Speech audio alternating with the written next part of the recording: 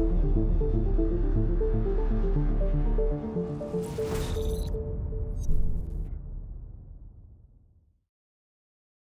welcome to HRNK and the DACOR Bacon House. It's a great pleasure to welcome you today. Um, let me begin by uh, thanking the Town Family Foundation for the support for all our human rights upfront process and for the conference as well. Let me also remind you that HRNK is uh, America's perhaps only fully bipartisan think tank and civil society organization dedicated exclusively to investigating, researching, and reporting on the North Korean human rights situation. Um, DACOR Bacon, of course, is a jewel of DC architecture, house of uh, Supreme Court Justice John Marshall, founding father of the U.S. Supreme Court. Secretary of State is a symbol of both the U.S. justice system and uh, diplomacy, the perfect place to called the Scott Conference. Um, our goal today is to celebrate COI plus 10, 10 years since the, the resolution, the UN Human Rights Council resolution that established the um, UN Commission of Inquiry. Uh, we're also here to address the security human rights nexus and to find ways to elevate the importance of human rights next to the critical political, security, and military issues. As your MC today, my mission is very easy. None of the distinguished speakers uh, need an introduction. They're very well known, very prominent uh, luminaries in both security and human rights issues. Uh, we are extraordinarily pleased and honored to host the His Excellency Ambassador Cho Tae-yong, Ambassador of the Republic of Korea to the United States of America, as our introductory keynote speaker today. Ambassador Cho has been a career diplomat for, for several decades. Uh, during his foreign service, his primary focus has been North Korea's nuclear affairs and the South Korea-US alliance. He has served as Director General for North Korea Nuclear Affairs, later as Director General for North Korean uh, for North American Affairs. Uh, he has been special advisor to several foreign ministers, He's been a senior official in the office of the president. He has served as ambassador to the Republic of Ireland and to the Commonwealth of Australia. He's also served as special representative for Korean Peninsula Peace and Security Affairs, first vice minister of foreign affairs. Uh, in May 2020, he became a member of the 21st National Assembly. He was chair of the International Committee and vice chair of the Policy Committee of the PPP, People's Power Party. Most importantly, as a member of the National Assembly, Ambassador Cho Tae-yong continued to be um, a promoter of freedom and human rights. In particular, freedom and human rights for the people of North Korea. And that is something that those of us, representatives of civil society, always remember. Everybody will remember Ambassador Cho. It's an extraordinary honor to host you. Thank you, sir. Please, the floor is yours. Good morning, everybody. Uh, well, thank you, Greg, for a very kind introduction. As you saw that uh, my bio says I'm involved in the efforts to try to address this of North Korean nuclear issue for over two decades. And as you see what is happening to North Korean nuclear programs and missile programs, I cannot say the efforts were successful. But I also want to say that the um, capability and coordination between the United States and ROK to cope with nuclear and missile threat from North Korea actually has increased uh, in a dramatic way almost. And now the ROK and US are talking about the way to um, upgrade the effectiveness of extended deterrence. And last week, um, we had a uh, deterrence strategic committee uh, tabletop exercises, eight in all. But what is more important and what really makes this a different one is that um, the uh, two governments, the planners, are putting their heads together about the scenario where North Korea uses, actually uses nuclear weapons and come up with some kind of uh, responses and also before responses that the way to the, uh, deter North Korea from using nuclear weapons. And then these two delegations all went down to the uh, Kings Bay Naval Base, a submarine base in the state of um, Georgia for the first time. So what I'm saying is that um, North Korean nuclear threat has grown, has become a clear and present danger for both countries. But in response to that, the capability and the willingness to coordinate uh, between US and ROK also has grown, and that's good news for the safety and the peace of mind of the peoples of my country as well as United States. So that's for the nuclear issue. Now I'd like to turn to the main subject of today's gathering, that is North Korea's human rights. Well, Ambassador Robert Joseph, Ambassador Lee Shin-hwa, who is joining uh, virtually from Seoul, Ambassador Robert King, my good friend, to see you again, and HRNK co-chair emeritus, Roberta Cohen, very nice to meet you, and uh, distinguished guests, dignitaries, and the, those who are committed to the improvement, improvement of human rights of North Korea. Um, it is a great, it is my great honor to be among you this morning to talk about this subject. Well, in 2013, the, when the Honorable Michael Kirby was named as the chair of the uh, committee, Commission of Inquiry, I was actually in Canberra serving as Korean ambassador to Australia. I, um, I was well aware of Michael Kirby's reputation and his determination. So I knew that something good and something very important would come out of this international undertaking called a COI. Well, over the past decade, the COI has been at the forefront and center of the international community's efforts to address concerns regarding human rights situation in North Korea. The Commission's report addresses all of these issues in a, a most comprehensive and uh, uh, factual way. And his recommendations haven't lost an ounce of relevance to this day. Needless to say, reporting on human rights conditions in North Korea is an extremely difficult undertaking few outsiders are allowed into the Hermit Kingdom. And we have very, very limited knowledge of the situation on the ground. And yet, despite all of the odds stacked against it, the COI delivered. It has documented gross human rights abuses in North Korea and its persistent crimes against humanity for, for both of which the Pyongyang regime bears sole and complete responsibility. The exemplary work performed by the Commission Uh, not only put the DPRK's human rights issues under the global limelight and microscope, I think, but also highlights the urgent need for the world to unite and mount a serious response I'd like to convey my sincere gratitude to the commissioners and staff members of the UNCOI for their decades-long contribution to this noble cause. My special thanks also go to Executive Director Greg Scarlatoiu and his associates in HRNK, not only for organizing today's very important event, but also for their commitment and dedication. I happened to meet uh, Greg uh, a couple of years ago while I was still in the National Assembly. I organized as a member of the National Assembly. I organized a, um, um, a seminar, a hybrid seminar, both you know the uh, virtual and in person.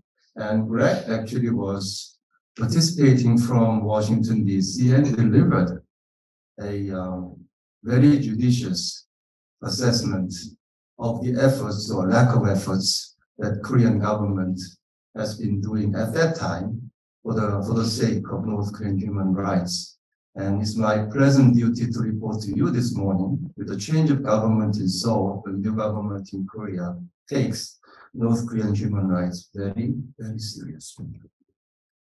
Ladies and gentlemen, as you are well aware, my government is gravely concerned about human rights conditions in North Korea. And along with our like-minded partners, we have been voicing this concern around the world. Ambassador Lee Shin-hwa is leading my government's efforts to bring together all these international efforts.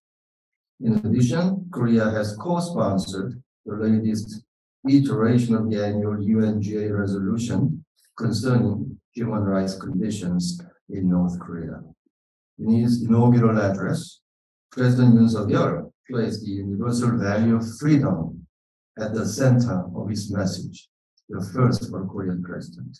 He emphasized the need for global solidarity in helping those deprived of their rightful dignity as free citizens. North Korean residents living under totalitarian oppression should be among the principal beneficiaries of our concerted efforts.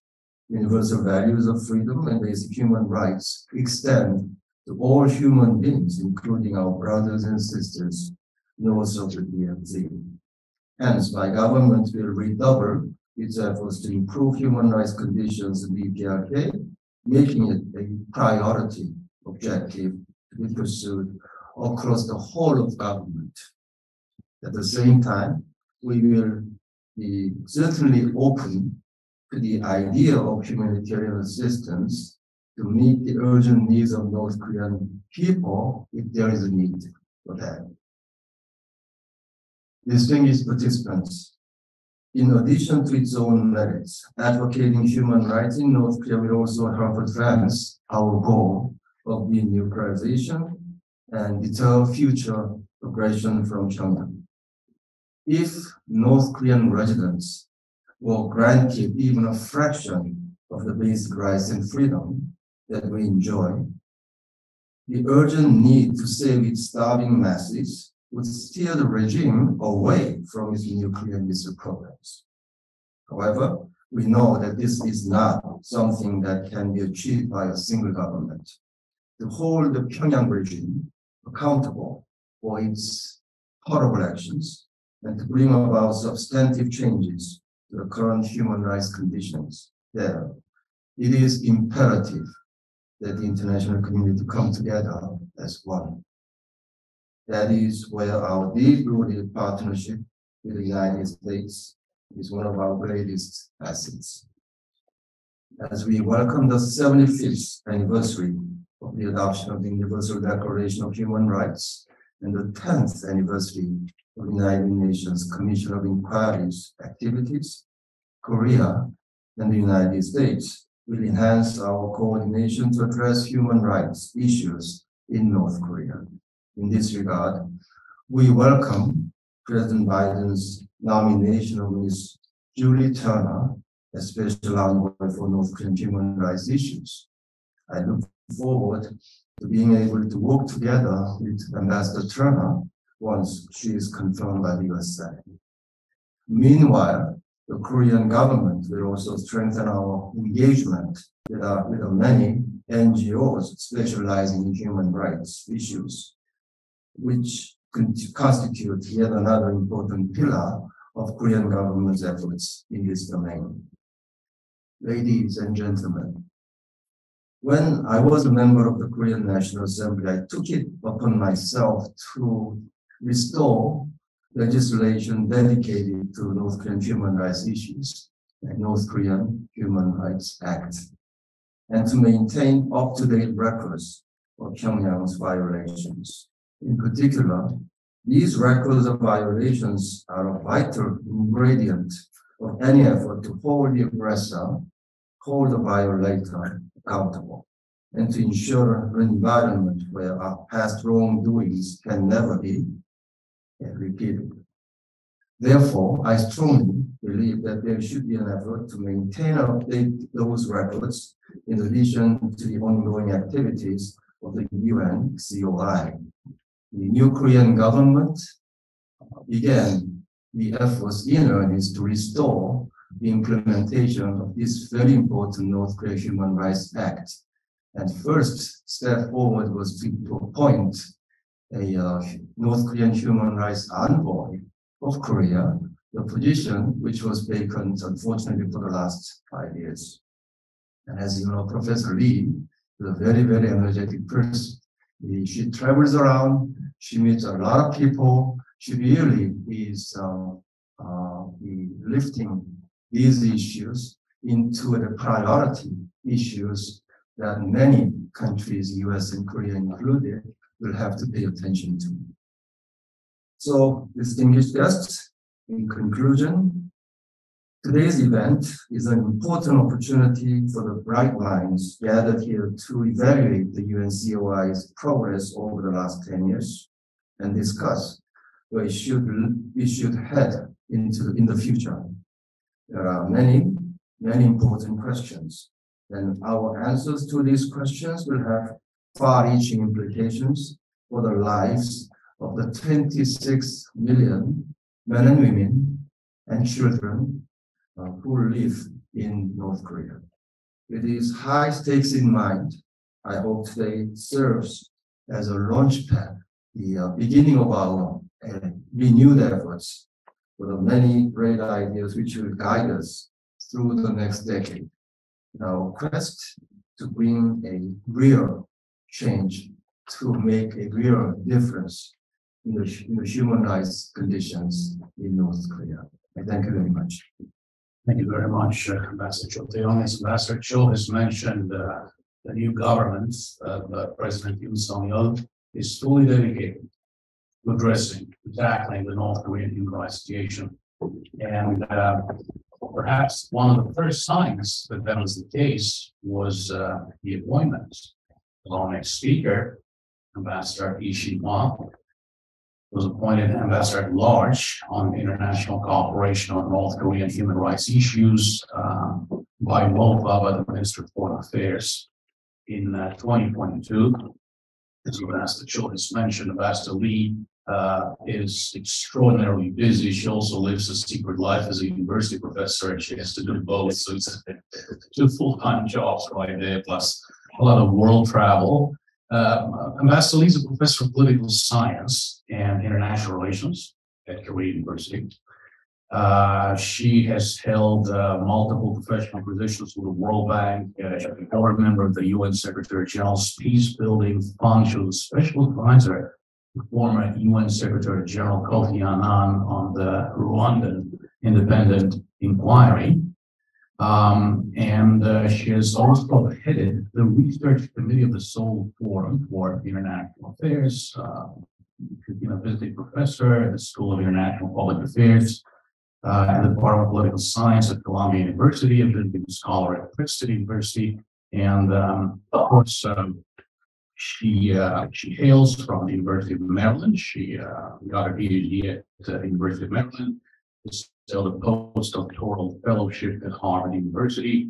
Uh, most importantly, uh, Master Lee has already cooperated very closely with HRNK. We were in New York City at a side event together uh, in the fall of last year on the sidelines of the Third Committee of the General Assembly. Uh, we've done a couple of other events. We'll meet again on the 17th of March in Geneva, UN side event, Raymond Holy Rating. Excellent. Uh, Ambassador Lee Shin-hwa, the virtual floor is all yours. Well, Secretary General Greg Scarlatoiu, thank you for your kind introduction. And uh, Ambassador Cho Tae-yong, whom I always respect in many ways. Thank you for your nice introduction as well.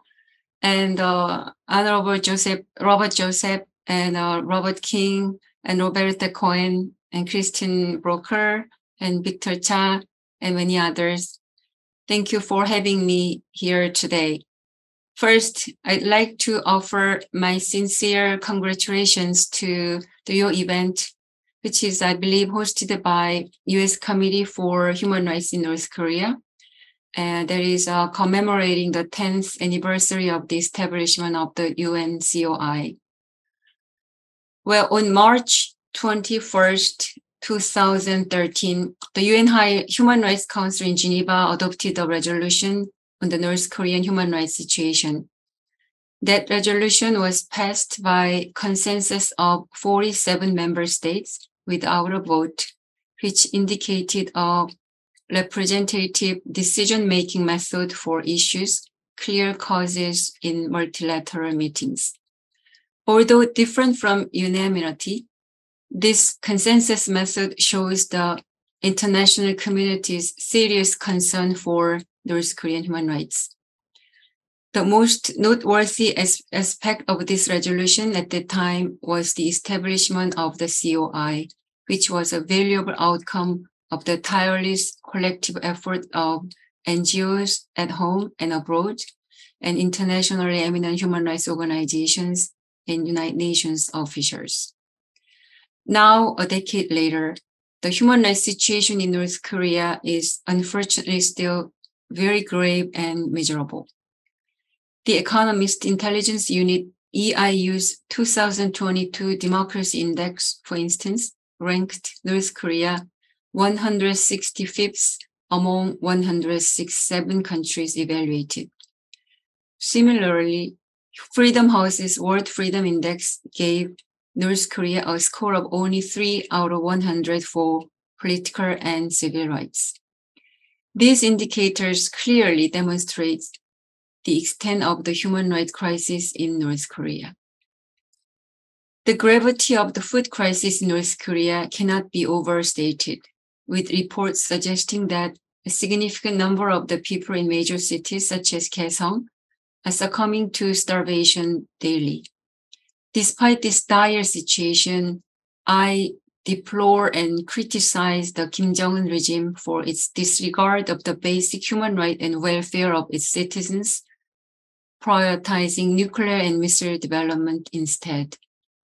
As North Korean human rights issues encompasses a wide range of issues, not only internal human rights problem within North Korea, I, I briefly mentioned now, we need to pay attention to the plight of North Korean defectors and workers abroad, as well as concerns related to wartime and post-war abductions, detentions, and prisoners of war. Indeed, it is very important to cover all these North Korean human rights issues and evaluate in detail what achievements have been made, what are the limitations and challenges, and what should be future tasks while we celebrate the 10th anniversary of COI. Yoon Suk-yeol government has voiced grave apprehensions over the deteriorating state of North Korean human rights.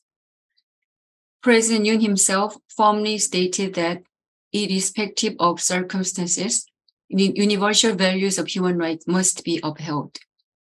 Furthermore, there are concerted efforts to collaborate with the international community to enhance human rights in North Korea.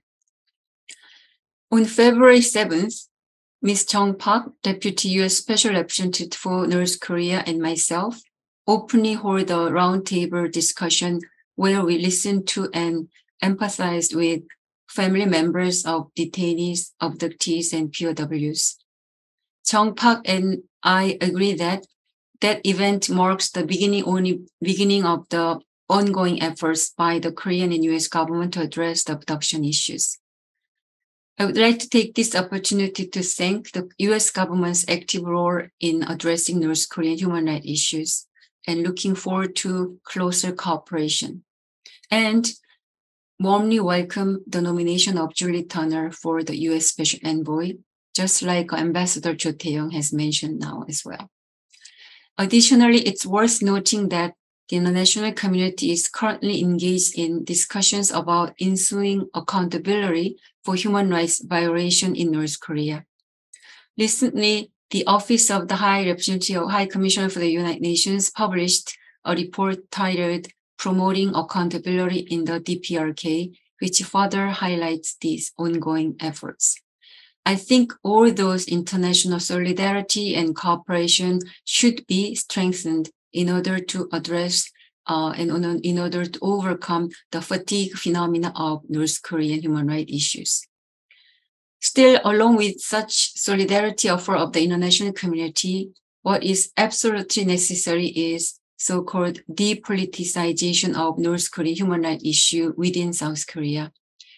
It is a shame and pity that public opinion and particularly the political circles are too divided due to the approaches and or perception of North Korea itself. So even when it comes to human rights issues, we are very divisive. While those human rights issues should be approached from the standpoint of universal values. This year, the 10th year since the COI was established, and next year, the 10th year since the COI report was published, I sincerely hope that North Korean human rights problems will be evaluated by accumulating hard evidence and through rigor- rigorous analysis and evaluation, and the international community will work tirelessly to find good approaches and solutions by cooperating and struggling with each other. So those international support and international pressure on solving North Korean human rights issue should be a stepping stone for making uh, internationalization or publicization of the North Korean human rights issues. And then in Korea, regardless of the any types of the leadership and the regime, I think we should mainstreaming the human rights, North Korean human rights issues. I believe that today's meeting of human the this commission, one of the first of the such efforts will set a good exemplary beginning for many similar events to come in the next couple of years. For that, I would like to thank and then I would like to emphasize what we should actively promote the purpose of importance of the COI internationally through the banners of so-called COI plus 10 and to elicit empathy and collective action from not only like-minded but also non-like-minded countries. For that, I would like you to think about two key uh, questions. What were the most serious issues among the human rights violation in North Korea at the time and why? And how has the severe violation improved now, 10 years later? Did it get worse or better? Why do we think it has improved and worsened? What were the most important suggestions that COI proposed for or called for improving human rights in North Korea? Have any of the COI suggestions improved North Korean human rights? What should be the international community do to make even a little more of these suggestions in the future? Is the COI suggestion still valid and relevant for improving human rights in North Korea after 10 years? Reflecting the current situation, what additional suggestions, in addition to COI's existing proposals, will effectively approach the issue of improving human rights in North Korea or North Korean human rights issues? In order to further activate the international public debate on North Korean human rights issues, I would like to highlight that in celebration of the 75th anniversary of UN Declaration on Human Rights, I, as an ambassador of international cooperation on North Korean human rights, would like to highlight the North Korean human rights issue within universal human rights throughout the year 2023. I also want to prevent North Korea's reckless and dangerous missile launches and possible nuclear tests from sidelining human rights issues. Therefore, I would like to inform the international community of the seriousness and urgency of the North Korea's military threats and human rights abuses are directly related to uh, directly related as two sides of the same coin. Having said that, once again, I would like to congratulate today's event, and I sincerely hope that today's pro- productive discussion will be held and serve as an opportunity to revitalize the discussion on North Korean human rights accountability. Thank you so much. Um, Master Joseph was Under Secretary of State for Arms Control and International Security, reporting directly to the Secretary of State. Um, he has served on the National Security Council as Special Assistant to the President and Senior Director of Proliferation Strategy, Counterproliferation, and Homeland Defense. Uh, he uh, has also been Principal Deputy Secretary of Defense for International Security Policy and Deputy Assistant Secretary of Defense for Nuclear Forces and Arms Control and director the Proliferation Research at the National Defense University. Um, is the recipient of multiple medals and awards. Also, most importantly, Ambassador Joseph is the leader of our project addressing a new approach to North Korea policy, uh, new approach to possible negotiations with North Korea, a human rights upfront approach, a human rights first approach. Ambassador Joseph, the floor is yours, please, sir. Well, good morning, everyone. Greg has asked me to do two things. First, I want to be brief and second, to be diplomatic. I'll be brief. Greg, I think you've done a remarkable job once again in putting together this very important conference. Uh, most of all, thank you for all of the great work that you do to advance the cause of human rights in North Korea. Mr. Ambassador, Madam Ambassador, if she's, if she's still with us, uh, thank you for your attendance. I think uh, you have provided us with some very thoughtful uh, and in many ways encouraging uh, remarks. And I think your presence here today sends a very important signal.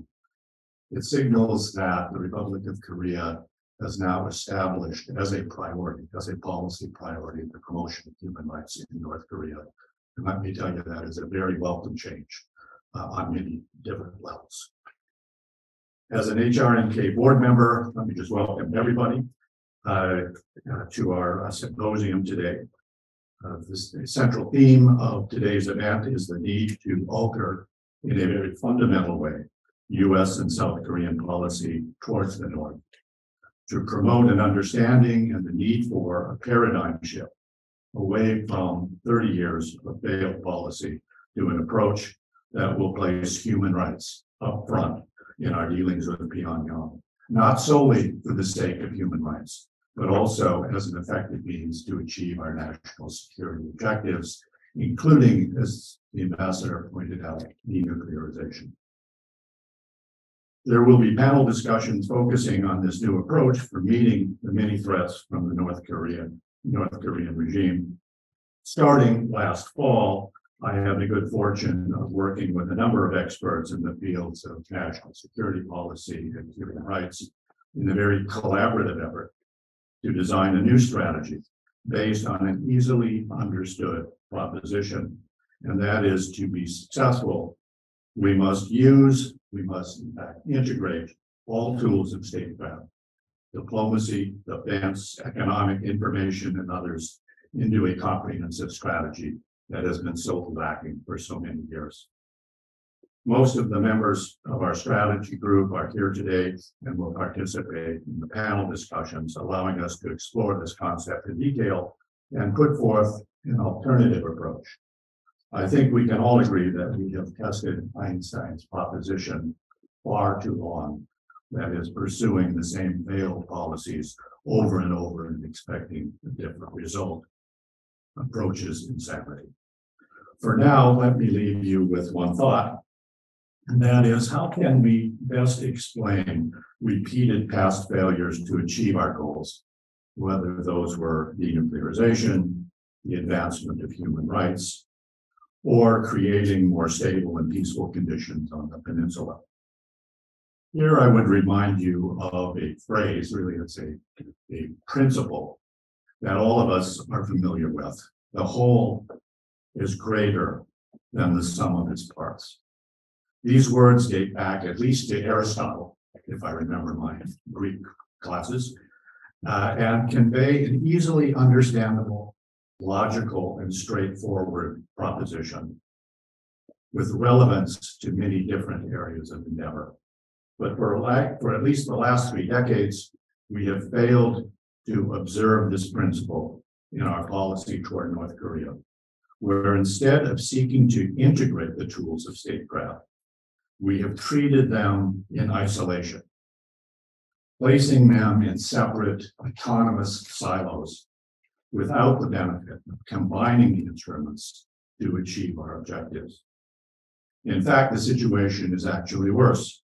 Again and again, for the sake of convincing the Kim regime to abandon its nuclear weapons, US and South Korean policy has undercut the contribution that other tools can make to achieve our ends.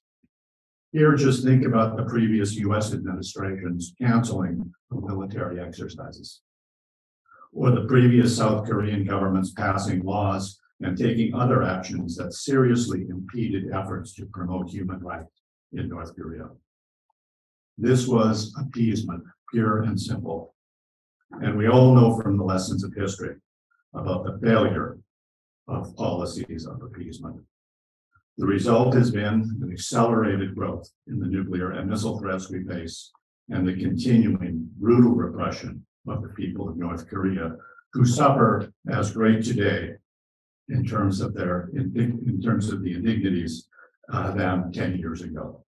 So as we move forward in our panel discussions, I hope you will be convinced of the need for a fundamental shift in policy and a new strategy that will combine containment, deterrence, and defense, and human rights up front.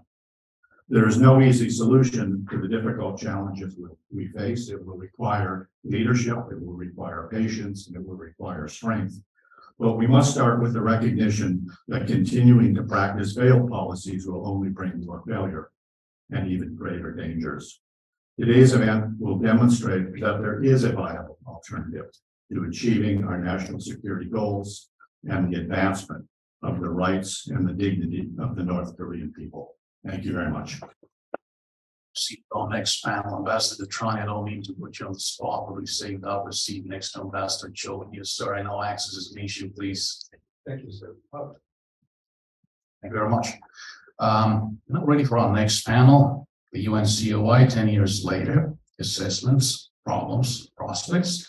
Let me invite HRNK uh, co-chair emeritus Roberta Cohen to join the panel. And also Ambassador Robert King, former special envoy for the human rights situation in North Korea, please. And I will be moderating this panel. We'll also be joined virtually from New York City by Kristen Broker, Deputy Director of the Jacob Blaustein Institute, JBI, an institution that's mostly done a lot of great work together.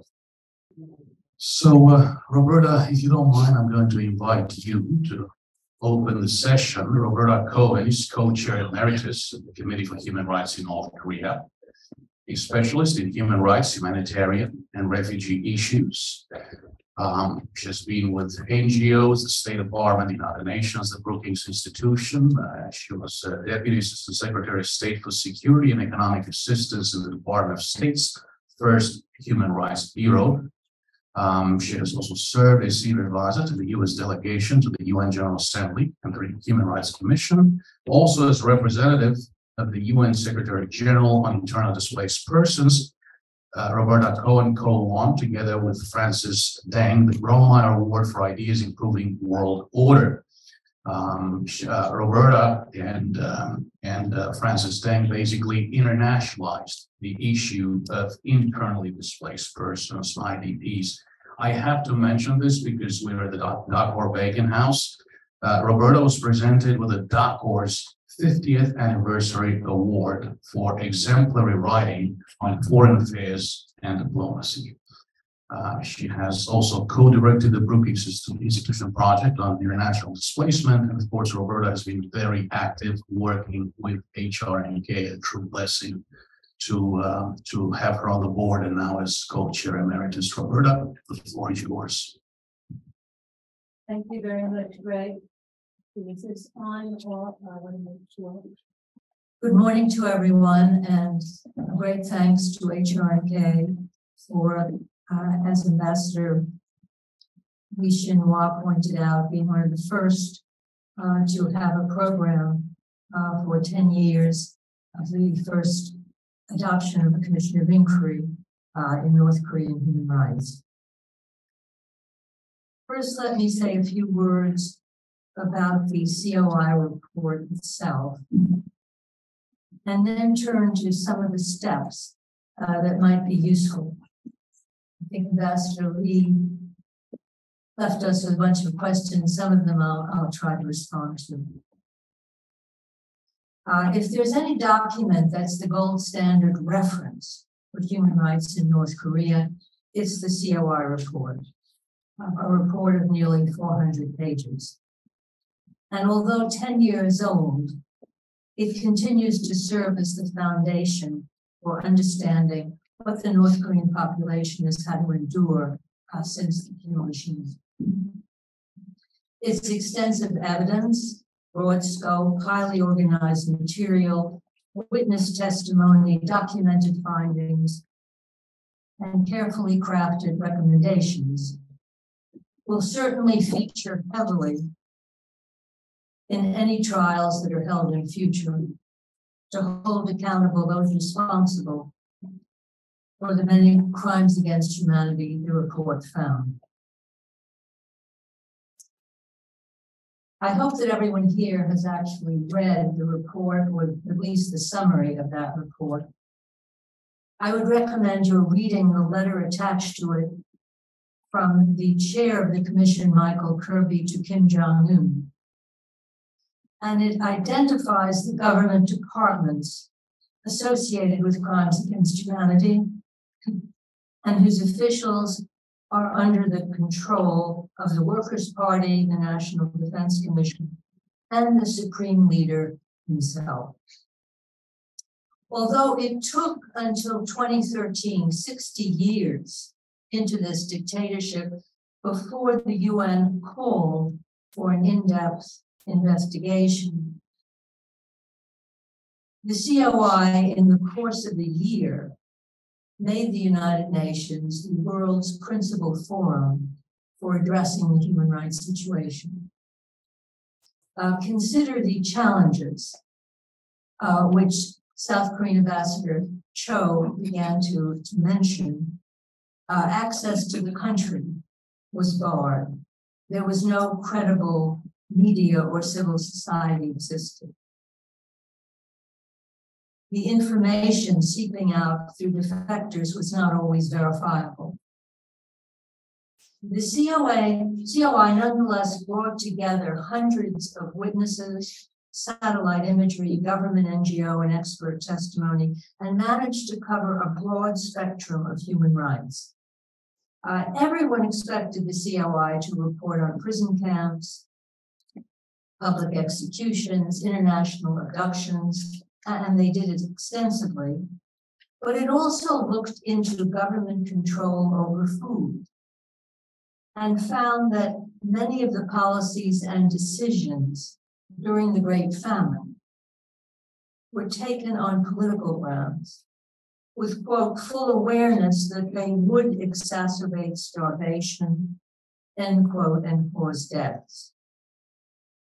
It further found that some of the food policies that could lead to crimes against humanity remain in place today. The prioritizing of military spending, privileging certain groups and parts of the country, evading meaningful agricultural reforms, providing misleading information, and so forth. The COI report was also unique in directly implicating China for possibly aiding or abetting crimes against humanity by forcibly repatriating North Koreans who, once back in their country, were going to be subject to beatings, forced labor, torture, even execution. Although the recommendation in the report that got the most publicity was that the Security Council should refer the situation to the International Criminal Court. The report also called for engagement with North Korea through dialogue with government officials, people to people exchanges, contacts in the economic area, joint academic, sports, and women's programs, and it urged governments, the UN, business enterprises, foundations, and civil society to become involved so that North Koreans have opportunities to exchange information and be exposed to experiences outside their country.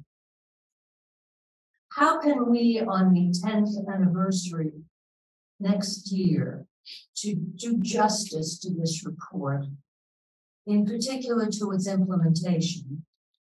When the North Korean people are so isolated, most recently because of the restrictions from the pandemic, when North Korea has become so closely aligned with China and Russia, and when the international political environment has become so challenging. One way I think to address this question is to bear in mind that if change is to come to North Korea, it will undoubtedly come from within the country and from the exposure of its people to information from outside, from the outside world. It may be pedestrian to suggest, but I think in addition to recirculating the report uh, and its 21 page, page summary, that there should be a popular version of the conclusions and recommendations that should be printed beginning with the COI words, quote, the people of the DPRK have suffered too long. It is the responsibility of the international community to protect them from the depredations of their own government. Then would follow seven pages of conclusions and recommendations, or even just recommendations reprinted in readable letters uh, with colors and fonts and a foreword by the UN High Commissioner for Human Rights and translated into Korean and other languages. The aim would be to refocus global attention on the COI's findings, which are still relevant today. Widely disseminate them and explore ways to get copies to North Koreans working outside the country and into North Korea by broadcast, even hearing about the document, not even seeing it, could have a ripple effect.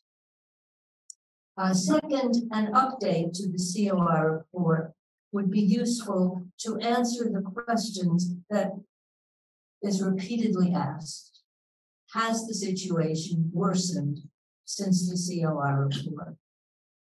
Uh, a UN assessment would look at the impact of North Korea's pandemic restrictions on food, medical care, and other rights, and the extent to which the government is using these restrictions to enlarge its own political controls. Issues not covered by the COI report should be included, like North Korea's treatment of workers it sends abroad and its holdings of foreigners in detention, in particular, six South Koreans, about which I think more should be said. An update would also identify any progress. There have been unverified reports of some reforms in the treatment of detainees that really needs looking at. Also, there have been reforms reported with regard to the disabled, children, women's health. Even the most minimal reforms seem to be the result of international pressure and engagement, which speaks to the importance of the COI report, other human rights reports, and human rights processes. Uh, third, in response to the dire food and medical conditions reported, and because of the extreme isolation, every effort should be made to bring back humanitarian aid agencies to North Korea the COI recommended that these agencies have access to prisons. And in 2019, North Korea actually accepted at a UN review process that humanitarian agencies should have access to all vulnerable groups, including prisoners. If back on the ground, I would agree that humanitarian agencies make a special effort to better integrate human rights concerns into their world. Fourth, let's turn to the UN's political bodies to keep up the visibility around the North Korean human rights issue. A strong coalition of states is essential. Now that both South Korea and the US are once again giving priority to human rights in North Korea and have designated special envoys, they should give priority to getting the votes for convening an official public Security Council meeting on North Korean human rights. There has not been one on North Korean human rights for more than five years. And I do want to mention that those years ago, we can thank Bob King uh, for being one of the drivers of having such a meeting. Reaching out to Latin American and to African states will need a strategy and some leverage in order to get the nine procedural votes required for this meeting. What will the Security Council meeting accomplish? It will demonstrate the linkage between the nature of the North Korean regime and international peace and security. It will bring to the fore that a more open society in the North is crucial for lasting peace. And that the information blockade around the country needs to be countered because it is a major obstacle to peace. A Security Council meeting will also draw attention to the need for laying the groundwork for accountability. To be sure, China and Russia will veto referral of the case to the International Criminal Court. But accountability also includes other approaches, such as targeted sanctions against individuals and groups, which the COI called for and can be carried out by national governments. Universal jurisdiction, filing civil claims for monetary rewards, creating compensation funds for victims and families. North Korea has been unnerved in the past by a focus on accountability. It calls into question the Kim regime's legitimacy. And as a result, North Korea has participated at times in some of the UN human rights processes, revised some laws, and instituted some internal reforms. Publicity about accountability might still have effect.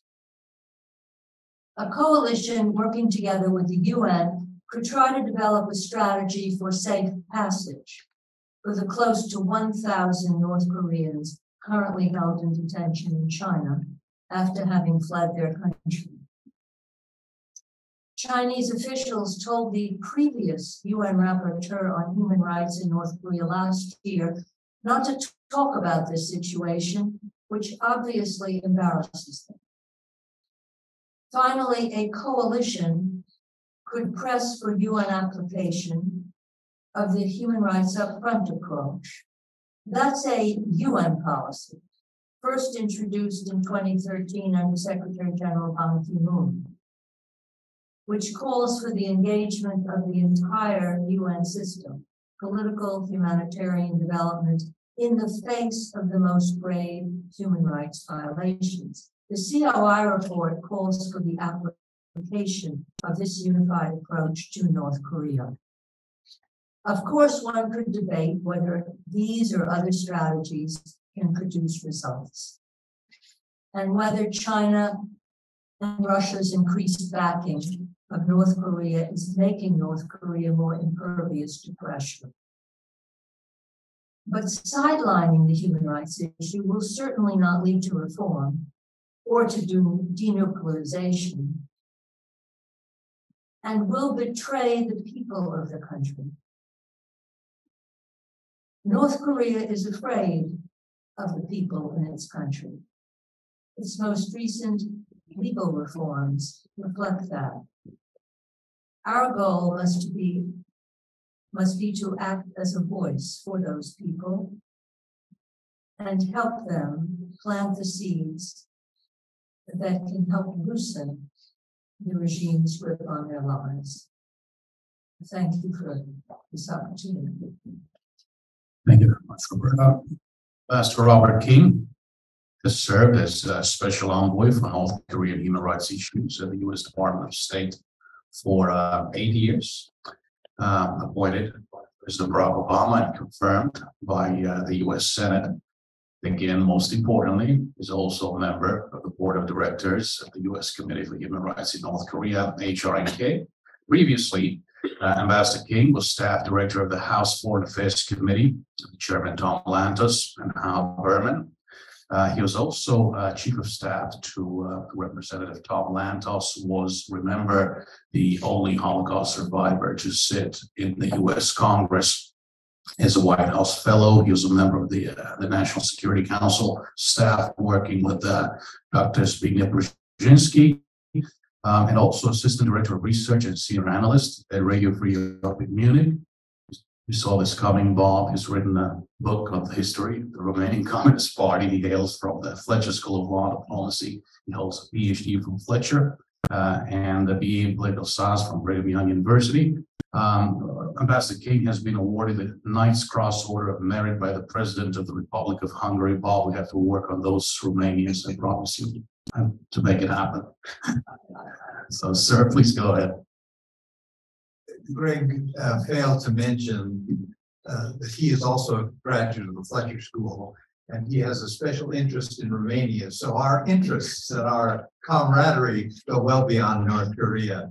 Uh, Let me, uh, on this tenth anniversary, uh, reflect on some of the developments and the US role uh, in the creation of the Commission of Inquiry uh, as we look back on that ten-year period, I think there's some important things in terms of what this says about the United States and, and what we've done and what we uh, hopefully can continue to do to move forward on North Korean human rights issues.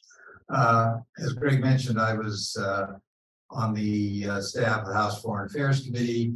Uh, I was there at the time the North Korea Human Rights Act was enacted in two thousand four.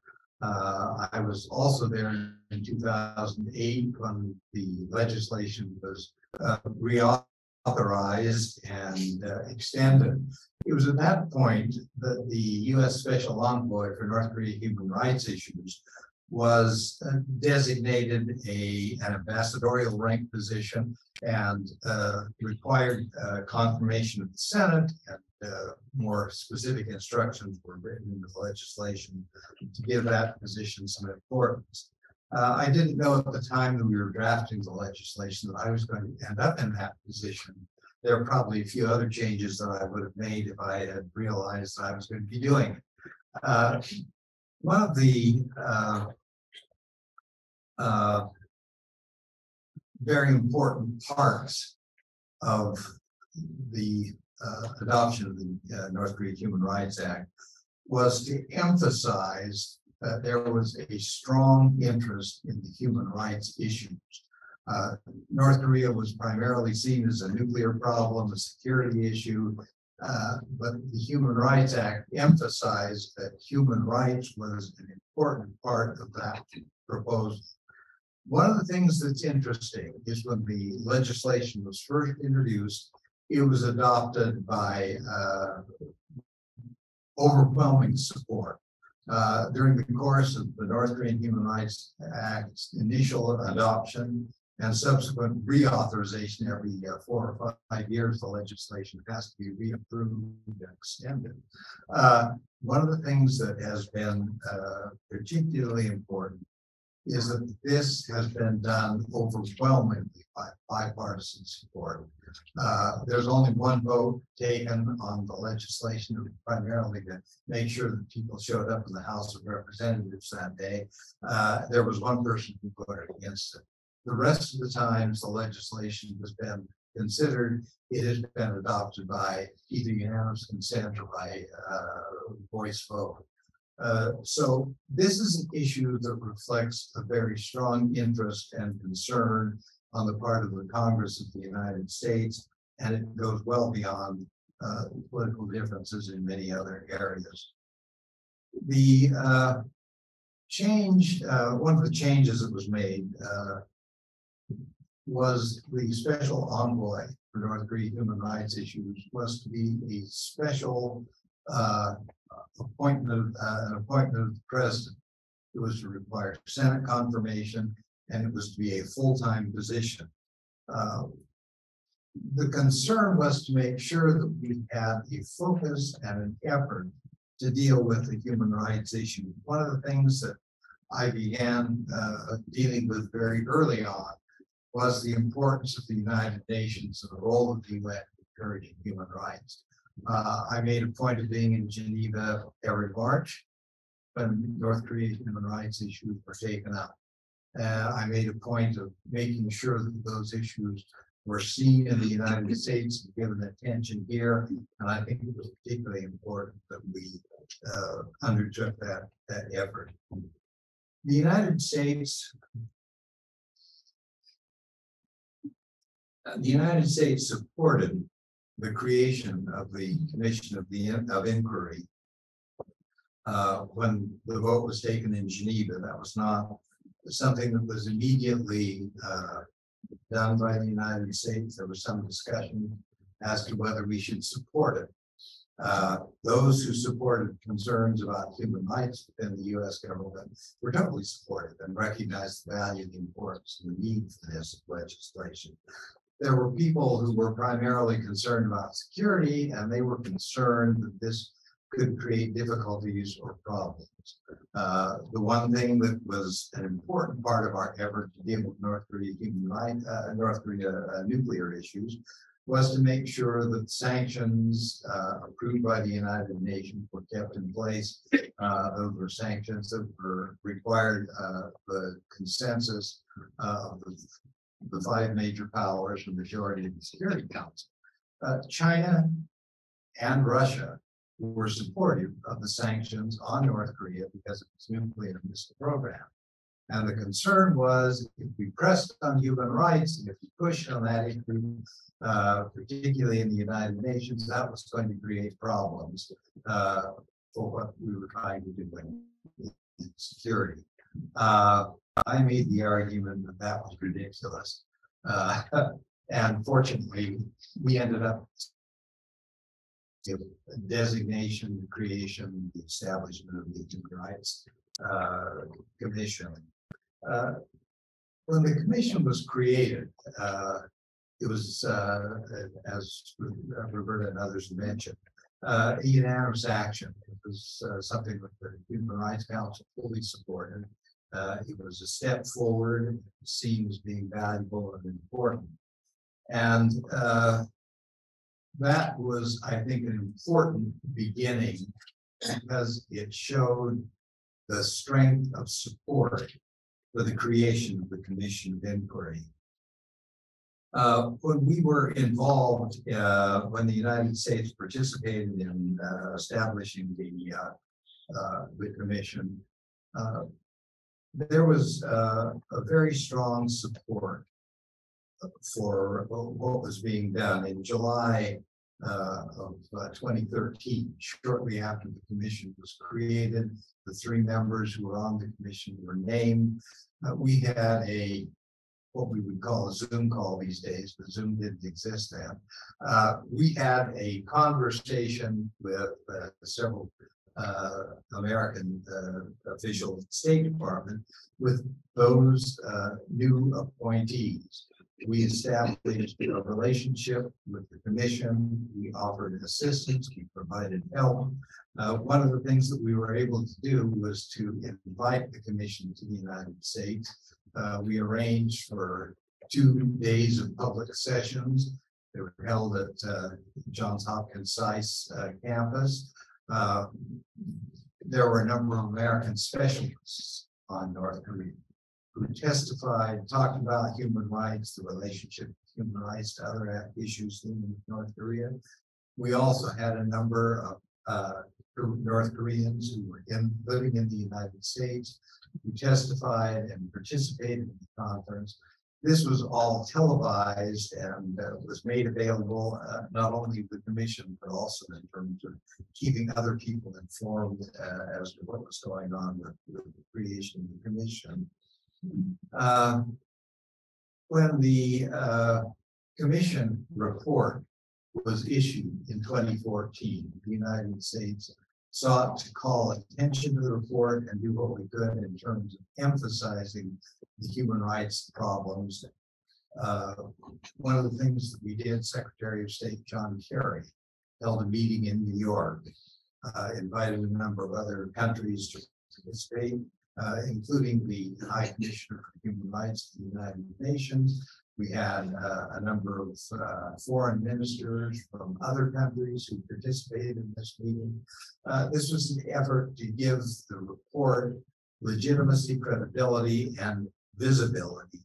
And I think it's been an important element in terms of what we've tried to do with, uh, with working uh, on, on the uh, commission report. We've now had ten years, or we're approaching ten years since the report was, uh, was adopted. Uh, the question is, uh, was the effort worth it? Did it do what we wanted it to do? And what can we do to improve, uh, the effort of with human rights in North Korea? Uh, one of the problems with the report is that it's hard to assess fully what's going on in North Korea. Uh, and that's becoming increasingly difficult if you have less access to information going on inside the country. But when we were looking at the impact of the report when it was published, uh, there was a real question about whether we could make a difference. Marzuki Darusman uh, approached the North Koreans. Marzuki was the special rapporteur of North Korea, uh, dealing with North Korean human rights issues with the Human Rights Council. He also was one of the leading forces behind the creation of the commission, served on the commission. Uh, he approached the North Koreans uh, on several occasions when he was uh, dealing with, um, when he was appointed uh, special rapporteur. Uh, and the North Koreans, uh, didn't even bother to respond to his request. The Chinese, uh, were at least willing to say, no, thank you, we don't want you to come. Uh, North Koreans wouldn't even respond. Uh, Darusman, uh, as he was about to make his report to the General Assembly, the Third Committee, uh, the North Koreans said, would you like to come to North Korea? And said, of course. Uh, let's, uh, there are several issues I'd like to look at. North Korean said, well, you can come, but these are the conditions. Uh, Marzuki and I had lunch in New York, uh, as the process was going on, as he received this message from the North Koreans. We talked about what the North Koreans were trying to do, how they were trying to hijack the, uh, the process. And the conditions that they were imposing were problematic.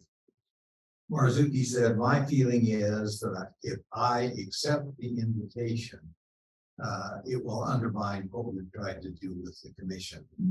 And, uh, I agreed with him completely. The conditions were far too restrictive. The question is, uh, what effect did it have on the North Koreans? The first thing that I think is important is the North Koreans did recognize that this was a serious issue for them to deal with. Uh, the North Koreans, uh, at the time the report was issued and was being considered in the General Assembly, as you know, in New York in September, there's a week when they have the high level discussions uh, of foreign ministers from most countries are there. Occasionally, there are heads of state. Uh, and the question was, um, would the North Koreans participate? North Korea had not sent a high-level official to New York for 11 years. In 2014, when the report came out, the foreign minister was in New York. Uh, not only that, the first time, he made himself available for a session with the Council on Foreign Relations, the first time that had happened. The North Koreans were concerned about what was going on, and they were acting and trying to deal with the issue. North Koreans did not invite uh, special rapporteur to come to North Korea under conditions that he could accept. But there were several other, Marzuki was working behind the scenes to encourage others to approach the North Koreans. And the North Koreans agreed to have the representative, uh, the special rapporteur on persons with disabilities come to North Korea. She came, she was allowed to meet with, uh, people in Pyongyang. She was somewhat uh, circumscribed in terms of what she was able to do, but she was there and she raised the issue of human rights of persons with disabilities. A politically non-sensitive topic, but one in which the UN role in dealing with human rights was recognized because she was invited to come to Pyongyang and, and participate.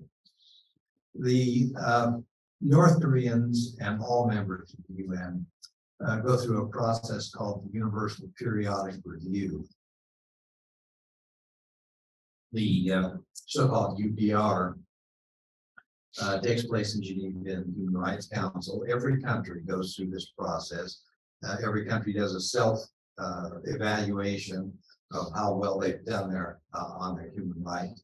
And then that's followed by uh, questions and comments from uh, non-government organizations and other countries raising questions about human rights. The United States goes through the process. We say these are things we've done, uh, and other countries then comment on what they think the U.S. record on human rights is.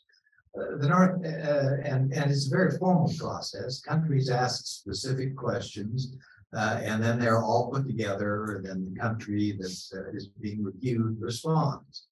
Uh, North Korea had gone through this process. Uh, initially, uh, I think it was in 2009. They did it the second time in 2014, just after the Commission Inquiry report came out. The North Koreans, the first time they went through the process, were asked um, 200 questions from various countries, issues they should look at, things they should do to improve their human rights record. And the, the North Koreans said, uh, we reject X number of these questions as being political and not related to human rights. And the others are questions that we will look at and give a response. Uh, they didn't bother to give a response. Uh, most other countries would respond to all of the questions they were asked. Uh, in 2014, as the report came out, as North Korea was criticized, the, the North Koreans went through this universal periodic review process. And there were a large number of questions that were asked uh, related to uh, Human Rights Commission. Uh, and uh, the one thing that was interesting is the North Koreans responded to every question that was asked. And they went back four years earlier and looked at the questions they ignored four years before. The North Koreans were concerned about what the effect was. Well, the question now is the North Koreans did have some, it did have some effect to have this report. Uh, the North Koreans uh, continue to deny that there are human rights problems in North Korea. Uh, there hasn't been the kind of high level attention that the commission report brought. And the question is, uh, does it make sense to continue? Is it worth the effort? The one thing that I think we need to remember is that we are very patient. We want to get something done and move on. With human rights and particularly dealing with human rights in North Korea, that isn't something that you solve by saying, this is the problem here, let's fix it and move on. You got to keep up the pressure. And we need to continue to press the North Koreans on these human rights issues. The Commission of Inquiry was an important beginning. We need to continue with the special rapporteur and examining those reports and continue to deal with these kinds of issues uh, in order to urge and press and encourage the North Koreans to move in a more positive direction. It's not something that's going to happen overnight that the North Koreans need to know that we are not backing down on these issues. And we need to continue the pressure. Uh, we're, we have lots of time for you to ask questions, so I'm gonna stop right here and, and hope we'll have some interesting questions on that later. Nice to you, Bob. Thank you very much.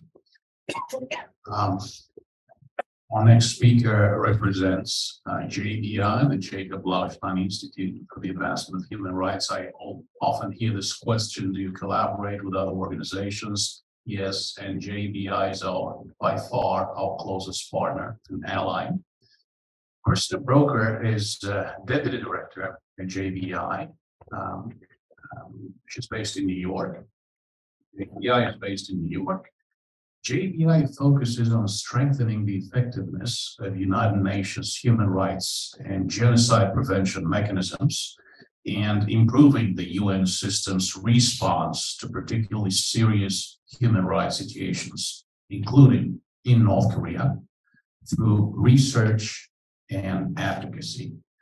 Um, Christen received her JD and LLM in International Legal Studies from the New York University School of Law, where she was a scholar at the Institute for International Law and Justice.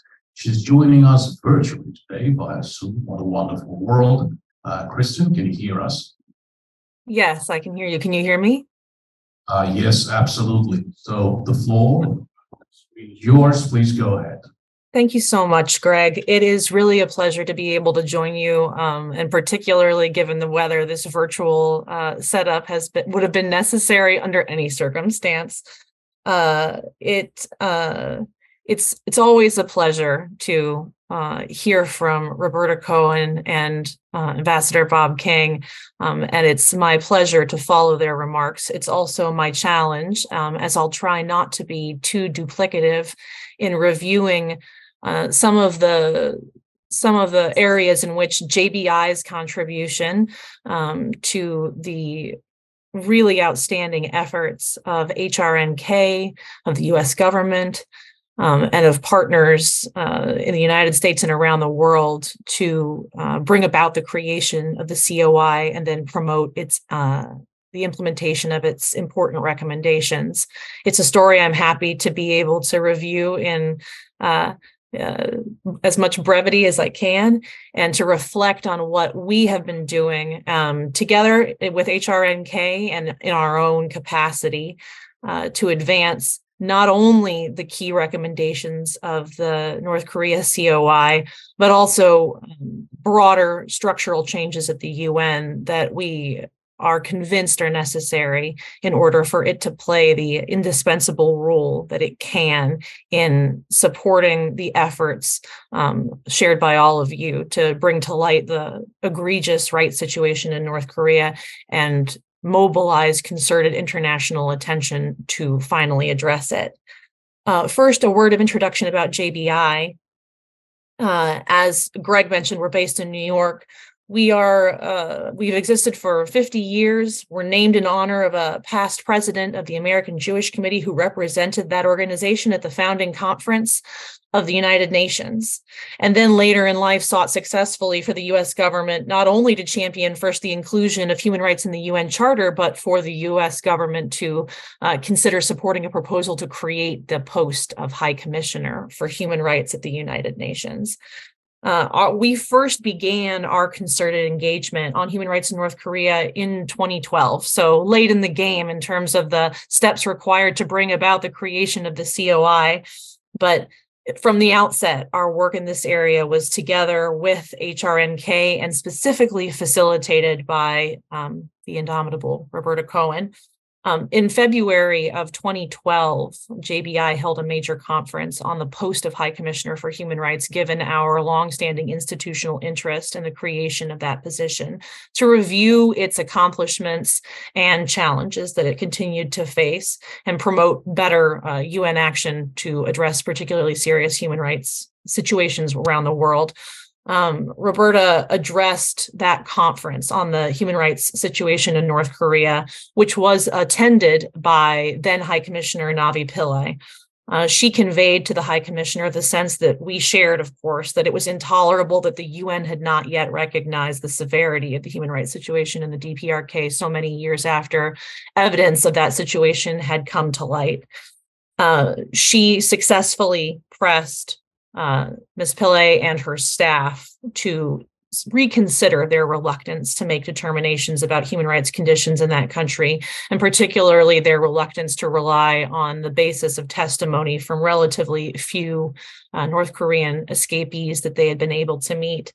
Um, this is an effort that was being simultaneously undertaken by many NGOs. Um, in April 2012, we co-sponsored HRNK's major conference on dismantling North Korea's network of political prisoner camps, Hidden Gulag, which launched the groundbreaking 200-page uh, report by David Hawk about the camps based on both eyewitness testimony and satellite images.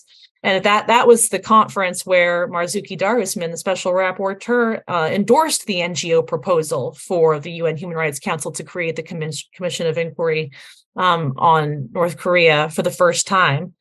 And then that was followed uh, several months later by High Commissioner Navi Pillay also expressing her support for the creation of the COI and then its creation by consensus, as was mentioned by the Human Rights Council.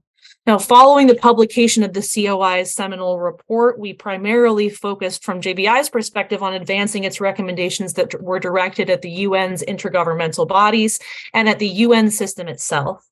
And specifically, the COI's call on the Security Council to act on the situation and for the Secretary General to apply the newly announced Rights Up Front initiative to the work of all UN agencies operating in North Korea we convened an expert roundtable to follow up on the COI report in New York in February 2014 that brought together uh, HRNK, independent human rights experts, diplomats from many member states to discuss the implementation, the, the implications of the COI's findings and its recommendations for UN actors in New York specifically. And after 2014, we collaborated with HRNK on a number of projects that were aimed at ensuring that the UN General Assembly, the Security Council, and the UN system actors would respond effectively and specifically to those COI reports recommendations. That included an advocacy campaign at the General Assembly. It in- included helping to convene with other NGOs a side event at the UN at, with head, at headquarters with testimony from um, Judge Kirby, uh, COI chairman, from uh, former North Korean political prisoners, bilateral meetings with uh, swing states, uh, key missions, and eventually resulted in the providing strong support for the General Assembly to adopt a resolution that fully endorsed the COI report and its recommendations. Um, we also pressed then uh, uh, the Security Council members to um, uh, take up the procedural recommendation to hold uh, a meeting on the human rights situation in North Korea and to add that as an agenda item on the council and uh, then to repeat the practice, as we know in December 2015, 16, and 17, so four times. And we also embarked on a joint project with Roberta Cohen on behalf of HRNK to carry out research and advocacy on the Rights Up Front initiative. That project had significant results, not not the least of which was persuading senior UN officials who engineered that initiative to consider it applicable to North Korea at all. Uh, the Human Rights Upfront Initiative is originally conceived by its uh, by the Deputy Secretary General Jan Eliasson as a- applying only to emergency, uh, emerging crises, and not necessarily to chronic situations of gross abuse like in North Korea. Advocacy um, uh, with him changed his perspective. And subsequently, uh, Ms. Cohen's development of detailed recommendations to all UN system actors, UNICEF, UNDP, the World Food Program, the World Health Organization, all of which were operating on the ground or had recently in North Korea on what specific actions they could take to apply human rights up front uh, to their work in North Korea was circulated to their staff. It provoked the meet, uh, the convening of a UN interagency task force on North Korea, and it also helped provoke then Secretary General Ban Ki moon to specifically devote further attention in his own reporting back to the UN on how UN agencies' initiatives and activities were responding to the human rights situation in the country. And finally, the new strategic framework for cooperation that the UN was at that time negotiating with North Korea, um, uh, suddenly human rights became a factor that the UN was affirmatively pushing to include in that agreement. Um, since that time, we've continued to encourage key states, specifically the EU, to maintain the important language that still exists in the resolution adopted annually by the General Assembly that endorses the COI's key recommendations, supporting uh, the of special rapporteurs on North Korea to engage with NGOs in New York and we've also pressed UN system actors and members of the UN Security Council in particular to appreciate the significance of the UN uh, Security Council's meetings on human rights in North Korea. So, you know, we've heard a lot already from our panelists on the status of implementation of the Commission of Inquiry's recommendations um, uh, just to add a word of uh, support to Roberta's comments about the importance of the public meetings convened by the Security Council on the situation from 2014 to 2017. The US played a strong role, as Bob King mentioned, in uh, convening these meetings and, and delivering powerful statements at these meetings, conveying how North Korea's flagrant disregard for human rights was so closely linked to its repeated actions reflecting disdain for the rules that ensure international security, and stressing that the Security Council had an obligation to remain seized of that situation as long as those interrelated patterns of behavior persisted. It has been uh, a big loss that since 2018, rather than convening public meetings on human rights in the DPRK every December, the Council has instead been discussing the issue in closed consultations under the any other business agenda item. Not only is this then not a public meeting, but the Council has also stopped requesting briefings on the situation in North Korea from uh, UN human rights officials. Uh, senior officials briefed at all the prior um, uh, public meetings held under that agenda item. This has occurred despite the fact that the annually adopted General Assembly resolution on North Korea uh, specifically encourages the Security Council to resume discussion on the situation in the DPRK and to invite OHCHR, the High Commissioner's Office, to give a briefing to the Council, including on the country's human rights situation, in light of those serious concerns. The change in format from public meetings to closed consultations has also uh, sent a troubling message to the Human Rights Office at the UN, namely that Security Council members don't consider that the ongoing evidence gathering work that OHCHR is undertaking, particularly through its office in Seoul, and which has the support of the Human Rights Council, to, to be relevant to the Security Council's work.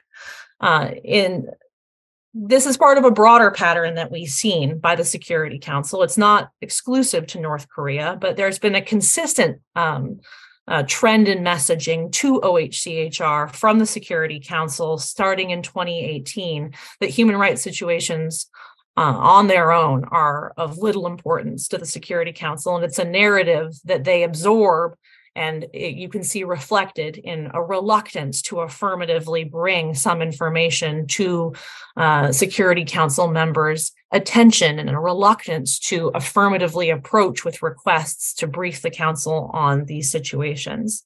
So, as a result of, of the Security Council's failure not only to create uh, ad hoc tribunal or refer the situation in North Korea to the International Criminal Court as the COI recommended, but also its failure to then hold public meetings, responsibility for keeping the situation on the international agenda at the UN has really shifted to the General Assembly and to the Human Rights Council. And to their credit and to the credit of the states um, that are working so hard on the resolutions taken up there, those resolutions have been adopted by consensus in recent years, even though they create a country specific rapporteur uh, in the case of the Human Rights Council resolution and authorize an evidence gathering mechanism that is country specific.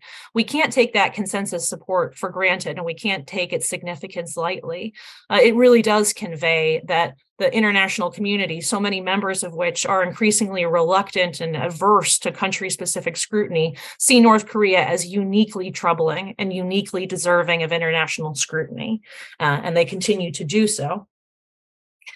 Um, as for the UN system, as a consequence of the COI report, um, uh, we saw the Human Rights Upfront initiative resulting in positive changes not only across the board for the UN system, but specifically for the UN's approach to to to North Korea.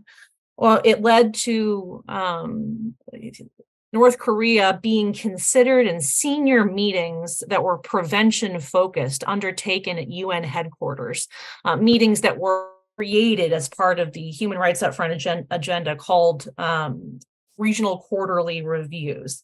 These had the effect of conveying senior UN support to the resident coordinator in the DPRK to um, be assertive in raising human rights in his interactions with his um, with his counterparts, and specifically pressing him um, and supporting him in raise in raising the need to include a reference to human rights in the strategic framework for cooperation between the UN and DPRK.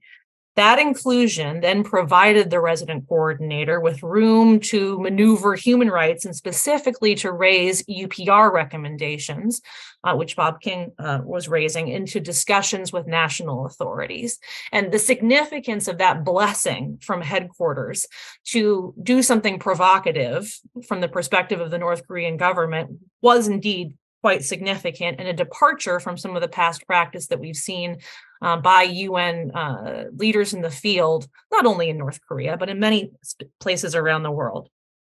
You know, despite this progress, the Human Rights Upfront initiative wasn't in the end actually capable of diminishing UN system actors' historic reluctance to confront government actors about their commission of severe human rights violations in many cases and places around the world, the most notorious of which is Myanmar, where a, a genocide occurred um, uh, only a few years after the rollout of this initiative. And perhaps we can discuss why and how the human rights upfront approach at the UN um, was not as effective as its uh, designers had hoped it would be in the Q&A. Um, but suffice to say that this these challenges were accompanied by a change in leadership at the United Nations and also by a change in approach that reflected uh, the new pressures that the uh, UN Secretariat has come under since 2018 um, concerning whether or not the Secretariat should be uh, assertive about raising human rights concerns with governments. We saw structural changes made to how the Human Rights Upfront program was implemented within the United Nations system, and particularly across the board changes like the elimination of specific staff tasked with implementing that initiative, um, uh, a change in the instructions to UN staff to heavily prioritize raising only universal periodic review recommendations and not necessarily the recommendations for governments devised by special procedures, such as in the case of North Korea, the special rapporteur. This is a worrying development from JBI's perspective for North Korea and across the board because it suggests that uh, the UN system is responding to pressure that it's feeling from countries led by China, including Russia, that consistently stress at the UN and more vigorously now than in the years when the COI report first was published, that it's only appropriate for UN system actors to raise human rights issues with governments if they have acknowledged them, and only information about human rights conditions that um, are from reliable sources, such as the government itself, can inform the UN's recommendations to a government on its human rights performance. So, in sum, although we're seeing the Secretary General and the UN system asserting rhetorical support for the idea that human rights um, are essential, uh, including to international peace and security, um, we are confronted with a UN system that's less assertive now than it was um, and that it was from 2014 to 2017 in all but the most extreme cases.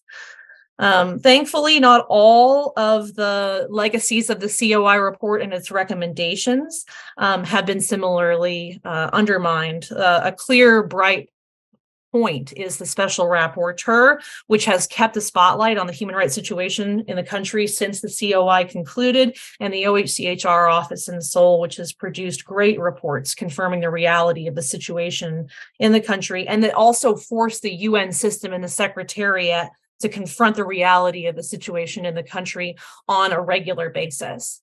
If I might, um, just two words on what we I would consider the the lessons learned from an NGO perspective, uh, attempting to do advocacy on the COI report in New York specifically uh, over the past few years. First, that consistent government leadership, particularly from the United States in the case of the Security Council, and a commitment to dedicate diplomatic energy to ensure that multilateral institutions, and particularly the UN, are recognizing the egregious scale and severity of the ongoing human rights violations in the DPRK is essential. In the absence of consistent US leadership on this point and on other key human rights concerns, we saw the collapse of the international momentum that had been needed to keep this issue on the Security Council's agenda just uh, eviscerate with a speed that was devastating. Second, at the same time, we know that US leadership is not sufficient to keep recognition of North Korea's human rights violations as a global security concern on the international agenda. We are still digging out of the hole that was created in 2018, which is when the US first expressed ambivalence about continuing to pursue the UN Security Council meetings on the DPRK for the first time since the publication of the COI report. The current administration's clear expression of support for resuming these meetings hasn't so far been sufficient to revive the practice. And there are many reasons for this, among them that since 2017, we've seen China really using its diplomatic muscle to uh, sway the views of countries that ca- consider it a, tree, a key trading partner on the uh, merits of bringing human rights concerns to the Security Council's attention. So not only must the US be matching the China in terms of the diplomatic capital that it's willing to deploy on the DPRK human rights issues at the UN, it must also persuade key allies to invest their own diplomatic capital to offset China's influence on those middle of the road members of the Security Council whose support is essential if progress is to occur. It's so welcome that we saw the US government recently mobilize 31 countries to sign a joint statement calling for the resumption of these Security Council Council meetings, but it's only signed by eight current UN Security Council members when, as Roberta mentioned, nine are needed to overcome the expected procedural objections from Russia and China. Third, we can't ignore the broader context in which the resistance to implementing the COI's UN directed recommendations is occurring because of the concerted effort uh, among a group of countries that includes North Korea, has China at its center, but has many other components to it to redefine the normative content of human rights and the proper role of international organizations in advancing them. There are many reasons why countries are seeking to take down the temperature in their diplomatic relations with China and seeking to find ways to constructively pursue progress with it on major global challenges, and particularly at the UN, where consensus agreement is so important on so many issues. Um, and including, as Ambassador King referenced, uh, sanctions packages adopted by the Security Council. But this can't translate to passivity or acquiescence in the face of this campaign that China is spearheading to neutralize the UN as a source of targeted pressure on it or its allies to curb the specific ongoing severe human rights violations we see in North Korea, we see in China, and we see in so many other countries. Uh, if that broader effort isn't countered, the risk is that you find a situation in which the UN thinks it's promoting human rights up front in North Korea in its work, but that it has limited this exclusively to recommendations that North Korea has accepted in the Universal Periodic Review procedure. While that procedure is helpful and plays some positive roles, specifically with regard to North Korea and throughout the UN, it's not a substitute for independent uh, scrutiny that we see from the special rapporteur, we see from treaty bodies, that we see from the OHCHR office in Seoul. So we will continue our part and we look forward to working with HRNK and to all of you in continuing to press uh, the UN to follow through on the commitments and the promises that were made following the publication of the outstanding COI report.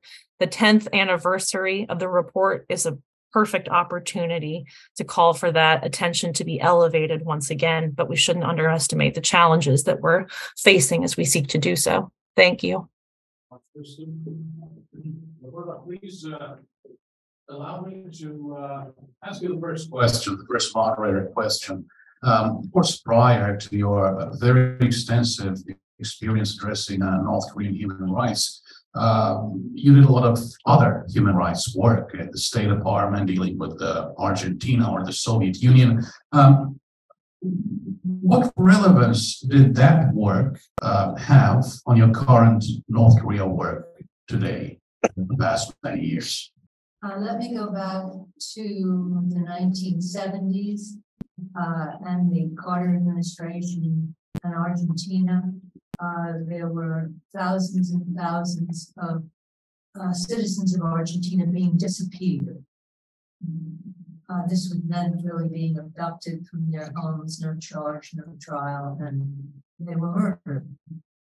Uh, I was asked to look at this issue, um, as soon as my very first day in the Carter administration, because the person actually who was supposed to look at that issue uh, wasn't there yet. So I was steeped in Argentina. Um, what I find pertinent today that you're asking is that uh, are two points. One, that I became heavily involved in creating the United Nations working group on enforced disappearances. Initially, it was supposed to have been a working group on Argentina but that was not possible politically. Um, and so we, we were able to, with a great struggle, weaving the United States and other embassies, um, to create the working group on, on um, disappearances in 1980. Uh, today, that, that uh, working group remains, uh, and there are more than 300 North Korean cases of disappearances before that working group. Um, now, in this process, I, of course, had to deal with how do you maintain this issue as a priority in U.S. bilateral relations with Argentina. And that's where you begin encountering your problems uh, within the State Department, uh, particularly in light of the fact that the Soviet Union invaded Afghanistan uh, and Argentina uh, was critical in this effort. Um, so how do you maintain a human rights focus, even though there are bigger strategic interests? And that I don't have the answer for, but uh, I, I, saw that very clearly there, and I do now. Uh, with regard to the Soviet Union, you asked about. Um, okay, this is a this is quite interesting. Um, I was the executive director of an NGO in New York, the International League for Human Rights. Uh, it had been founded by Roger Baldwin, who was the founder of the American Civil Liberties Union had consultative status at the UN. Uh, when I arrived uh, in Moscow, in Moscow, a human rights group had formed for the first time successfully, an NGO. There were no NGOs uh, in the Soviet Union not on human rights. Uh, and they asked to affiliate with our organization. The head of the Moscow Human Rights Committee is Andrei Sakharov, who was a nuclear scientist, later winner of the Nobel Prize. And Sakharov, who had become disenchanted uh, with the human rights situation in the country and whether a country like that should is responsible with nuclear weapons, um, but that their human rights situation had to be uh, looked at. That was the critical factor. In fact, I think uh, to Ambassador Joseph, I would mention some of Andrei Sakharov's books to read or what the what you are proposing. Um, but let me say, what did Andrei Sakharov want to know? We had monthly telephone calls with his right hand scientist, uh, Larry Chalidze, and also him and others. They wanted to have the text of the UN human rights agreements that the Soviet Union had ratified. They couldn't get them in their own country. Uh, and so we would read them on the telephone, passages from paragraphs from the Universal Declaration of Human Rights, from the International Covenant on Civil and Political Rights, from the International Covenant on Economic and Social Rights. They had gotten some copies, but they were confiscated by the KGB from their office as some sort of subversive material. But these were treaties the Soviet Union ratified. And when we look today at the human rights treaties that North Korea has ratified, some of these same treaties, and it's certainly unclear that anybody within North Korea is able to read them. And where is the UN in having some kind of program that would disseminate within countries the treaties that they accepted?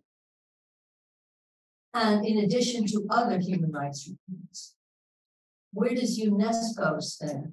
Where do other, where does the High Commissioner for Human Rights Office stand in having um, their documents go into other countries? So this was, this was quite a struggle, and that's a story in itself, but that was very pertinent to what's going on.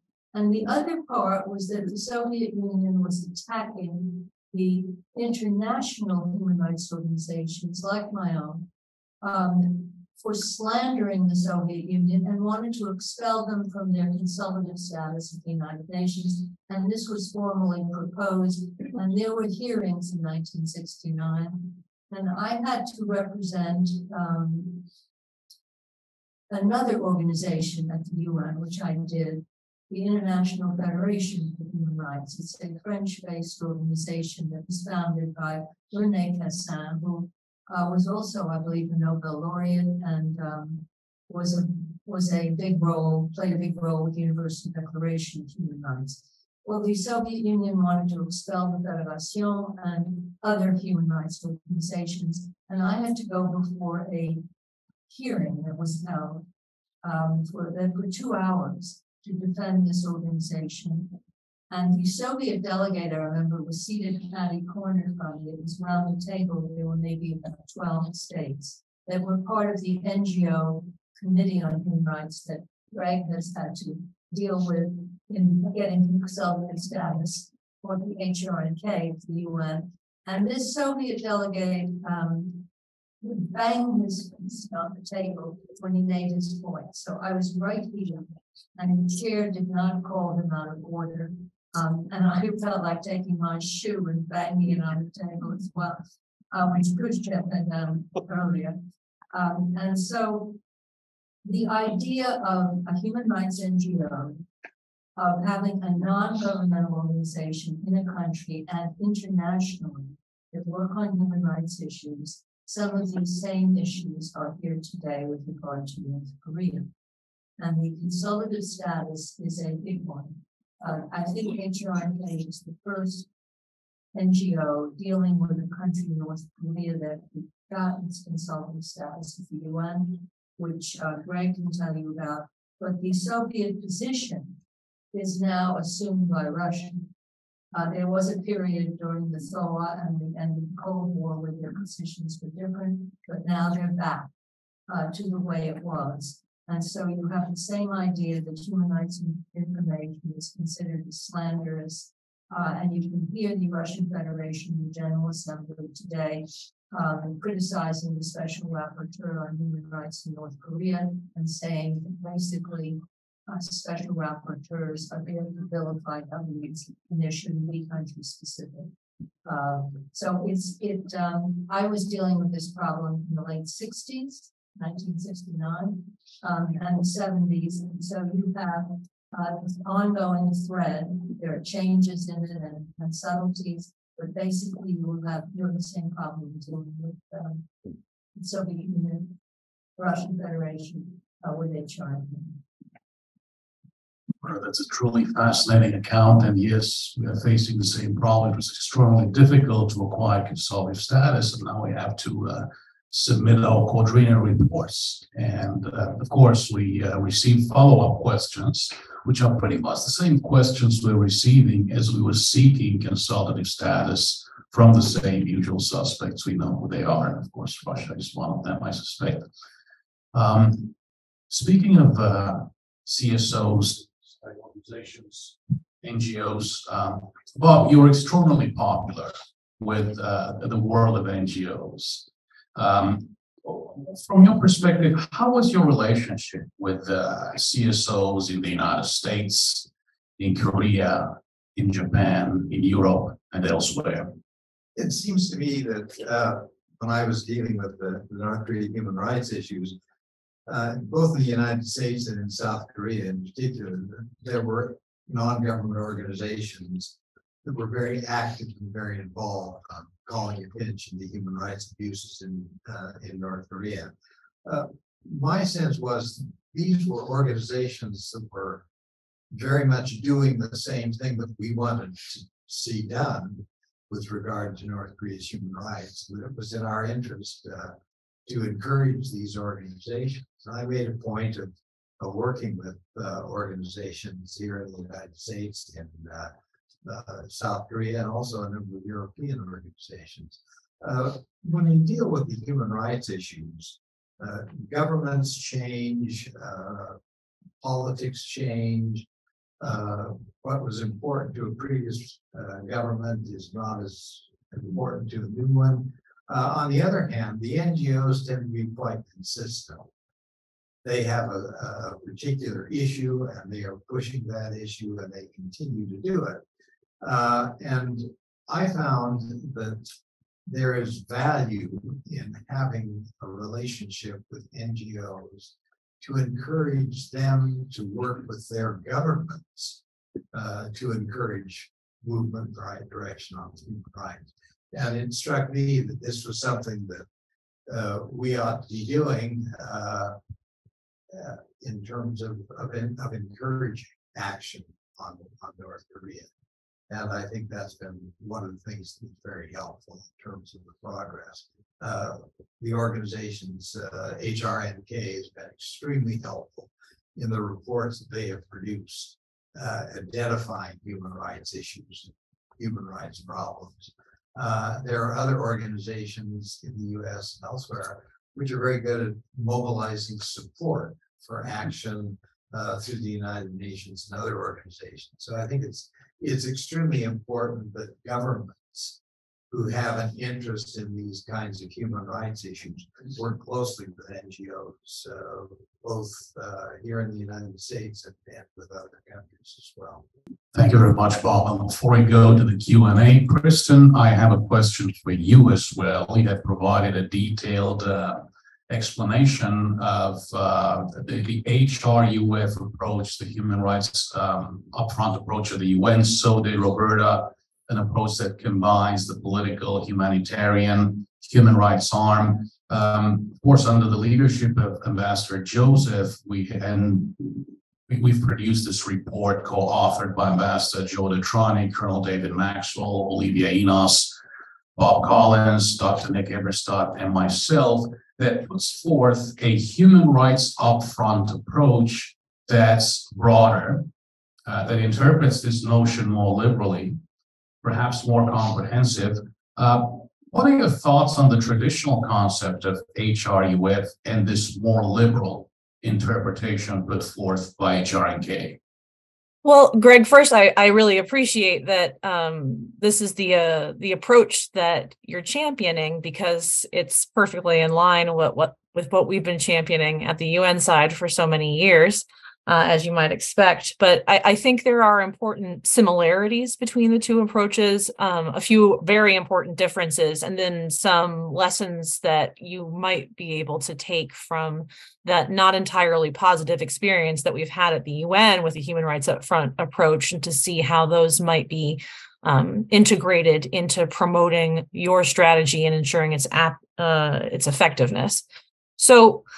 Uh, from a from a similarities perspective i mean i uh i perhaps the, the human rights advocate that i am i read the the sentence of your report that said this is not the promotion of human rights solely for the sake of human rights and instinctively bristled because obviously human rights are valuable in their own right. That being said, this is the exact same approach that underlies the UN's human rights upfront approach that human rights is also an effective and the only effective means to secure international peace and security and to promote humanitarian assistance and to promote sustainable development. Uh, that's what underlies the, the UN's uh, understanding of that program, and it's what uh, underlies your own. So uh, uh, the message is the same. What's different, I think, is uh, first the the target entity and the limitations to which it is or is not subjected. Um, you uh, are fortunate in that the U.S. government is not in, as as susceptible to the sort of pressure uh, that the UN is in the same way, and perhaps that will help uh, overcome some of the challenges that really impeded the UN from taking the program forward in the way that it was meant to be. Um, I alluded to the situation in Myanmar, and for those not familiar with it, um, it was devastating for for those of us who supported the rollout of the Human Rights Upfront Initiative to see that only uh, three years after its implementation, you had a situation in which the High Commissioner for Human Rights had a human rights advisor to the country team in the country who was being sidelined. He undertook his own investigation into reports of what was happening to the Rohingya. He was screaming crimes against humanity from the rooftops. And yet, other UN system actors like the UN country team and the UNHCR were not similarly publishing information that they had about human rights violations. And not only that, they were working with uh, Myanmar authorities who were maintaining what were effectively internment camps for the remaining Rohingya. They were uh, in discussing the future of the repatriation of the Rohingya with the Myanmar government as if it was an appropriate partner with which to collaborate with on decisions about their future. The performance was not what the Human Rights Upfront Initiative expected of them. And um, as one might have expected, their approach was counterproductive. It didn't stop the violence, and it didn't not in the short term or in the long term, of as subsequent developments um, show. And we have to ask why. Like, what what developments impeded that um, program for succeeding, and how can we prevent a repetition of that in um, other and related initiatives like yours? I think one major change that I alluded to was that with the change in leadership at the UN, there had been dedicated staff that were specifically tasked with ensuring like the application of a human rights upfront approach. Um, those were, yeah, the, the, the question of whether to have those staff was put to states in general. The Secretary General stopped accepting donations from Western states only to fund them. And once the question was put to the entire UN membership um, to decide by consensus, China vetoed that. Um, another change was the parameters for engagement um, by the UN with uh, local authorities and shifting to like primarily or exclusively UPR recommendations. What can we learn from that in this case of your proposal? Well, first, that um, it's essential to have dedicated and senior level uh, qualified and empowered people who are specifically responsible for ensuring a human rights upfront approach is applied. And to that end, um, I just want to second the congratulations and the enthusiasm that everyone has expressed for the administration's long awaited nomination of a special envoy for North Korean human rights because that's not only welcome in and of its own right, but that would be an essential aspect, I think, of taking forward the approach that you are championing. What I hope it can be accompanied by are specific structural changes inside decision making um, uh, channels within the US government that will ensure that the North Korea uh, special envoy uh, for human rights is included in major discussions and that the situation of human rights and its application to US policy vis-a-vis North Korea generally is re- regularly reviewed. Um, that's something that was built into the original human rights upfront system, which would have been um, helpful in continuing its effectiveness if other changes hadn't been made. Um, finally, I think your your target um, puts you in a more advantageous position to actually push for more than just rhetorical um, support for human rights from from the U.S. government, and to actually advance like really um, meaningful strategies for information dissemination. Um, Roberta has, of course, raised that there's a the UN should consider itself obligated to transmit human rights information into countries, whether or not a government consents to that dissemination. But in practice, what we see is substantial hesitation to do that, and not just in North Korea, in many places where the UN is denied physical access or the ability to communicate um, in a way that the government does not want it communicating with its people from Myanmar to Syria to Ethiopia, like and beyond. The U.S. government has uh, less uh, hesitance and limitations uh, on it in that respect. And I think um, really vigorously pursuing the recommendations that you set out about how to ensure um, more effectively that information about the human rights condition in the country, about conditions in uh, South Korea and about um, the reality of the regime as you've proposed is essential. And so um, uh, uh, I'm confident that the way that you've proposed the strategy and the target that you're approaching is going to be more sympathetic and also more capable of effectively implementing a human rights upfront strategy for North Korea. Thanks. Question most helpful. Thank you very much. We have a few minutes left. We're going to open it up to questions from the audience. Please remember to wait for the mic. Please remember to wait for the mic. Uh, and then if possible, please identify yourself and also, if possible, please specify you're addressing the question. We'll go there first. Yoshino. Thank you for the opportunity. I'm Yujin from Pyongyang News. And um, thanks for highlighting all the different issues of human rights. And I'd like to ask my question to Dr. Cohen. Uh, you've highlighted different aspects of human rights crisis, uh, including food and medical crisis. And we are seeing reports of worsening food security situation in North Korea. Um, and at the moment, humanitarian organizations are not allowed to enter to the country, and the Kim regime is still seems very adamant in refusing international aid. So as a way to uphold and protect human rights values in North Korea, how would the US and international society, as well as South Korea government, respond to the food security situation in North Korea? Well, they definitely should be highlighting this. The refusal of North Korea to accept in uh, food aid from the outside to allow any of the organizations back on the ground uh, they have, there have been some, a few shipments isolated that have been allowed in, I think, from UNICEF. But this is a very serious situation of really rejecting uh, having a relationship with the international agencies that have been there for at least 20 years. Um, it can't all be rationalized by the pandemic. Uh, there has to be more to this. And I think part of it is a situation that is very difficult to address because it's really the international political environment, I think, that is becoming part of this.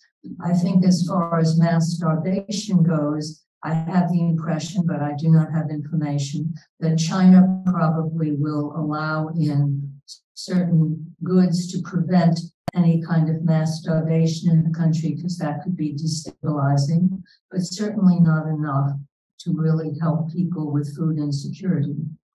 Um, so it's it's a very difficult situation to be needing to demand uh, having uh, entry to countries to provide aid if they don't want the aid.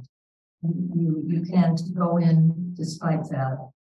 Um, and I think this problem ought to be much more highlighted in terms of the relationship of um, the international community, to food aid, uh, to the, to the what is behind food aid and international community help, and that North Korea may be on the verge then in doing this of what Michael Kirby and the COI Commission found during the Great Famine uh, in North Korea. The situation is not the same in terms of need, I think, But in terms of having policies and decisions that actually are exacerbating starvation in the country, and this seems to be fall into the range of crimes against humanity, uh, and not having the programs. Right now, I think the uh, North Korean government is looking at agriculture.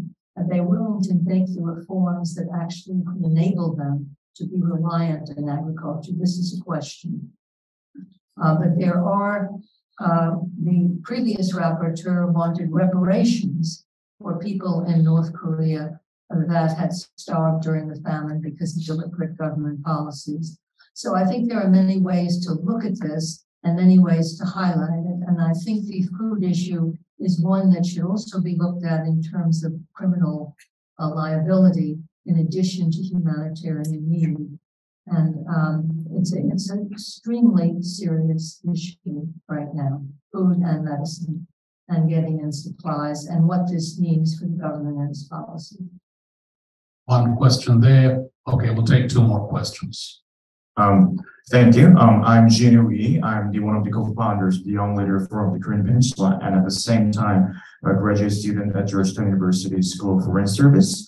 Um, I have a question to Ambassador King uh, regarding, um, I think, I believe one of the most big challenges for um, international cooperation on North Korean human rights probably could probably be the um, the politicization and polarization and by, so it can cause some inconsistency of the international cooperation. So um, I have a question regarding, do you have any rec- recommendations for Iraq, the South Korean government for um, how can the South Korea, US, Japan, or the UN can actually um, strengthen its international cooperation? Um, um, and do you think establishing like more permanent international dialogue channel between um, countries is necessary, or yeah, that's the question. Thank you so much. Keena, for the sake of time, let's take the other question as well, and that's our final question of the now. Thank you.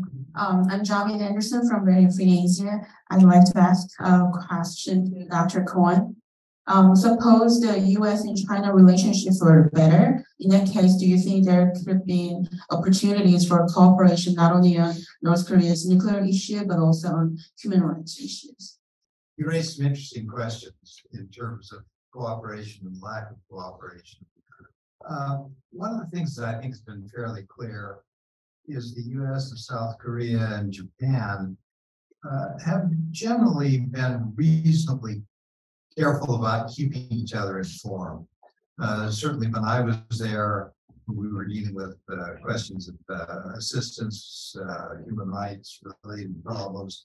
Uh, we were always communicating. Uh, the difficulty is there are other players who are not willing to cooperate and, and communicate. China does provide some assistance to North Korea. Chinese do what they do with very little information uh, coming out about what what's actually going on, and certainly no effort to, to coordinate or cooperate with the U.S. or, or I think with South Korea and Japan. Uh, it seems to me that the best approach is maybe working through organizations like the United Nations and some of the other organizations uh, where other countries participate and the United, when the United States, South Korea, Japan have uh, focused on North Korean human rights issues, it's been very easy to bring in other countries to participate as well. And I think that's probably the best way to go. Uh, Japan has traditionally taken a very important role in dealing with the North Korean issues. South Korea has been fairly cautious about publicly leading on uh, human rights issues in the UN. And that's understandable in terms of the, of the, uh, the relationship between North and South Korea. But to the extent that we are coordinated and cooperate and work together, uh, I think we can be much more effective. And I think that's an important element for all of our foreign policy approaches. This is the question of if, if, uh, if China and the United States. I can only look back to the time of the six-party talks that China chaired. Um, and I think there are others in the room better qualified than I am to comment on that relationship. But there were talks and they didn't get to the point of discussing what normalization of relations would mean and the inclusion of human rights in the discussions. I didn't get to that point, so it would have been interesting. But I had an interesting experience with a Chinese official who remained nameless, who came to this country um, at some point a number of years ago. Uh, he was part of the Chinese Foreign Ministry, and we had a private meeting with him. Uh, and um, I had never met him before, and I never imagined that he would know anything about me, but I happened to be on the food line with him uh, for the buffet, and um, we exchanged cards. And he told me he read everything I wrote. Uh, and which I said to him, I thought only my husband did, but he, he said he did. But the interesting thing is I wrote only about human rights. And in the discussion, uh, he pointed to the Helsinki Federation. Uh, Helsinki idea is one that uh, one should think about, and that uh, apparently he and others in the foreign ministry were thinking about. This goes back a number of years, but that was uh, a Helsinki process that would be um, applicable to Asia, and that would involve issues that would be security and nuclear, but as well as humanitarian, human rights, and uh, information, and that somehow uh, in this mix, you had a whole range, a comprehensive approach uh, to the relationship in Korea, uh, not just dealing with nuclear matters. So there might have been a slight openness. And then the Philippines we invited over the Chinese ambassador who came to discuss this issue of Helsinki approach. But that um, uh, this was something that that relates to Eastern Europe, which uh, may have been before your time, uh, but it's very relevant. And so it was the idea of having many different subjects, including human rights, humanitarian issues. Um, and it was simply a way to try to move this forward. But um, in addition, there is the very bigger problem of what happens if there were conflict or there were a revolution on the peninsula. Um, China and the US, in terms of, if you look at it just in terms of human rights or uh, being able to deal with the nuclear element in North Korea, with Chinese troops go, or there would have to be cooperation between the United States, South Korea, and China on this such an issue.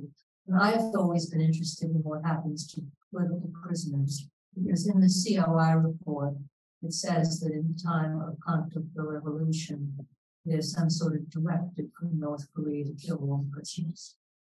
And I've always been trying to insert into any possible joint planning, which doesn't exist today, but yours is a big question, uh, of how to save or protect the, the over hundred thousand that are in held for political reasons in North Korea in terrible conditions.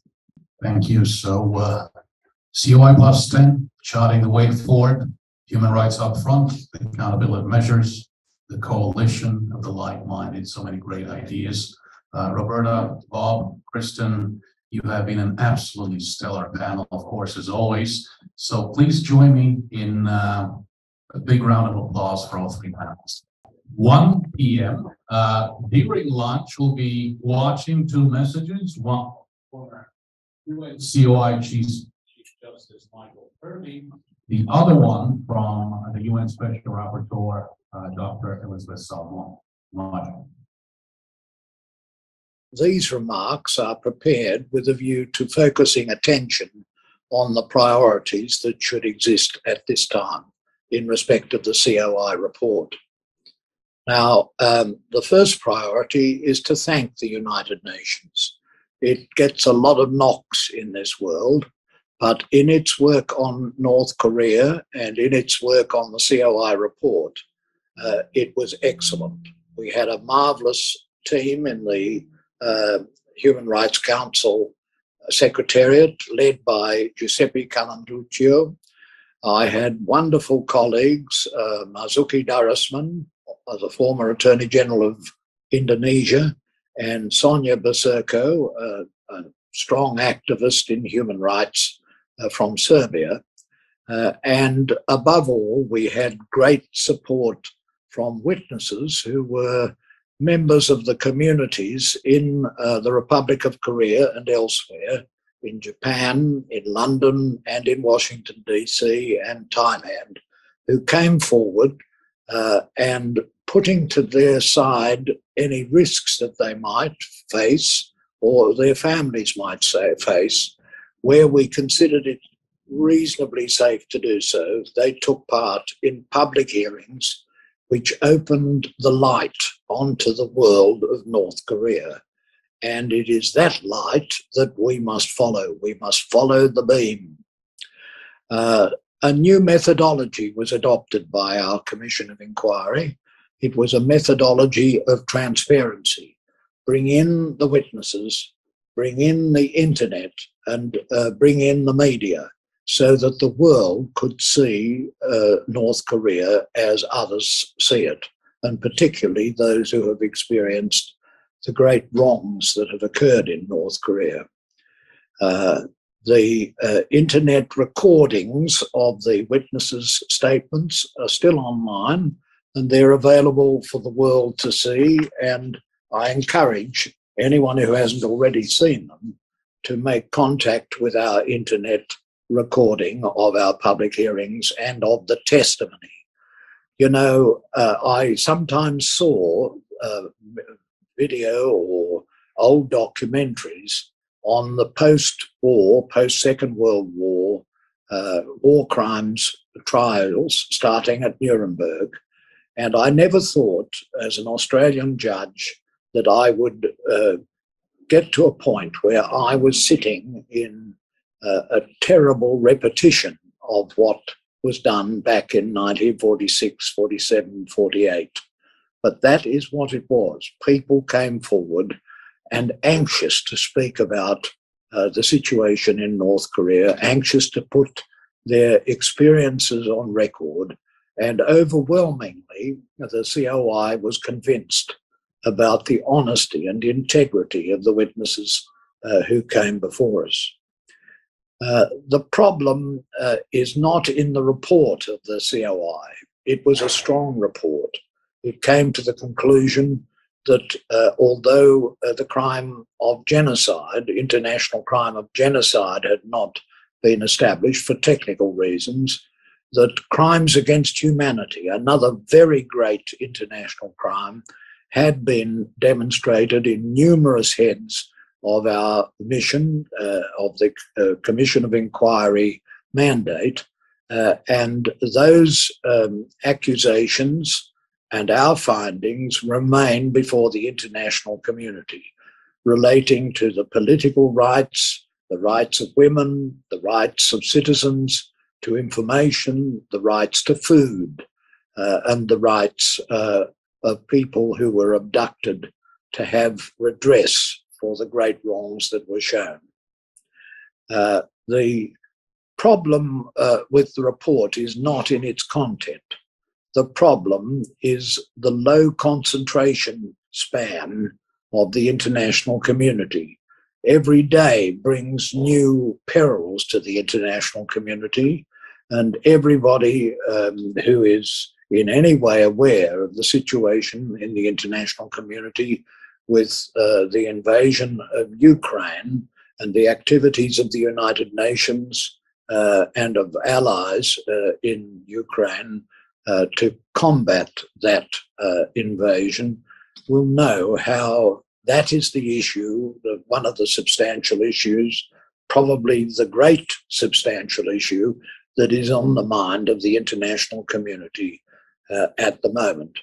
And therefore, in breaking through the barrier of indifference that tends to come with international affairs, we have to try to find a new way to re engage with the uh, communities that are concerned and the international community generally concerning uh, security uh, and uh, human rights. Now, um, President Trump uh, took an initiative. It was an initiative which at the time I thought was worth taking, of having the meeting with the uh, representatives of uh, the Democratic People's Republic of Korea.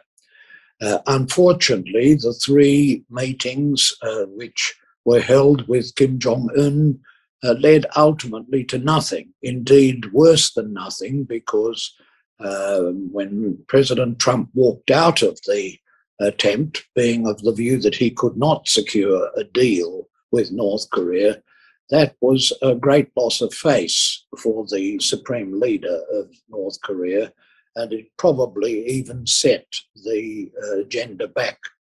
Uh, and the basic problem was that he went straight to the really difficult, the most difficult issue, and that was the issue of nuclear weapons and rockets and security of all parts of the Korean Peninsula and the surrounding parts of the world. Uh, and uh, because that uh, interfered with uh, a proper approach, uh, if I would call it a diplomatic approach to the uh, negotiations between North Korea and the rest of the world, it's probably set back the endeavours which the COI wanted to see. But the right way to approach uh, North Korea is, as the COI pointed out in its report, to advance at the edge of the circle. This is the way uh, negotiations have to commence at the edge of the circle, at the little steps that were necessary, albeit urgently, to um, re engage North Korea with the rest of humanity. Uh, the opening of postal links, the opening of rail links, the creation of sister city arrangements, the sporting links. Uh, these were the ways in which, after the Second World War, the links in Germany and Austria, to other countries which were divided as a consequence of that war, were begun. And I believe, and the COI uh, expressed the view in its report, that these were the ways to start the process of re engagement with North Korea. Uh, and I think it's a very important uh, obligation of the international community and of all of us to re establish the relevance of uh, the Korean Peninsula in the mind of humanity, to revive interest uh, in the COI report uh, to utilize the 75th anniversary of the UDHR, the Universal Declaration of Human Rights, uh, for which Eleanor Roosevelt, a great American and a great citizen of the world, played such an important part uh, in 1948 uh, in securing the statement of the universal rights. You are not going to get peace and security on the Korean Peninsula until you get a restoration of fundamental rights in North Korea. The two are integrated, but you have to approach them in a correct uh, and proportionate way. The special rapporteur, Professor Salmón, uh, and her predecessors have made every effort to establish physical link, to go to North Korea, as the COI did, uh, that has been, been denied to them as it was denied to us. But we must renew our efforts to get into North Korea and bringing the message of peace uh, and bringing the message of universal human rights and using the 75th anniversary for this purpose. Uh, every effort must be made to revive uh, the links with North Korea to um, uh, address the problems in the COI report new consultations are needed. Consultations in the first instance in the Republic of Korea, in South Korea. Those consultations should engage civil society. Uh, they should engage organizations of escapees or defectors, as they're sometimes called, and the media uh, that will bring the message of uh, the COI report to a wider community. The media has a very important role uh, in this endeavor. Uh, it's necessary to engage the Republic of Korea. Uh, under the presidency of Moon Jae in, the Republic of Korea uh, stepped back from the endeavours of the COI report, but I'm glad that the new administration is now re engaging with the international human rights agenda of the world community. And we have somehow to get the message of the COI report over.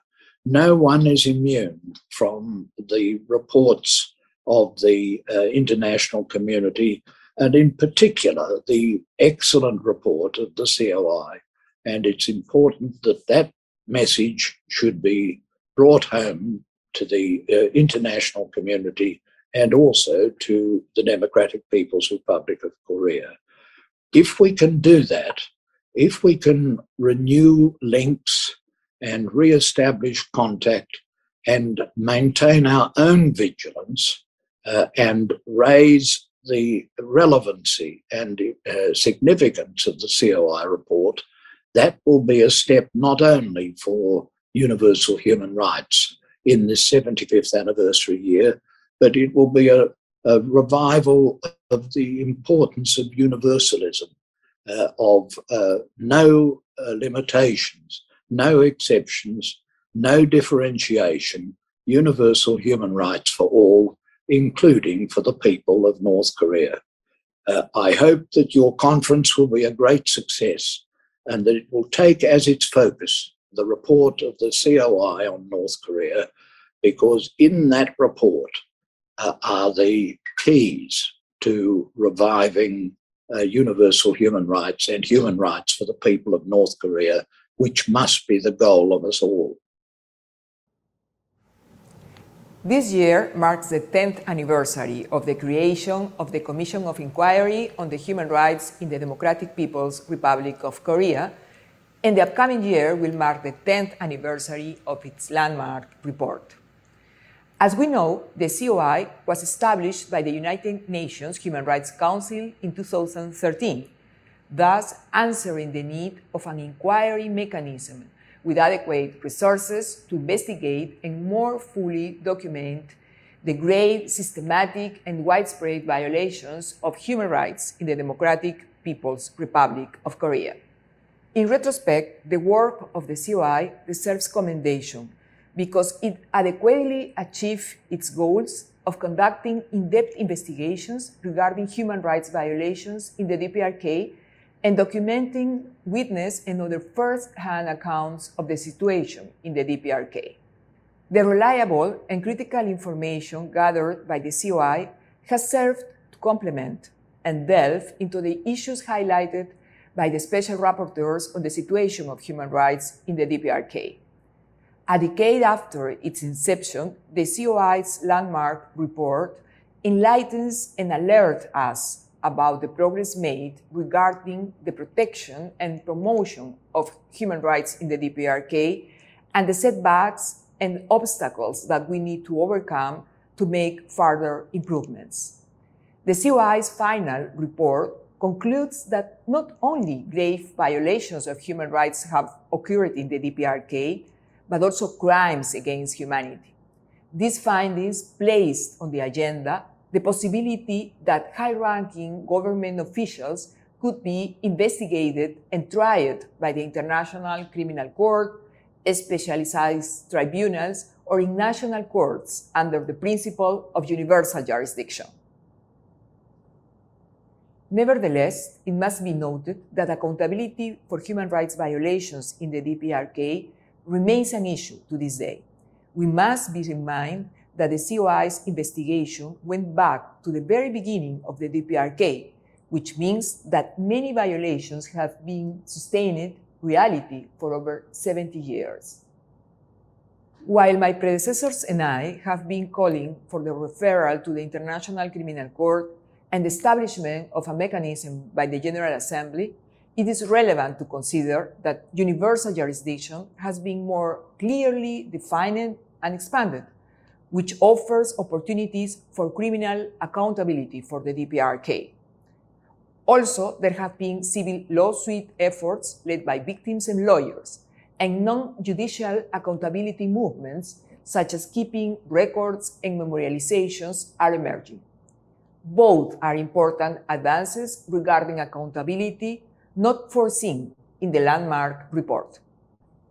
Regarding state cooperation, in the last 10 years, we have made some progress on engaging with the DPRK through the UN human rights mechanisms, including an official visit to the DPRK made by the former Special Rapporteur on Rights of the Persons with Disability.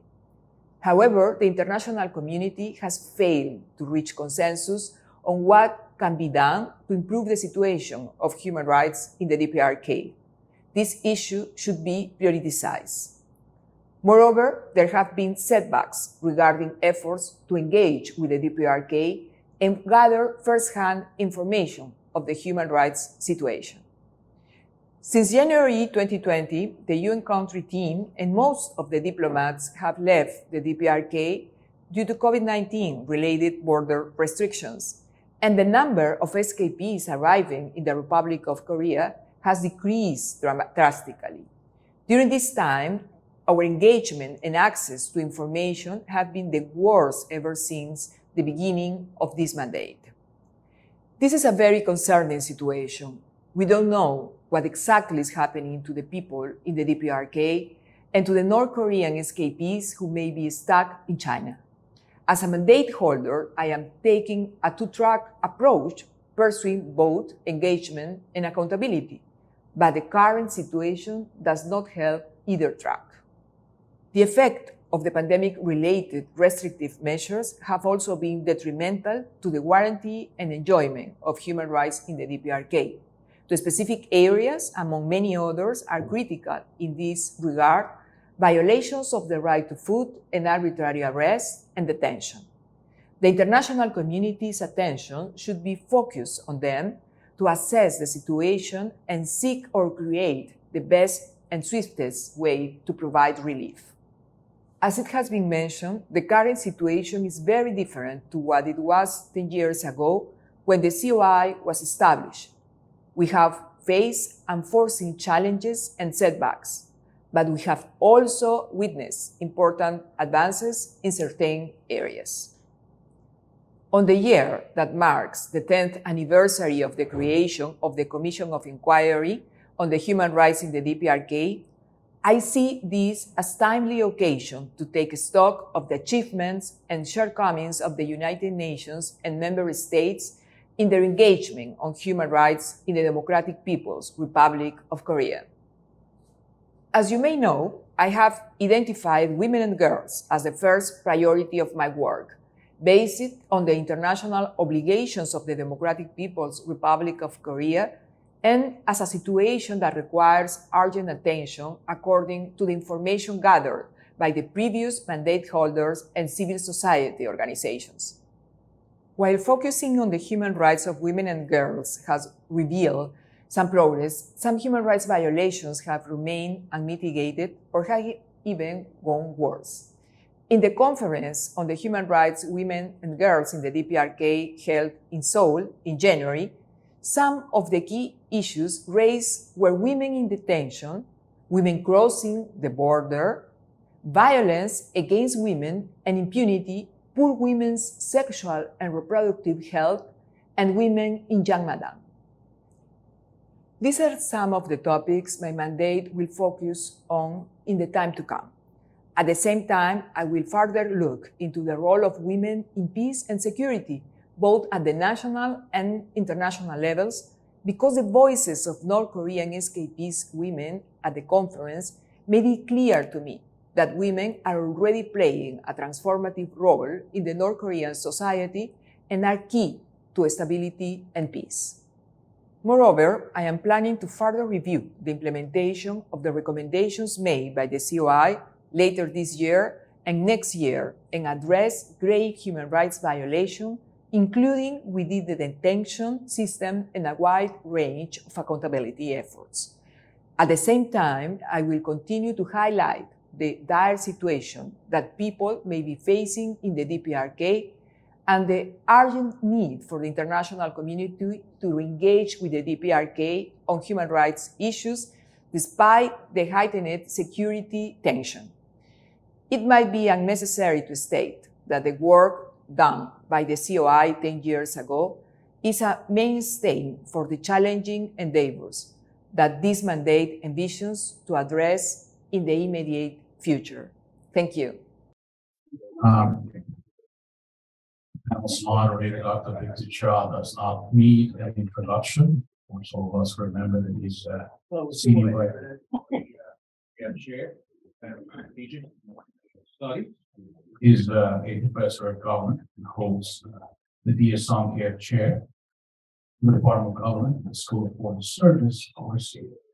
Was Director for Asian Affairs at the National Security Council, responsible for Japan, Korea, Australia, New Zealand, and Pacific Island nations. Of course, he was the deputy head of delegation to the United States, while he talks, and sits on, um, I guess, ten editorial boards, author of five books. There's a number of op-eds, articles, uh, um, and, uh, other publications. So Victor, I had to do this just to moderate. But, uh, Here we go. It's, uh, all yours. Thank you. Uh, Thanks very much, and uh, it's a pleasure to be here moderating. My job is only to moderate this very distinguished uh, um, panel. Ambassador Bob Joseph and Ambassador Joe DeTrani. Um, Ambassador DeTrani um, and I have spent many years working together uh, when we were working on party talks with regard to North Korea. Ambassador DeTrani was formerly president of the Daniel Morgan Graduate School of National Security, and prior to that, president of the Intelligence and National Security Alliance. Uh, long distinguished career, both as a diplomat and then also uh, in, in the intelligence community. And then, of course, Ambassador Bob Joseph, senior scholar at the National Institute for Public Policy and a member of the board of directors of uh, the Committee for Human Rights in North Korea. He was Undersecretary of State for Arms Control and International Security. And uh, I also um, had the, the, the, pleasure of working with him and learning from his many, many years of experience in, in government. So it's really an honor to be able to have a conversation with these two folks uh, today. Um, the topic of discussion, of course, is North Korean human rights. And in particular, I think the reason the organizers put this particular panel together is that here we have two members of a very important report uh, that has been written under the auspices of the National Institute for, Public Policy, Public Policy, National Institute for Public Policy. Um, um, uh, we had Bob Joseph um, join us at CSIS for a, for a live podcast on this, and uh, I see you have the, the, the paper in front of you. The title of it is, is, is called a paradigm shift, a human rights upfront approach to North Korean policy. That's the title of the panel. Um, and I thought to sort of get us started, uh, I'd ask uh, Ambassador Joseph to uh, give us some of the basic points that are in policy. I've read it and um, discussed it with him and uh, with Greg. And you know, I think it is, I mean, it, the title is appropriate. It really is advocating for a paradigm shift in terms of how we think about not just the human rights, but the national security problem uh, that we have with North Korea uh, in, in the face of decades of failed efforts under one particular paradigm, which I'm sure Bob's going to speak to. So, uh, so with that, I thought we'd start with uh, Bob to give us some opening remarks, and then we'll go to Ambassador DeTrani for uh, comments, and then we'll open it up to a discussion. So Bob, over to you. Well, thank you very much, Victor. It's a pleasure to be here. And it's great, great to see you again. You make a number of points about your study and the report. First, I would emphasize that this was a collaborative effort. Greg mentioned the other members of the strategy group. David Maxwell was there. Joe, of course, was was part of the group. Uh, Nick Eberstadt, who I think will be here later later today. Bob Collins, uh, Olivia Enos. Uh, it was a it was a really interesting group. It was a group that brought much different perspectives and different backgrounds to the same challenge that we face with regard to North Korea. I come from a non-proliferation and arms control background. Uh, others came from a human rights background. Uh, we found a great deal of common ground. uh, both in terms of findings as well as the recommendations and the design and hopefully the implementation of the, uh, of the strategy. That's point one. Point two, and, and I mentioned this in my opening remarks this morning, the basic premise of the study of the report is that US policy, uh, in particular, has failed for three decades, going back to uh, the Clinton administration. There's been remarkable consistency in that policy. There have been differences with regard to the carrots and the sticks that we should offer North Korea. But for the most part, each successive administration placed at the center of its policy and as the highest priority, the denuclearization of North Korea, attempting to convince the Kim regime to abandon their nuclear weapons program. The uh, failure of that effort, I think, is best seen in the growth of North Korea's nuclear weapons stockpile, because for thirty years, they have been pursuing nuclear weapons. Number of years ago, they were assessed to have just one or two nuclear weapons. Today, it's forty to sixty in terms of the assessment. There's a recent RAND projection that by twenty twenty-seven, which is only four years from now, and may sound like a long time for some of the younger members of our audience. But for us, you know, who've been around a while, it's a blink of an eye. So by twenty twenty-seven, North Korea could possess over two hundred nuclear weapons. And we know they're ambitiously, aggressively pursuing the ballistic and hypersonic missile capabilities to deliver those weapons. So if you need sort of a, a metric of success, or in this case, a metric of failure, just look at Exhibit A, and that is the growth in their nuclear weapons uh, arsenal. Uh, as our report, report uh, points out, uh, arms control for the US and this, this negotiation for denuclearization has really substituted for a strategy. It's an objective, but it is substituted for a strategy. Whereas the North, when it has entered uh, into negotiations and when it has uh, made agreements uh, out of those negotiations, it saw that you know that process as a means of buying time, buying time to expand expand their arsenal. And so we concluded uh, that uh, there is no combination of sticks and carrots that's going to uh, have the end result of North Korea abandoning its nuclear weapons program. We have to look elsewhere for that. And we looked at uh, parallels uh, with the Soviet Union. We looked at other strategies uh, for dealing with very challenging, very difficult uh, uh, threats. and we came to the position that what we really required was a comprehensive approach, an approach that built on sort of all of the tools of statecraft that we have. Diplomacy is very, very important. For alliance management. It's important uh, in, in our case because we're putting human rights up front to to you know, to to get more support, whether it's from the European Union, European Commission, or from uh, you know other sectors uh, of the of the international community. Uh, economic tools are very important. You think about economic tools, you think about some of the financial techniques that we have and levers that we have. Uh, it's a very powerful, it's a very powerful set of uh, set of uh, instruments. Here, I would just refer you to may seem like ancient history again to some of you, but to the Banco Delta Asia uh, episode, which had a profound effect, I think, on on North Korean thinking uh, about uh, about the challenges from their perspective that uh, that they face. Uh, deterrence and defense, very important. We were discussing earlier at the at the, at the table uh, the the efforts uh, of the U.S. and South Korea to improve, to strengthen extended deterrence. And joint meeting in Kings Bay, Georgia, which is one of the home ports for our SSBNs, for our submarine ballistic missile force. Uh, and that's important. And the first panel today, I've talked about some of the, the human rights approaches to, to, to North Korea, some of the advancements that have been made, the efforts that have been undertaken. So, you know, each, each of these sort of areas each of these instruments can provide certain benefits.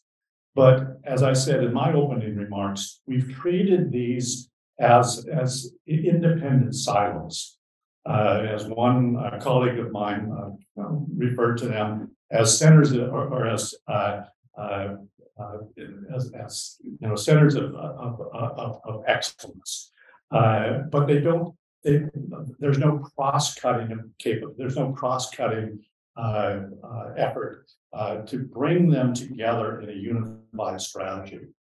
And so we have, for the most part, made significant progress in a number of different areas, and I applaud that, whether it's human rights, or defense, or deterrence, or the economic, but we haven't applied them in a comprehensive and integrated and integrated fashion. Uh, third point, uh, and it's the obvious one, if we continue to do what we have been doing, uh, we can expect more failure, and we can expect an even greater threat from now. Imagine having this conversation five years from now. If we haven't changed policy. With North Korea possessing more nuclear weapons than Great Britain or, or France. How is that, how is that going to sort of affect the non-proliferation regime? Because we know North Korea sells whatever it has, uh, if, uh, you know, if, if if it has a buyer who has the, you know, the cash uh, to purchase uh, the goods. And so thinking about North Korea selling nuclear weapons to other rogue states or even to terrorist entities is certainly not something that we can that, that, that we can discount. In fact, I think we have to be we have to be prepared for it. And I know every president will say, well, we'll have a red line, we'll have a red line, and if there's any selling nuclear weapons to other rogue states or to terrorists, uh, we will stop it.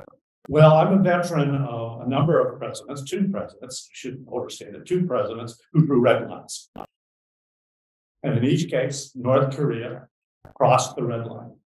And in both cases, we backed down. So I'm a real skeptic when it comes to, when it comes to uh, the rhetoric of, uh, of red lines.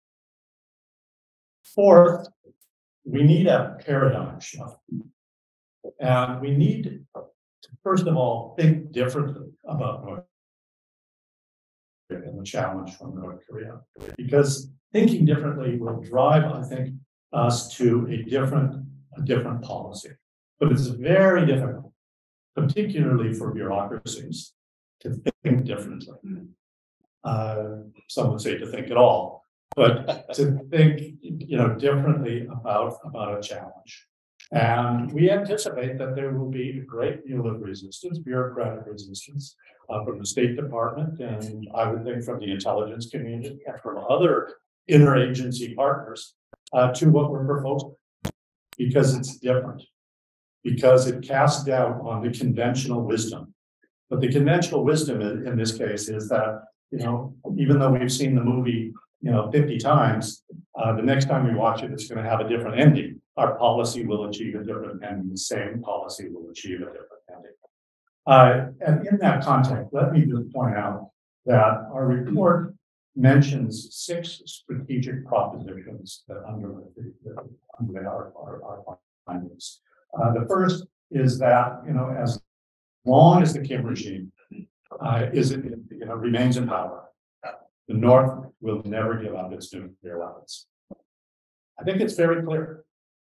So think about that. What are the implications of that? Uh, clearly, uh, the requirement for a new approach uh, is uh, is evident. We've been criticized by some by saying, "Well, that means that this is regime change." Well, it does mean that it's regime change. But it's not regime change Iraq style. And we make very clear in one of our other strategic propositions that this is not about the US and its allies using force to achieve this, this objective. It's about providing through a human rights upfront approach the information uh, to the North Korean people. And Greg, uh, I think, is very articulate when he talks about the three stories uh, that we need to that we need to tell. uh, the story about the dismal human rights conditions in North Korea. This is to the North Korean people. The story about the corruption of the Kim regime and the story about the truth of the outside world, in particular South Korea, and what a free, democratic, prosperous country has to offer in terms of human rights and just the basic dignity of the people of North Korea. And we think it's through this internal change that you will get an end to the Kim regime. And I think it's important to think back about, again, ancient history to many people here, but think about the containment policy of the Soviet Union. That's what this was about. I mean, go back to George Kennan and the Long Telegram, uh, or, or the or the Mr. X article, and he talks about containment in a very sort of strategic way. Is the Soviet Union going to change? No, it's not going to change. It's not going to change. It has to. It has to change from from within. Okay, and it was, and, and that was and that was sort of a strategic uh, uh, principle that guided American foreign policy for decades during the Cold War. Yes, again, there were differences in how each administration applied it, but the basic thought was containment. And that lasted through the Reagan administration. And it was, you know, and it was, uh, I would argue, a very successful policy. What did it require? It required patience, it required strength, and it required leadership. Leadership domestically and leadership at the international level. And that's the role that the United States played. And I think, think that's very similar to what the United States uh, did play with regard to North Korea. Uh, there's no easy solution to the challenge.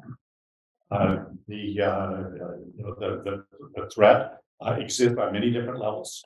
We have to be prepared to deter that threat, to defend against that threat, uh, to uh, act, you know, with, with other tools of statecraft. And we think about North Korean proliferation activities. We think about the Proliferation Security Initiative and the, you know, the, the, many tools that, that we have. Uh, other, other propositions, uh, and this is one that I think really stands out in our paper, is that the greatest vulnerability to the Kim regime is from within. And that's consistent with my comments about promoting human rights, having a human rights uh, upfront, upfront approach. Uh, the third, the U.S. strategy must be based on active containment, including prevention of proliferation, as well as effective deterrence. There's some things that we're doing today, but again, we have to do it in an integrated way. We have to allow ourselves, or we have to uh, ensure that the benefits of each of these tools is applied in a comprehensive and integrated way. Uh, Fourth is, uh, is just that U.S. strategy for countering North Korea uh, requires the integration of all tools.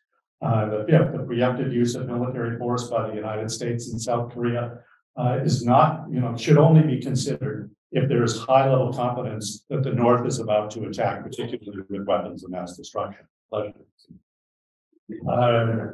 and and uh, sixth, uh, you know, is is a recognition of the resistance that we're going to find with Russia and China in particular. Of course, they will.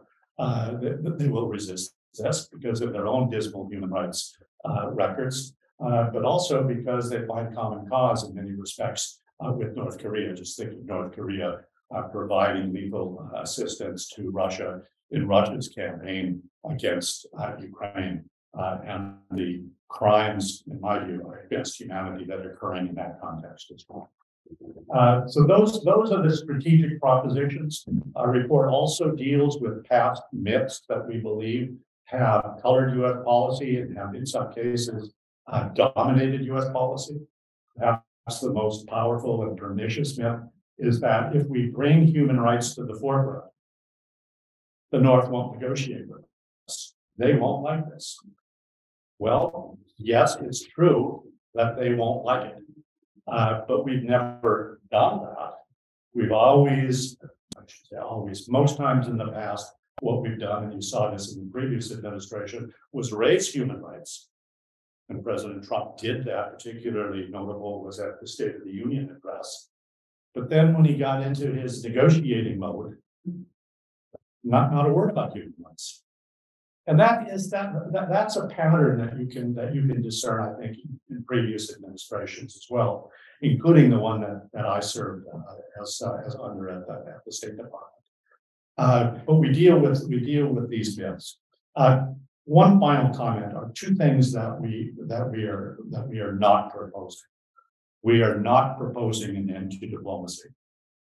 This is a criticism that we get. Oh, you just want, you just want an end to diplomacy. Well, no, I mean, if the North Koreans are willing to negotiate in good faith. boy, Think, think of that for a minute. But if they are, uh, then we're willing to, you know, we're willing to, to negotiate. But that's not gonna be at the center of our policy. What's gonna be at the center of our policy is human rights, combining all of these other instruments into that comprehensive, cohesive, uh, cohesive strategy. And second, uh, as I mentioned, this is not about the use of force to achieve regime change. This is a much more patient, much more longer term effort uh, in which we bring enlightenment through education uh, and through whatever techniques we can uh, to the North Korean people uh, about their abysmal human rights uh, uh, situation, about the outside world, about the corruption, as I mentioned, of, of the Kim regime. Uh, so it's, it's important that we note, I think, what this is not about, because that's usually criticism uh, that accompanies uh, any, any uh, challenge to uh, conventional wisdom. Let me stop there. Great, thanks, thanks very much, Bob. Terrific, uh, terrific lay down of the report. Uh, let's now go to Ambassador Trani. Joe, if you could offer your thoughts. Yes, very, very, thank you, Victor. Thank you, Bob. Outstanding comments. And, uh, thank you, Greg. Okay, I'm doing some great work here. Such an important issue. Uh, I can't say enough about it. We all applaud what you're doing. Thank you. You and your colleagues. Look, let me just say, uh, I'm, I'm going to be very brief on this. You heard from uh, Master Joseph, uh, who really put pen on this, and we, we all, this was a collegiate, collegiate group here, and we all work with uh, Ambassador Joseph, but took the pen on this, and uh, and you go down Mark, and you heard from him. Uh, and you have it in front of you what we're talking about here. And what we're talking about here is so important. This is something that Victor and I worked with in the six-party talks. Victor and I, colleagues in the six-party talks. Because we didn't have official talking points saying, okay, uh, okay, we want to all, all activities at the Yongbyon facility, and then we want this. And what we didn't have was the piece on, but we want you to uh, close that gulag and uh, that prison camp. And we want to have a team to go into uh, to inspect it, and we want some transparency. We did that. Victor and I and our, colleagues did that. Now bilateral talks with the uh, with the North. And I can, Can just think, you know, Egun, who was the deputy there, Leslie Egun, we were hearing some of this when we said, you know, if you want to negotiate, what North Koreans want, wanted and want is normal relations with the United States. We should keep this foremost in our minds. They want normal relations with the United States, but on their terms, as the nuclear weapons state. So we know that. We know that. So we made it very clear, even when we had the joint statement in September 19, 2005, okay, this is this gets us into the ballpark now we can talk about a process to normalize, but to normalize for the US, it's more than just denuclearization. Because many of the North Koreans on their side heard it once we get the denuclearization piece down, we we can move towards normalization. And you know, obviously intersecting Iran, indeed embassy on respect to that. We said, no, no, no, no, no. Before you go to an embassy, we're talking about human rights we would want transparency, we want to see progress on that and so on. And, and, and, and, and Victor and I heard, uh, uh, in private conversations uh, at the table with everybody, because was a bilateral issue, normalization with the United States, it would be the same bilateral issue with the ROK, with Japan, etc. But we heard, you know, I, I cite the name, uh, I'm not using it in vain or anything about Good, he's a very, very effective diplomat. Uh, he said, you know, Mr. Truck, he said, we'll never get to normalization.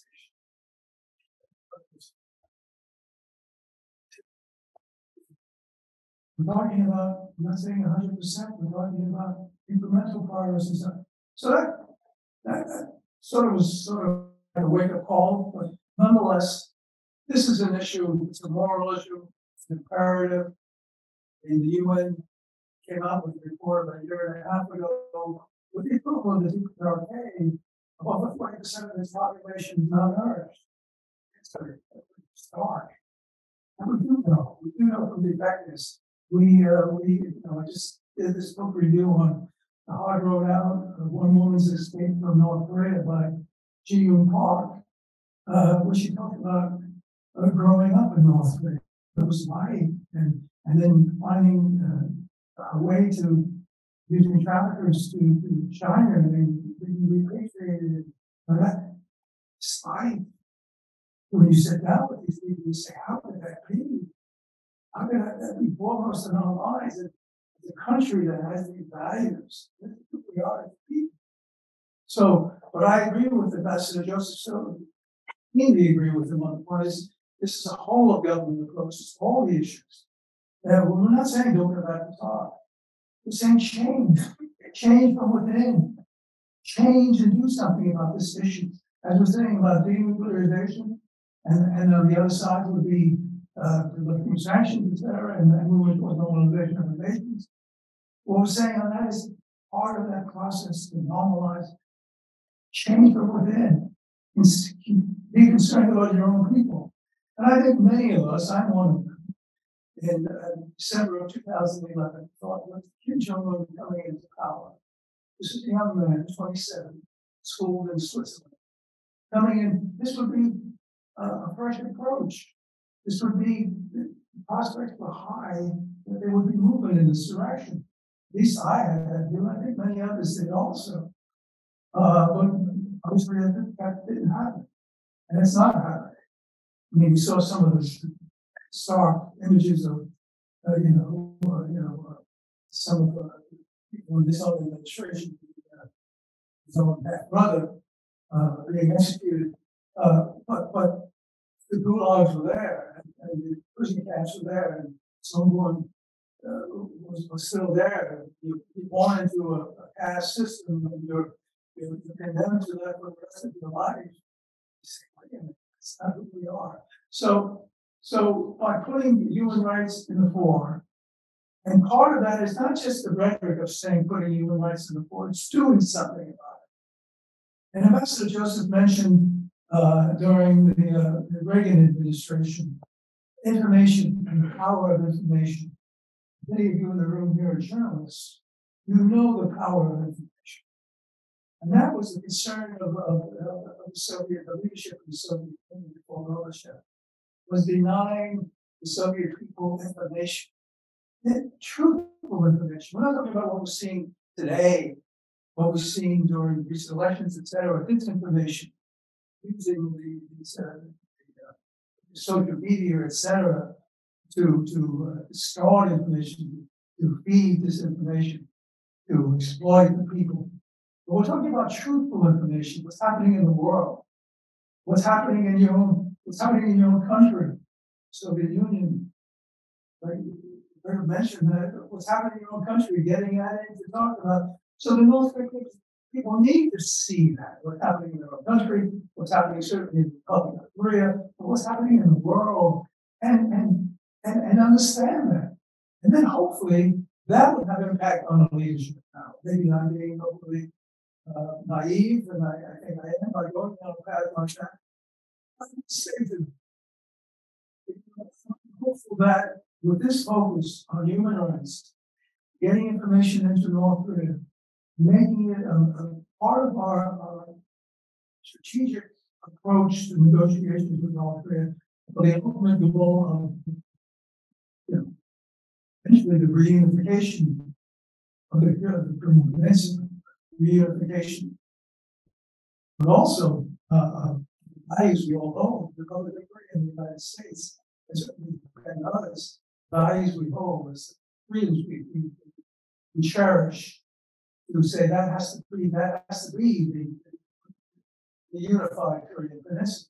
So, and, and, and we think information is a big part of that, and, and emphasizing this. So I, I'll go on this. I think the strategy itself, it's a strategy, it's a path, it's a vision.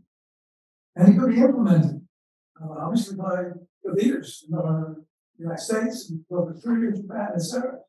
And, and hopefully China and, uh, would, would be supportive of, of moving on something like that, but that's, that's something else. Because this is really an issue mainly for the ROK family in the United States. And This is how we were in the six-party talks, let's be very candid about that. That's where we were on that. And, and, and, um, I think we have to start doing something. We have to start moving in that direction.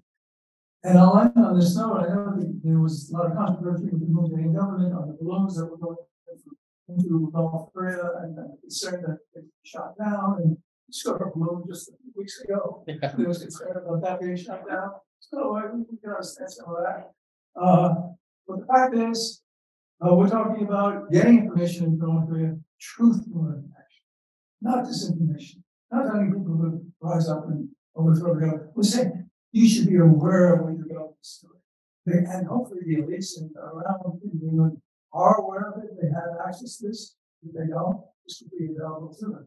And it would be part of, if we ever sit down with North Korea to negotiate, this would be front and center, human rights.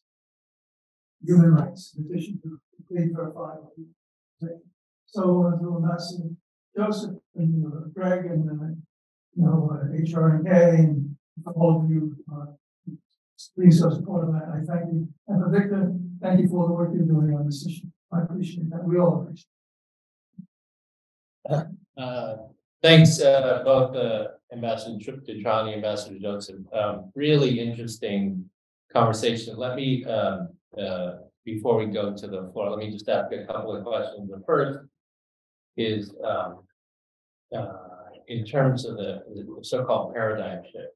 We've had conversations about this. I mean, as you mentioned, there is sort of this standing conventional wisdom deeply embedded in the US uh, bureaucracy that uh, denuclearization is, uh, it's about diplomacy, and whenever we're at the table with North Korea, that takes priority over everything else, including, including human rights. And so, um, and so there's this view that when, when we are negotiating with them, we don't talk about human rights. When we're not negotiating with them, yeah, maybe we could talk about human rights, but it's really tactical. It's not part of the strategy that you're talking about. So how do you change that, right? How do you change that way of thinking? And I'm wondering, like, to what extent you all have drawn any lessons from arguably the paradigm shift that has happened in the US government on China policy, right? We for decades had gone with the sort of responsible stakeholder template for China, you know, going back to Nixon. And, and now we're in a completely different place in terms of China. The US government is completely, I would say completely, but it's organized differently around this problem. So so that would be the first question, like, uh, on, on paradigm shift. Um, well, why don't we take that one? Why don't we take that one first? I'll take the first question and I'll leave the more difficult China question to, to Joan. Uh, in, in terms of, in terms of this notion that denuclearization is brought through negotiation. I, I don't know of any case in which that was actually, that actually occurred with other belligerent states. Uh, I had the opportunity, uh, to lead the negotiations with Libya. And I say it was a true opportunity because those negotiations were done out of the White House in secret. Without even the Secretary of Defense or the Secretary of State knowing about those negotiations. And in those negotiations, I can tell you that we had every advantage. We had, we had cracked the A.Q. Khan network, which was the lifeline to their program. We had caught the Libyans in a lie. We had just gone in to Iraq and things were going really well in terms of the defeating of the Iraqi army. Just think of, think of Gaddafi's mindset. And oh, by the way, three days before we meet with the Libyans, we pull Saddam out of the spider hole. And, and the images are all over the international, uh, everywhere you look in the international media. We had, we had everything to achieve what we wanted. That's not going to be the case with North Korea. All of these challenges are different. All of them are unique in different ways. But we did achieve denuclearization through negotiation with Libya. But as I said, we had everything going for us. The stars were in total alignment. Uh, and even I, you know, could, could achieve the outcome that we achieved, which was to send a large ship over to load it with hundreds of metric tons of their nuclear equipment as well as their longer range missiles and bring it back to the United States. Now that's denuclearization. I would not expect that with North Korea for any number of reasons. And I wouldn't expect it with Iran, and I wouldn't expect it with other belligerent states. Again, each, each is unique. In terms of sort of this notion that if only we wait, if only we're patient, and there will be reform, there will be some type of reform, whether it's two thousand and eleven with this young man coming in uh, to take up the reins. Uh, I, I just keep thinking about the intelligence reports that I used to see much earlier in terms of the turnover of Soviet leaders. Oh, Brezhnev, Brezhnev likes jazz. I think we could do business with him. Or Andropov, well, he, you know, he likes scotch, so maybe we can do business with him. I mean, if there ever was sort of a, you know, a, a wishful thinking, I mean, that's, that's what it is. I don't think the North Korean regime is able to reform. Okay, maybe the daughter, the young daughter will come in ten years from now, twenty years from now, maybe she'll be different. We can't wait. As I said, we don't have that time. We don't have the luxury of that time. We need, we need to have a different strategy. We need to have it now. As Joe says, we need action. Otherwise, we're gonna face a much more dangerous world. Uh, and not one that's going to be any easier for us. It's only gonna be much, much more difficult as well as more dangerous. No, I, I couldn't agree more, uh, with your comments, uh, right on the on China, Victor, it's, it's a great question. Uh, for China to be a responsible stakeholder right now is, they need, there needs to be a paradigm shift with, certainly with North Korea, they need to, they need to use that leverage they have with North Korea, you know, over ninety percent of the oil and petroleum products, et cetera, come from China, I mean, it's, they have, cut off the spigot and, uh, the economy would just crumble.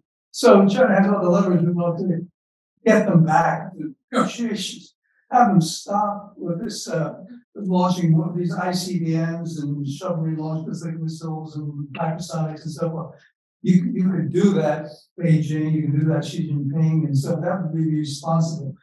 We just saw their peace proposal for, for Ukraine. Uh, holding it, no, no question about it. Uh, and- and Kind of looks like their denuclearization also a lot of words, I know. You know, when you talk about sanctions, uh, you know. It should be the UN, we should just station no longer. that's not something Sanctioning, uh, other. States or states that have uh, pursued, uh. uh, Nonsense, if that were the case, uh, we see with the UN Security Council, we're locked now because of, uh, on, on North Korea.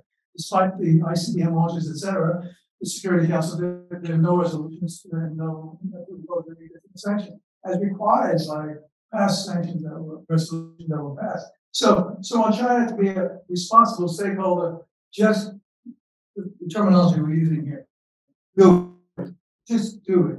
Uh, and, and, and and would North Korea do it on that way? Look, on, uh, with the South China Sea, with Hong Kong national security law, with the Uyghurs, uh, and and Xinjiang, we've done a whole list of things, and what we see recently on, on Taiwan, there's so much out there, uh, that, that tells us, that tells us, look, uh, uh, China, uh, come back to a, a dialogue, I mean, pick up the phone if someone's calling and wants to know why you have a balloon over the United States, pick up the phone, or maybe you should have told it before we even you about that. You have a long ways to go on China, Victor, uh, and we have, uh, and I think you're right, though, I mean, we've gone from a, uh, we're the ones, I mean, it was China looked to the United States, it was Deng Xiaoping, I looked to the United States to, to get China back on the path as one of the poorest countries in East Asia. in Nineteen seventy-eight, to be the second largest, uh, largest economy in the world now today. It was the United States, the World Trade Organization, two thousand one, it's the United States. So, so in many ways, um, uh, China does owe that to the United States. uh, But I think the most disquieting thing there is that we, uh, we, we see issues, especially, I say especially, Bob, because Victor and I and you, we, Victor and I on the, on the field in the negotiations, worked with, uh, Wang Yi and we worked with the Chinese and China hosted the six party talks. And China was intimate with the, the September 19th joint statements, uh, that, that sort of halted things, that fell apart in two thousand nine. But again, where's that leadership from China? Victor, We're just not seeing it, we're not seeing it from Xi Jinping, as we saw from Johnson. Certainly Deng Xiaoping, Johnson, without. Xi- Could I just, yeah, please. Joe's comments, I think are exactly, exactly on the mark. The only time that I witnessed while I was in government, China willing to help in a meaningful way. Forget the words, in a meaningful way, take action with regard to North Korea's nuclear program was after the first nuclear test in October of two thousand and six. This was a shock, and Victor, you remember, I think you were on. Yeah, We went together, We yeah. went, we yeah. went together. Yeah. You know, Condi decided, Dr. Rice decided to go to the, to go to the region within a couple days of the test. Because there was a whole lot of concern that if she didn't, and if she didn't reaffirm our nuclear guarantee to our allies. That may mean a lot of different things, none of them good, uh, for non-proliferation and for, for US policy. So she goes, we stop in, I think it was Tokyo was the first stop she, she makes some very firm statements about the credibility of our, of our nuclear guarantee. Interestingly, well, I think this, the Seoul stop was a. That, that's one for the history books, but the next, you know, the, the stop after that was Beijing. And the first thing the Chinese did was to thank us for reaffirming our security guarantee, our nuclear guarantee to Japan. And just think about that for a moment, and I think it'd be obvious why they, why they did that, because they didn't want Japan going nuclear. But it was interesting that at that time, in October of two thousand and six, the Chinese support, and you mentioned sanctions earlier today in the first panel, that's when those sanctions come into being. Okay? And that took, that took the, you know, unanimous, well, the, the five uh, permanent members had to agree to that. And both Russia and China agreed. Our, our, our interests intersected at that time. And I think the Chinese felt disrespected because they had told the North Koreans not to test. There's a whole lot of backstory to this. But it was the time when we had an opportunity, I thought. Okay, I thought we had an opportunity to fundamentally change the direction of our policy and to achieve the goal of denuclearization and only held firm, okay? Because the Chinese were down on our side, more than just hosting and chairing the six-party talks, okay? Which is something they did, I thought, to escape any, any real responsibility for the outcome, and they kept pushing us to bilateral discussions. That's my recollection, you- you know much more about it than, than I do, but that's how I recall it. But it was, it was a window of opportunity.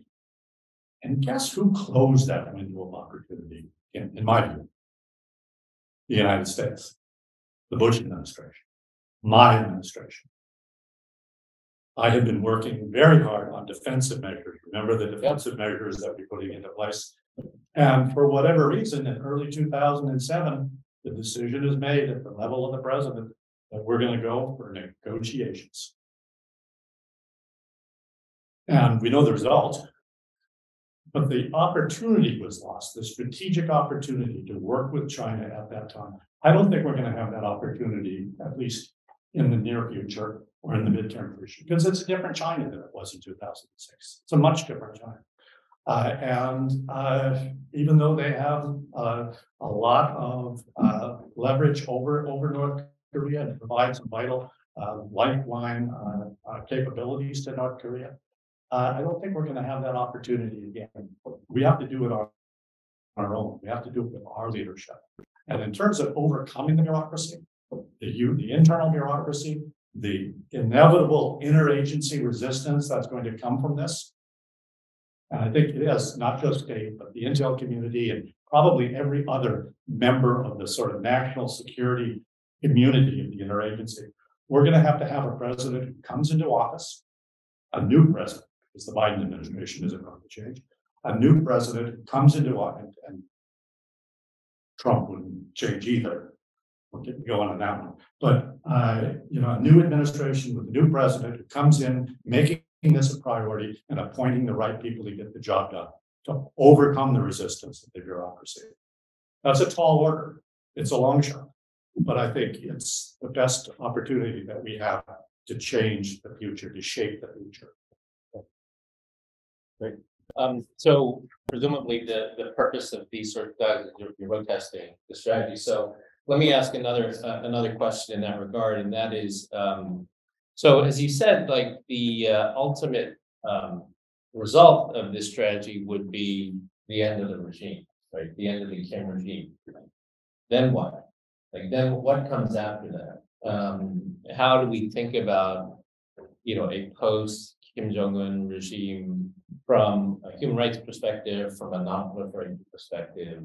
Uh, how do we think of that? I mean, the presumption I, I have from this strategy is that anything's better than what we have now, right? Both on the proliferation side and on the human rights side. But have you, has your group thought about, uh, what, you know, what if you're successful? Be careful what you ask for. right, be careful what you ask. Joe? You go first, Paul, then I'll follow. Uh, well, we have thought about it. Uh, and we do advocate, uh, in the, in the report. Uh, the unification, because ultimately we see the future, uh, of Korea as a unified, prosperous, democratic, uh, entity. Uh, and that is uh, something that we need to work toward. Uh, it's not something that happens magically or overnight uh, with the, with the wave of a, of a magic wand. Uh, it is something that has to be determined. There has to be, I think, a, a glide path to that, to that, uh, outcome. Uh, and I would advocate that if we get to that, if we get to that point where we're looking at the end of the regime, that we have sort of this, this, this, this pathway put forward with milestones. Uh, and again, to, you know, to try to, uh, uh, make it as soft of its transition as we can.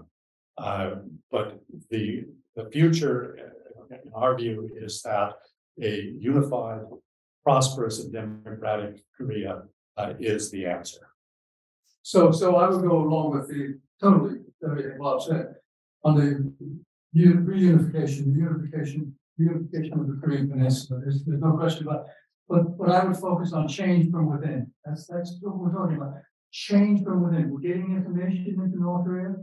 And you're getting information that, and, and we saw that change in the, uh, the former Soviet Union during the Reagan administration.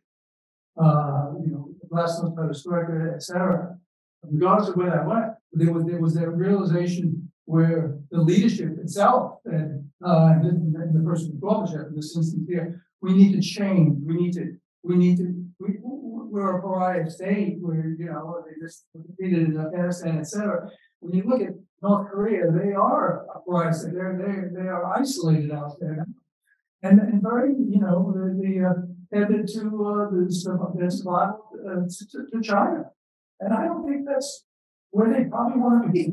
That's why they were looking to the US, and they still do, it's for normal relations.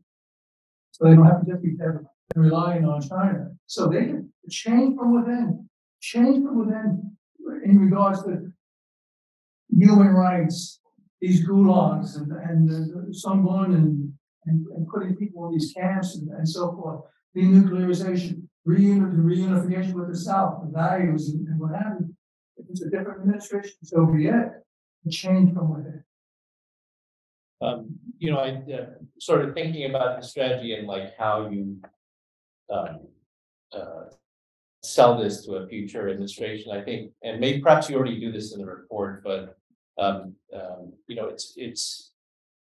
The strat, the strategy that emerges here is in part emerges from the failure of every other instrument that we've used over the last three decades in and of itself. So whether that's diplomacy, whether that's carrots, whether that's sticks, you know, in just in terms of just sanctions.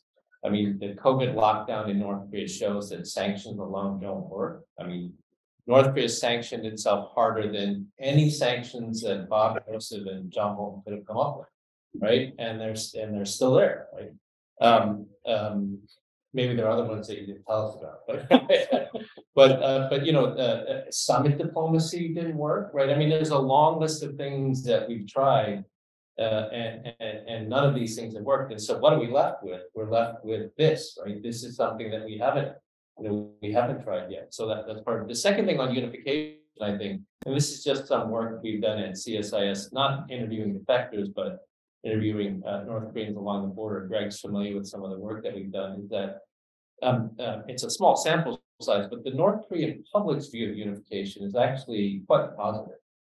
Uh, that they actually they identify ethnically with regard to unification. It's not so much economic; it's ethnic identification, and arguably they're more in favor of it than the average South Korean. So, um, um, so that's just a little tidbit of data. But uh, I love your response on the not not so much on the second point, but on the first point about you know this long list of things that we've tried that has not been successful. Well, we have tried a lot of things. I would differ a little bit, Victor. I don't, I hope I don't sound too sort of academic on this in my teaching was, including at the Fletcher School many years ago. Uh, I think the, I, I think you have to look at failure differently. It's not the failure of each individual instrument, because I think we have made significant progress in, in, in using sanctions, in using the financial tools, like I mentioned, BDA. Uh, that that was that was a, an effective use of the tool. We've made progress in defense, in our joint defense. we are making, I think, more progress on the extended deterrence side. So each of these sort of cylinders of excellence, again, are, are producing something of value. The problem is we've never had a strategy for bringing them together. Arms control negotiations or denuclearization is substituted for a strategy. I mean, it masquerades itself as a strategy, but it's not. It's, it's an objective. It's my objective, it's your objective, but it's not a strategy. The strategy is bringing all of this, all of these tools together, including, and I think upfront and probably critical to success is the human rights effort, like you mentioned, Bill. The information, the influence campaigns that we talked about in, in our report. That's that's what's going to get that internal change. But all of that is in the context of these other instruments being used as well. Uh, it's not, it's not an easy thing for, as, as you know, Victor and, and, and Joe, you know, it's not easy for governments to come up with strategies. Okay, I mean, there's just too many, there's just too too many divisions. And even when we do come up with a strategy, you remember the North Korea strategy that was approved in 2004 by the principals and by the president called tailored containment. It wasn't implemented my view, the State Department just didn't implement it. Why? Because they went down the negotiation path. I'll just leave it at that, Joe. Well, I think you, I'm gonna leave it at that also. Okay, well, we have uh, here in the audience a very knowledgeable group, so why don't we open up to get any uh thoughts or uh recommendations that people have with regard to the this report, uh, including other members. I know like David's here as well, uh, if he'd like to make some comments about, about the work on the report as well, so. David, do you want to say anything about the report? Uh, Well, I'm planning to talk about unification in the next panel. Yeah. Uh, Look, you, Yeah. Um, You know, I'll just make a couple of quick comments. The Koreans have to, have to cause unification. We can't, we can't do it for them. Uh, and so I think it's our interest to help Korea uh, to achieve unification. Um, I see there are four paths to unification. Uh, the first one is peaceful. And I think that the peaceful plan is most complex. Uh, and it should be the focus of the Ministry of Unification, the plan for peaceful unification. And I say it's most complex and difficult, not because Kim Jong Un is, you know, not going to go quietly into the night, is because it takes the integration of two economic systems, two political systems, two militaries, you know, two divergent cultures somewhat. Uh, and so the planning for peaceful unification, uh, it's the right thing to do. It's done from the moral high ground. Most importantly, everything that is done for peaceful planning unification will have application in every other path. And I said there's four paths. So number one is peaceful. Number two is war. And we don't want war, but war is a path to unification. It will end in the destruction of the North Korean People's Army and the regime and much of the infrastructure of the North. Uh, we don't want that to happen. Third path is instability and regime collapse. also dangerous, could lead to war. You know, we've got to be prepared for that, but we don't want that to happen. And the fourth path is internal regime change, it's the emergence of new leadership. And this is why information is so important, is because we need to put information first and give the knowledge and understanding of people inside North Korea what the future could be like. And so if new emerging leadership uh, arrives and they understand that unification is the way to survival, then you have peaceful unification and you have the plans made. The key is administrative unification, putting together the plans for South Korea to abide by their constitution uh, and, and solve the Korean question. So I'll I'll talk a little bit more about that after. Great, thank you. That, that's too, we, we can't wait to hear the rest of this now, David. You gotta just go, And, and I would just say that today, uh, today Yonhap reported that the Ministry of Unification just tagged thirty-four advisors in Korea for a new vision for unification. There you go. So I'm really encouraged what Korea is doing. Absolutely. Well, I mean, let me just, the one thing I'll add to that is that, um, you know, I think that that's important. I think the narrative on unification has changed over time. And there was a long period in which, largely post-financial crisis, where, where it was seen both materially and normatively in very negative terms. Right, and I think we saw a shift in that under, um, not so much under Lee Myung-bak because he looked at it still very practically, but under Geun-hye in particular. he saw a shift with the whole notion of 대박, right, the notion of unification, jackpot. Um, and so it's interesting that the Yoon administration now is thinking about how they want to frame the narrative on unification. On to unification. The new Oh, is it? Yeah. uni on. Uni. Yeah. I think there's somebody back there. Okay, I got you. Other comments or questions? Amy? Um, hello. Wait, then wait for the mic. Hello, my name is Phoebe Kim, and I work at the National Endowment for Democracy. Um, so just a question, uh, so you're emphasizing comprehensive and unified, um, human rights first approach, which is very exciting for me as someone working in the human rights space, um, and on North Korean issues. Um, what would coordination, um, look like between the communities, the facets of, uh, US government mentioned between the security sector, um, you know, intel diplomacy? Because, um, you had, I really understand the point of having a comprehensive, like, full government approach. But, um, I was wondering if you could provide an example of what that would look like, um, in terms of like unified messaging, or if, um, uh, like if you're in, in, in negotiations, um, like the, like, so I was just wondering, like, what, what does that actually look like? Yes. So, so let me take a first shot on that. That's a good question. Uh, My answer to that would be, the first thing would be, as negotiators, Victor, I, Bob, we would want talking points that include human rights. Thank you. That include human rights. So that when we talk about a path to denuclearization and sanctions relief, there's also a path towards normalization of relations. That's the ultimate goal of North Korea, right? To normalize relations. And, and very clearly stating, this is the path. Human rights is, is, is front and center. It's the number one. Get it right on human rights. The element of progress on human rights, transparency on human rights, getting th- this is, and this is all very doable. I mean, one would have to wonder why this hasn't happened in many ways. So my answer would be as a, as a former negotiator, that would be the first thing. We have a whole of government approach, we have a strategy, and they get those talking points out to the negotiators, and that's what they will drill down. Well, I don't know that I can add a whole, whole lot to that.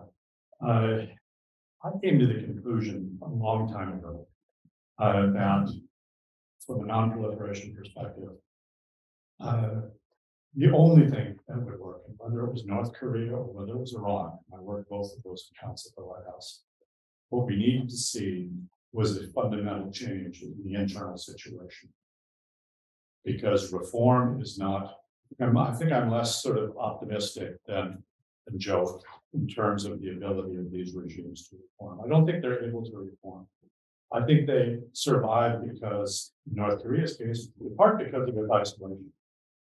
Feeling itself off from the world, not allowing information to come into the country to infect the minds of their citizens. Uh, so that they can have complete control in a very totalitarian context. Uh, and, you know, it's, it, it, you know, and I, and I, and I've walked through over the years, you know, a number of the agreements, whether it's the, whether it's the agreed framework, whether it's September two thousand and five. Which, oh, by the way, you know, I had just come on board at the State Department, and I called Condi and I said, I didn't sign up for this. I didn't sign up for this. Uh, and we had a conversation and I continued to stay at least until the next time we went down that path in two thousand and seven. Uh, but we, uh, we as, you know, as, as Victor said, you know, we, we've tried all these other things. Right? We, we, we've tried all these other things, uh, really with both, uh, Iran and with, uh, and with North Korea. Uh, we haven't been successful. We haven't been successful either in the denuclearization component or in the, or in the human rights component, and, and, and the list goes on, but I think those are, those are the two most prominent. Uh, and we just, we just need to, we need to change, we need to understand that it's going to take leadership from the top. Uh, because of the internal resistance and the resistance from some allies in some cases, I think. Uh, as well as the broader international community led by Russia and China in this, in this, in this context. So we, you know, we, we need, we need to understand what all these challenges are, and we need to develop sort of a, an approach to deal with each of them if we're going to be successful. Again, this is a really tall order, okay? This is a hard problem. Uh, but, uh, we've got to start somewhere, and that somewhere starts by saying, okay, we need a fundamental shift in how we think about the problem. And practically speaking, you know, in this, in this new administration. It would probably be useful to take all the previous policy reviews on North Korea. Put those in front of the president and say, it should not look like all of these, because they all look the same, right? The, the wheel has been recreated many times already, so whatever you do, shouldn't look like this. And anyway, Exactly. yes. Right, right here, we have a, Um, thank you. Uh, I'm Gino Lee. I'm the co-founder of Young Leader from Forum Korean Peninsula and at the same time, the Master of Foreign Service student at Georgetown University.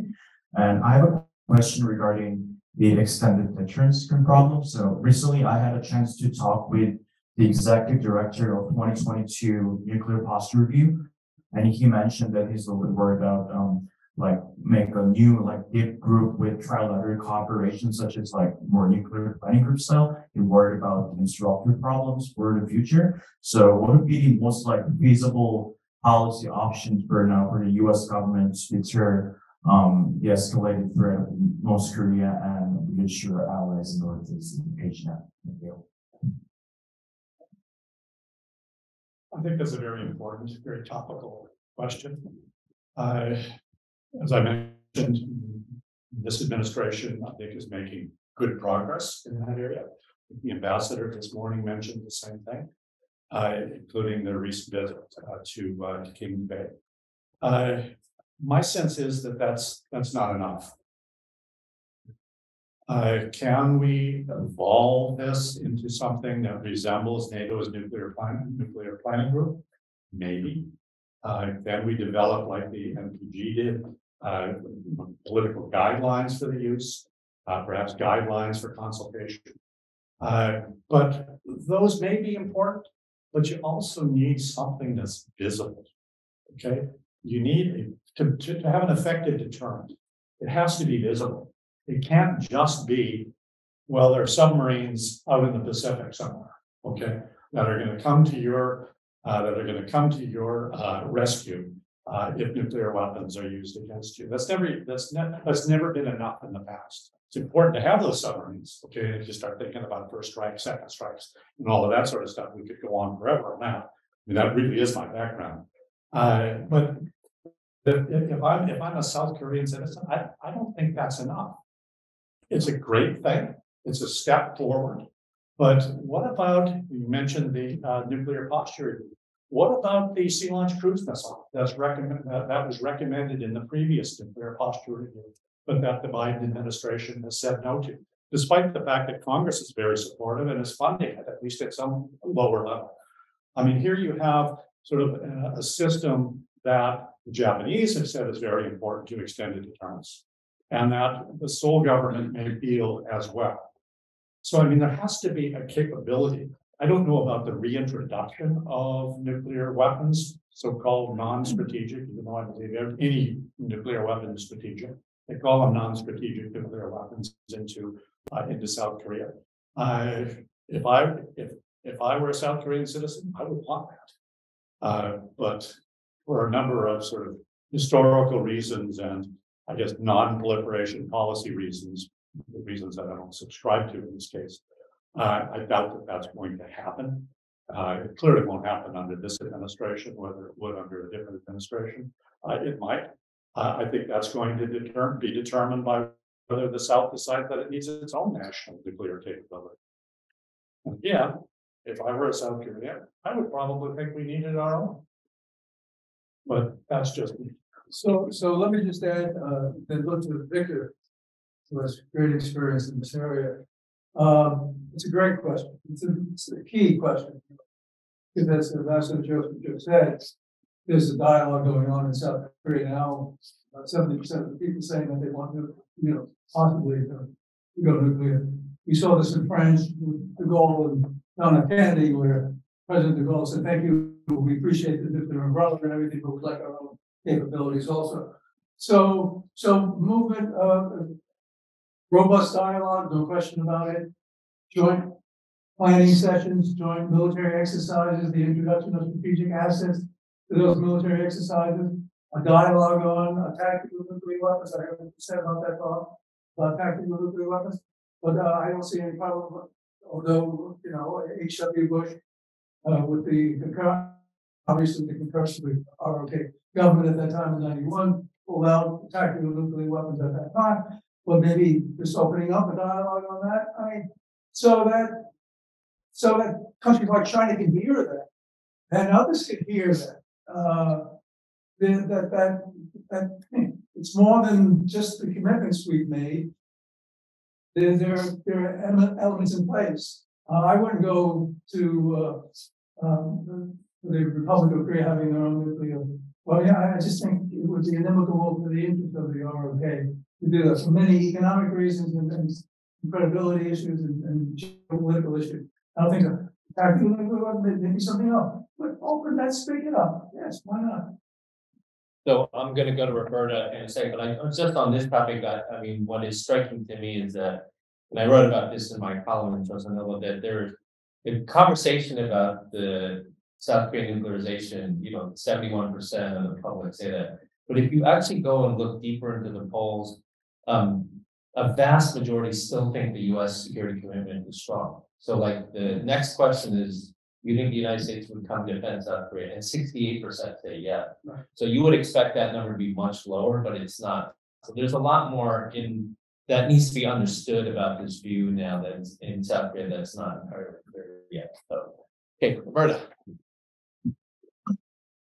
Uh, I wanted to get a better picture of how this would work. You're trying to uh, change the thinking, so I know we're there, and I'm always for anything that's on human rights. But I'm just wondering what happens next. Supposing you persuade a presidential candidate to take on your uh, view and introduce a new policy. You sort of feel maybe that's the only way it's going to happen. Um, and supposing they, he does, um, or he does, um, but I think be. Um, what happens next? Uh, North Korea has said human rights is an obstacle to peace. So they would not, I think, want any negotiations if that issue was going to be up so upfront. Um, and China seems to feel comfortable with increasing nuclear weapons in North Korea as, as the lesser of two evils, the other evil being uh, either unification under uh, South Korea or, or North Korea. So uh, you might not, not get in negotiations, or I'm just throwing out. Did you think of the next steps? What are you doing? Are you starting an information campaign? Uh, do you worry that maybe North Korea will become more aggressive if its citizens are isolated? Um, this is a possibility, as Victor points out. They, uh, they their own sanctions, even and and their um, uh, rule and ability to be in charge. Um, I just wondered what then would happen. Where are you with this and, and with the pushback that you get uh, on the other side?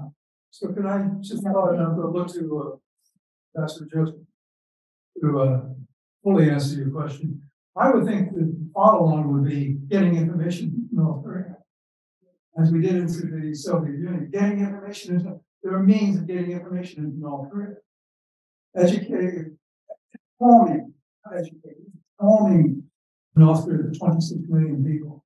And then certainly the elites also, but informing the 26 million people about what's happening not only in, in North Korea, but what's happening on the peninsula, what's happening in the world, and, and giving them that sense of, of, of reality. So, so there may be that, that may lend itself to some sort of who knows what it may lend itself to enlightenment maybe on the part of some of the elites, who knows, or or uh, we're not talking about China and maybe and all that, but but there are, there are movements where people do do say enough is enough.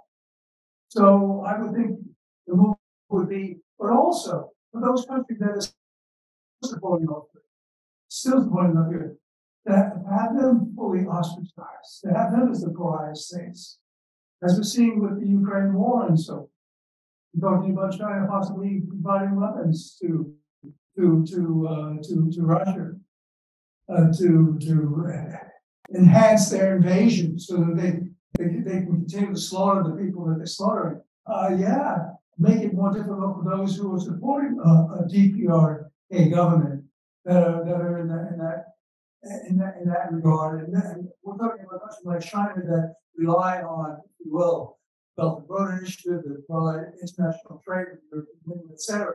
So I think they have to be conscious of it. I think we have tools available, even without a government willing to come back to the table, talk about human rights and these issues, so that we can do something in a proactive way. Well, in addition to agreeing with everything Joe, Joe just said, I would, well, first of all, kind of hope it is a she, because I think we've tried everything else. But I would also say that there's nothing as powerful and persistent in policy community climate. Uh, the national security rate, uh, is a bad idea. Okay. Uh, I'm a veteran of twenty years of combating the ABM treaty. And here you have a treaty that dominated US strategic thinking, going back to sort of our nuclear doctrine and the evolution of our doctrine, all consistent with the notion that defenses are destabilizing. Never tested, but put forward, forth, I think, first by Kissinger in the context of the negotiation of the treaty.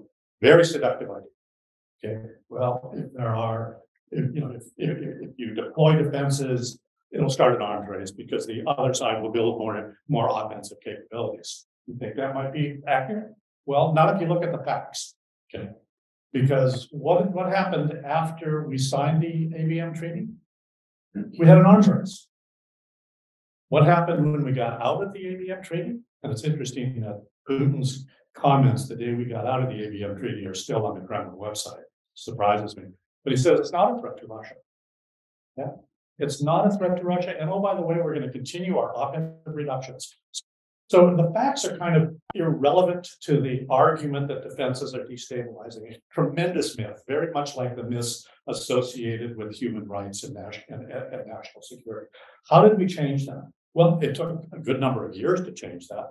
But the ultimate change came when a president was convinced coming into office that we needed to deploy against a North Korea threat.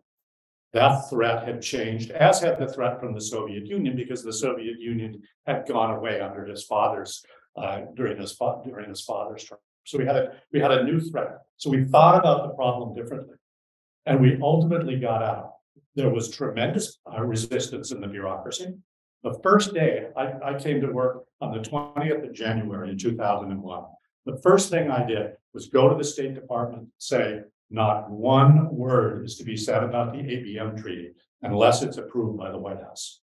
Why? Because the State Department had for, for, for years, in fact, I once counted the number of joint statements made by uh, the Russian leader and, and President Clinton had years said the ABM treaty is the cornerstone of strategic stability. This is after, this is after the Soviet Union had gone away. This is after we had declared Russia not to be a threat. Yet it kept, it, you know, it, it kept sort of us from, from doing what we had to do to defend ourselves against a new threat.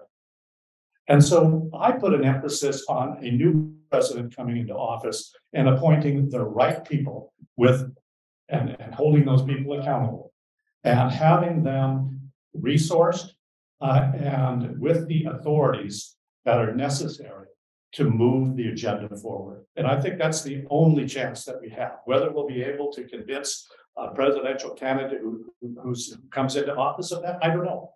But I can tell you, if we don't, I would prepare for more of the same. Yes. Good, good afternoon, Mohan Lee and John Professor at the University. I'm curious with the uh, the Russia Ukraine war already for a year, it's continuing. You think in terms of butterfly effect, Russia Ukraine war could provide unexpected opportunity for breakthrough in those Korean situations, or more challenges, or ultimately to have two separate geopolitical events or Russia Ukraine war with effect for good or on those creation. Mr. Kerry, Oh, well, uh, if, if China puts a peace proposal as they did a few days ago out for the Ukraine war, and if there's movement on that, if President Zelensky feels that there is something there, and and and, and China, um, uh, you know, puts a little more meat onto what they're proposing there, and uh, um, so that may be maybe a model for uh, China to say, uh, you know, they, they, they will be, let's be blunt. China will get a lot of international credit. What they've done is they're looking for that international credit as a peacemaker. Um, we mentioned the six party talk where they hosted the six party talk. In this case, they would be the peacemaker. They were the ones who, there's a lot of work to be done on that. So assuming that it is movement on that, assume that's a big assumption, right? Assuming that there is movement on that, then North Korea would be next. I, in my view, I could see, I could see where Xi Jinping and, and China, especially Wang Yi, is a counselor and, you know, uh, and, and who, who was the lead the uh, uh, Chinese uh, negotiator for the six-party talks, uh, had uh, would play more of a role on trying to get North Korea back to the table, etc. I can see that, but again, that's in the in the mode of of of of burnishing China's credibility again, because they lost a lot of that credibility, right, with the zero COVID, with their support of Russia and the, uh, the invasion uh, uh, of Ukraine, but some of all the other things, certainly to mention Taiwan, what they did at the Pelosi visit, Taiwan, so blatant and egregious. So yeah, I can, I can see some movement on that if, if it turns out somewhat positive on Ukraine. Uh, personally, again, I'm optimistic, Nasser to try, and I know Joe agrees with me that simply having North Korea return to the table is not a sign of progress. Okay, That's not the metric for success. Uh, having them return to the table and negotiating in good faith, which I've never done, by the way. Uh, but that, that would be a measure of success. Uh, so I think we have to, we just have to keep in mind, you know, how you know, how we sort of measure in a meaningful way uh, the progress that we can make, that we can make with this regime. I'm, I'm not at all optimistic, uh, that, as I said before, that, that they're able to change. I don't think they are. I think the only change will come from the North Korean people. And that will be through the influence and information campaigns and the other human rights uh, campaigns that, that, uh, uh, that we need to implement. Can, can I ask you, I mean, because you, you touched, in your last comment, you touched, uh, last time, you touched on a very important point, and that is, this is really a strategy addressed to the North Korean people rather than it's to the state in a way trying to separate, create space between the people and the state. Um, arguably, the one thing that has created the most space to date between the people and the state has been the advent of markets in. And so I wonder, does that fit anywhere in your, in your strategy? Because whether we're talking about official markets or unofficial markets, you know, the average Korean gets much more from those markets than they do from the state. They believe information in markets more than they do from the state. So I'm just curious where that fits in your. Thank you. Well, I think, I think it does fit. Uh, I see, I see Dave nod, nod- nodding and Dave can, you know, talk about this in the next panel. I think, uh, the emergence of these markets. Uh, has produced a, a- dynamic. Uh, that, uh, is very threatening to, to the regime. And that's why they have to clamp down on them. Uh, uh, but I think, you know, it's, it's also an avenue for change.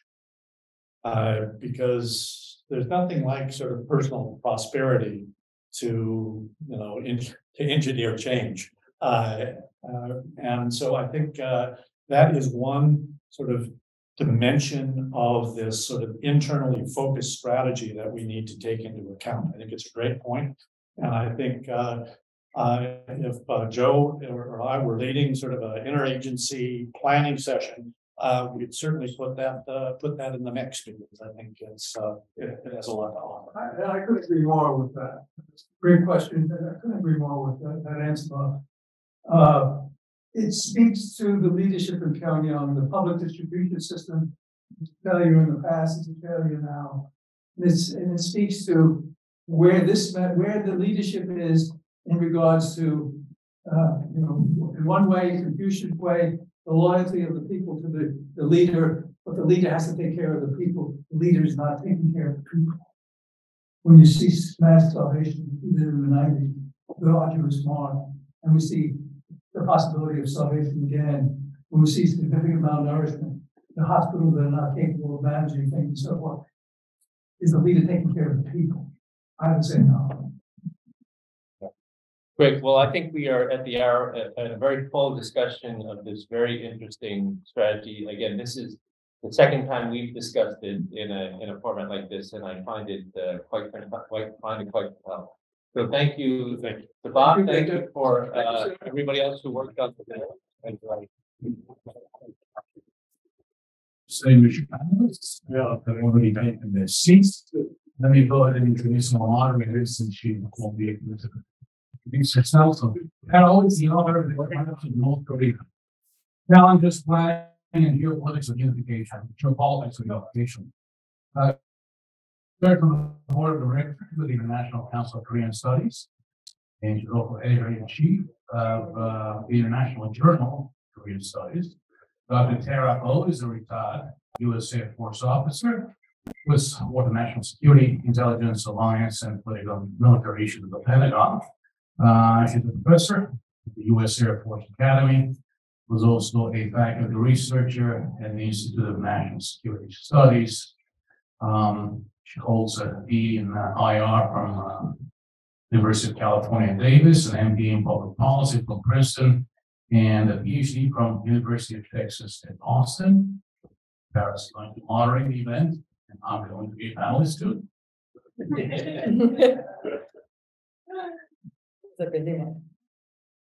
Yeah, well, thank you, thank you, Greg, for that uh, wonderful introduction.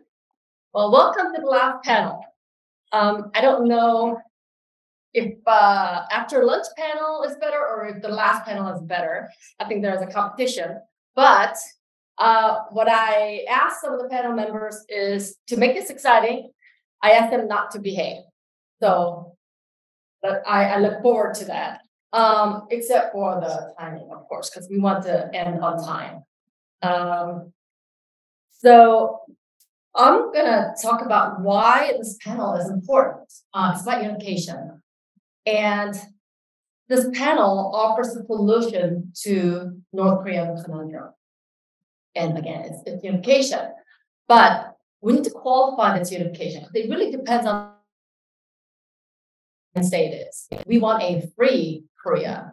So we want a unified Korea that's based on freedom, which is what's also written in the South Korean constitution. And I say this because North Korea also talks about unification It, it talks about unification all the time, more so than in South Korea. But of course, what kind of unification does North Korean regime want? It wants a unified Korea under its regime. So we have to keep that in mind. Uh, we also need to keep in mind that North Korea has theory of revolution in South Korea. And in Korean, it is Namjoseon 혁명으로.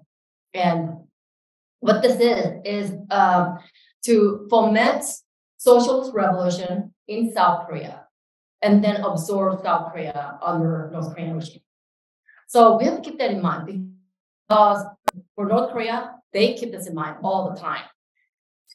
So now there are various methods to do doing this, but one is to send agents to South Korea, recruit people, um, and create underground party. And when we say underground party, it's it's an extension of the Workers' Party, the Communist Party of North Korea. So we have this situation, and where uh, and then they again foment all kinds of um, dissatisfaction and demonstrations basically to, to weaken and to subvert South Korean uh, system and the government. Shockingly, this is the same goal, the unified Korea that looks like North Korea that is the same goal as some of the pro-North Korea groups in South Korea and in the United States, in Japan, and elsewhere. And I know that this is not widely publicized, but they do exist. And you can tell because they use, in, in part of unification, they use the term chaju, or minjok, So 자주 unification, 민족 unification. And if you look at the dictionary, chaju means self-reliance or independent. But what North Korea means by territory unification means without foreign powers, specifically the United States. So what they mean is U.S. military withdrawal and the end of the alliance with the United States. So that's what they mean by territory uh, unification. And again, that would look like one uh, ruled by North Korea. The other one, Minjok unification. So if you look at dictionary for Minjok, it means nation or people. But uh, what North Korea means by that is uh, well, Minjok is in Korea, it means like ethnic group, a group of people with same ethnicity. So a lot of Koreans may assume, and I'm talking about average Koreans in North, North Korea as well. They assume that this is oh, it's Korean unification, unification Korean people, but it's not. It means more like uh, Kim Il Sung tribe. So it's people who support Kim Il Sung system. So that's what Minjok unification means. So we have to be very clear how we uh, the end state of unification. And um, so I, mean, I have one here, but I'm not really the speaker. So I'm going to introduce the next speaker. And I'm going to start from my immediate right. So we'll start from Mr. Greg Scarlatoiu. As you know, uh, he's obviously the executive director of HRNK, and he um, has numerous other roles and positions. He uh, teaches at the Yonsei University in Korea, as well as Foreign Service Institute, which is part of the State Department here. Um, but he also speaks Korean fluently. And I was actually impressed with his Korean language ability. Uh, he can give speech in Korean a lot better than I can.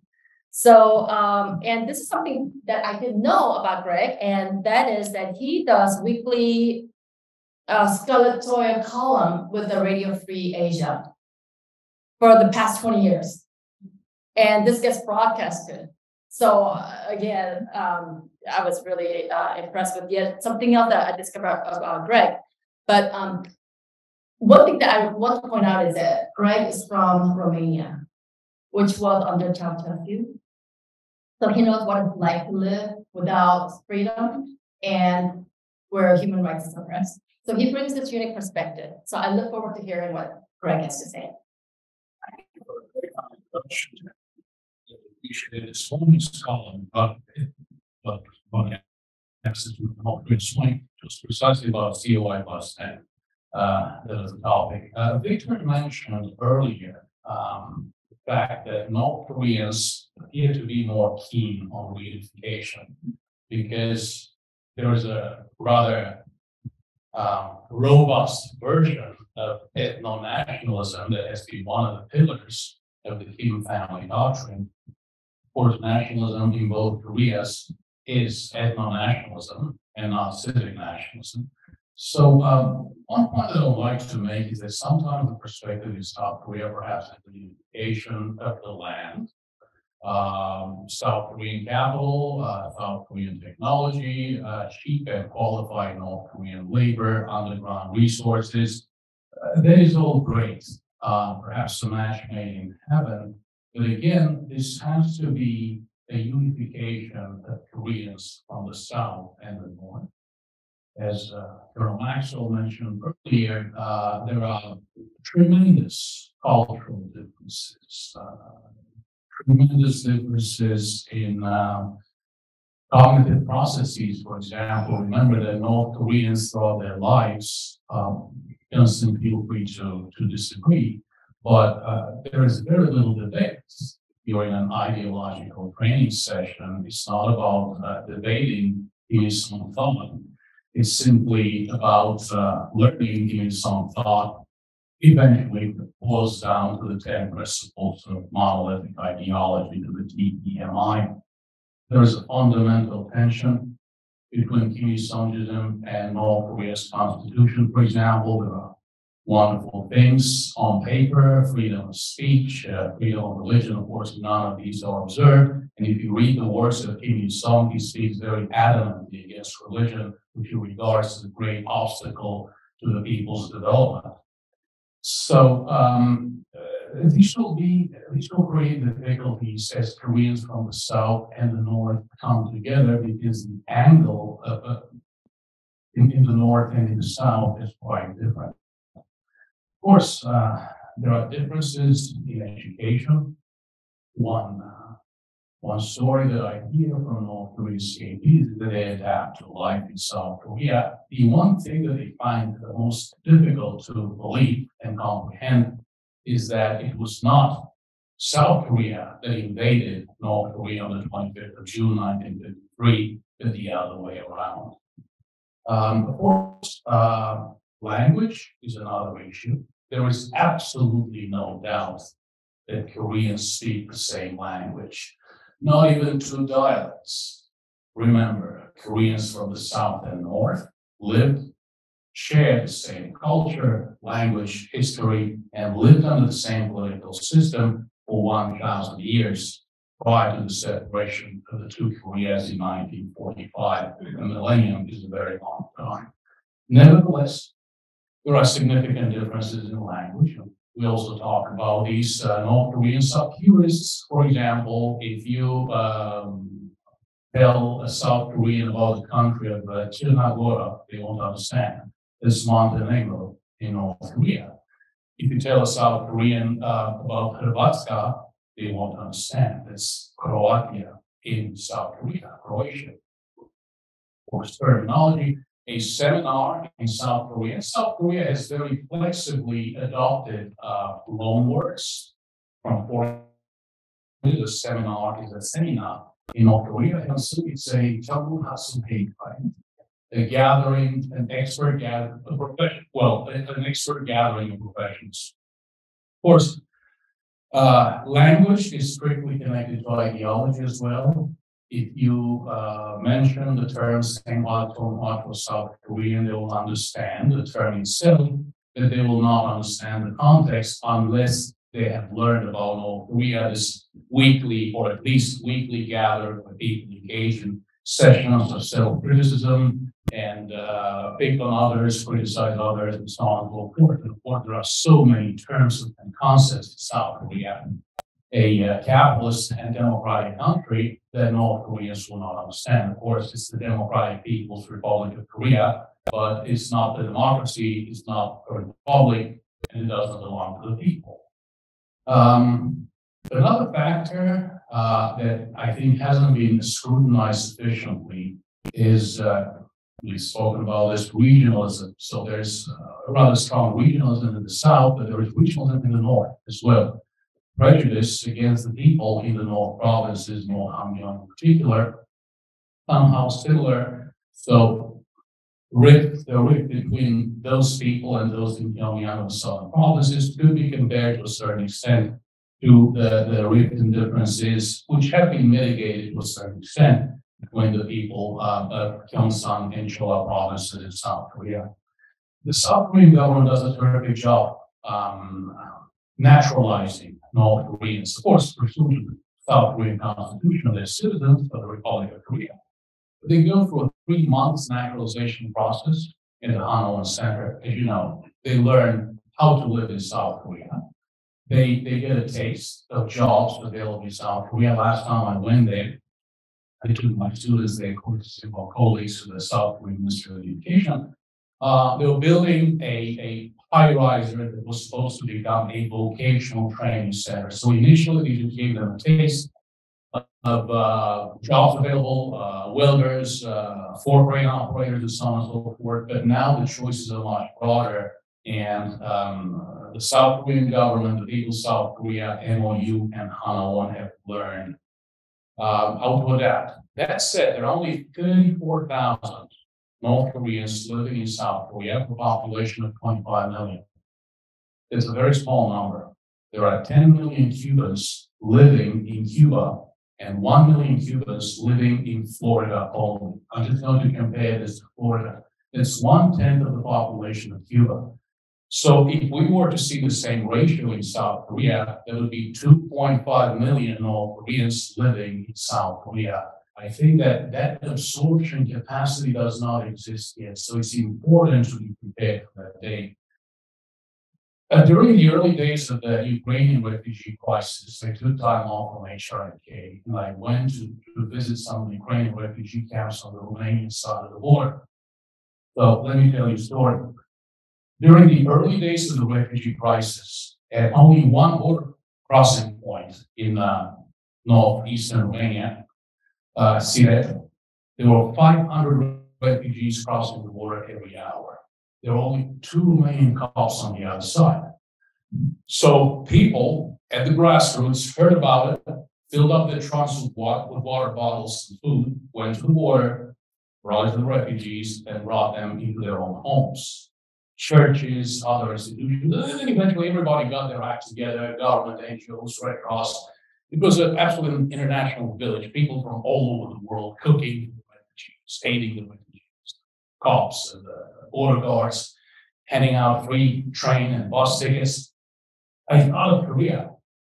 And of course, uh, Dave, you've been uh, the principal author of uh, 50.7, 50.9. But I think that the people to people relationship is very important. I think that the people of South Korea need to be ready to welcome those on the North. Readiness. So those 34,000 living in the South, if five hundred were to cross only one border crossing point every hour, it would take sixty-eight hours for thirty-four thousand people to cross into South. The issue of transitional justice has been brought up as well. Of course, that would be a very complex process. Of course, there will be prosecutions in the case of those who committed crimes against humanity and refuse to protect political prisoners, for example, until the last hour. There will also be truth and reconciliation, perhaps modeled on the South Africa model and on what was done during the Kim Dae-jung government um, in South Korea to basically reconcile the past. Of course, uh, there will be property rights, there will be claims in the North. On the other hand, the people of North Korea will have to be protected. Um, Dave, you mentioned uh, the military issues. Uh, the, the, U.S. military has been uh, was extremely successful in the decommissioning of officers and NCOs in Eastern Europe. Uh, so it probably should be the Iraq president, uh, the, the, the, the European, European president rather than the Iraq president. The line. Uh, speaking of Iraq, of course, the Korean Workers' Party is culpable for what's been happening in North Korea. the supreme leader equals the Korean Workers' Party. Of course, the organiz- the organization does, and the OGD has primarily respon primary responsibility for many of the crimes against humanity that have been committed in North Korea. On the other hand, uh, if one wants to hold a position of significance, uh, even a university professor has to be a party member. So, uh, basically, the, the process of dismantling the, the Korean work, Workers' Party should follow the European model, the Eastern European model, rather than the de-Baathification model. Um, of course, as mentioned earlier by the same speakers, unification of the free, prosperous, democratic, capitalist Republic of Korea will be the ultimate solution to the North Korean conundrum. Both human rights violations, crimes against humanity, nuclear weapons, missile. That doesn't mean um, that surrender through unilateral conciliatory peace declaration treaties. Uh, it real peace and unification. All of us on this panel and this room do believe that indeed the future Korean that is what we unify free, democratic, prosperous Republic of Korea. Thank you very much.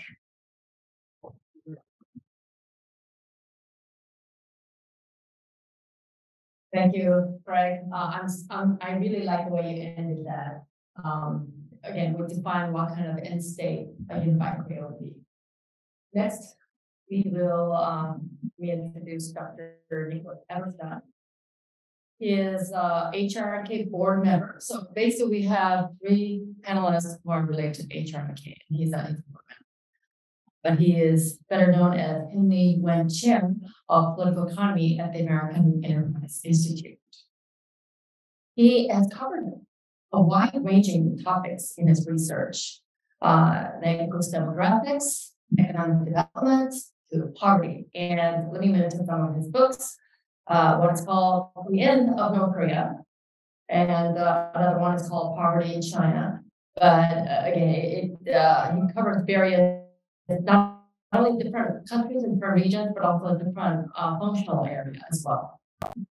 But uh, what I really want to, or what I really appreciate about uh, Nick is that um, not only is it expertise on Korea, but his concern on Korea. In the uh, previous administration of South Korea, in South Korea, there was some serious suppression of freedom that was ongoing. I'm talking about South Korea, not I mean, that's good, but in South Korea as well. And uh, there were some, it was some desperate times. And what he did was he stepped up and provided a forum where we could discuss and highlight these issues. And the forum was called the Open Society and its Enemies in South Korea. Um, and it was one talk, it was a short, it- it's not an all day long conference, but it was, it was a short talk, but it had a lot more impact on Korea than most people realize. And I know that many, many people in South Korea are grateful for that. So thank you, Nick, uh, for taking the initiative. And uh, with that, um, let's start with you. Thank you, Carol. ladies and gentlemen, colleagues and friends. Um, Have have you, I wonder, ever thought about this question? How can you tell if you're living in a post-war period or an interwar period? You ever thought about that? How would you know if you were living in a post-war period or an interwar period? I'll get back to that, but it's, I think, an important question relevant to our discussions today. Um, Briefly and um, succinctly, the unification of the Korean Peninsula under a constitutional democracy with open markets and an alliance to the large uh, powers in favor of freedom in the world today is the formula that will address almost all of the questions that torment people in divided Korea at the moment. The solution to North Korea's nuclear problem is unification. Uh, a lot of this sort of unification I described. The solution to the human rights tragedy in North Korea is unification, at least the sort that I described. And the uh, long-term prosperity of the Korean Peninsula is again reinforced, I would argue, by unification of the sort I described.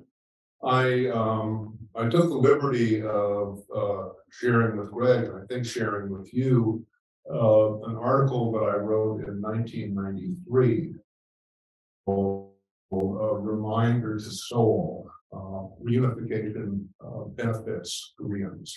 And I argued back then uh, two things: that the um, that the opportunities economically from a reunification of the Korean people were much, uh, much more beneficial than the wave of pessimism which was then circulating, 30 years ago, circulating in the wake of uh, some of the uh, big tax bills that people in Western Germany were paying during their unification. Particular type of unification, particular type of financing.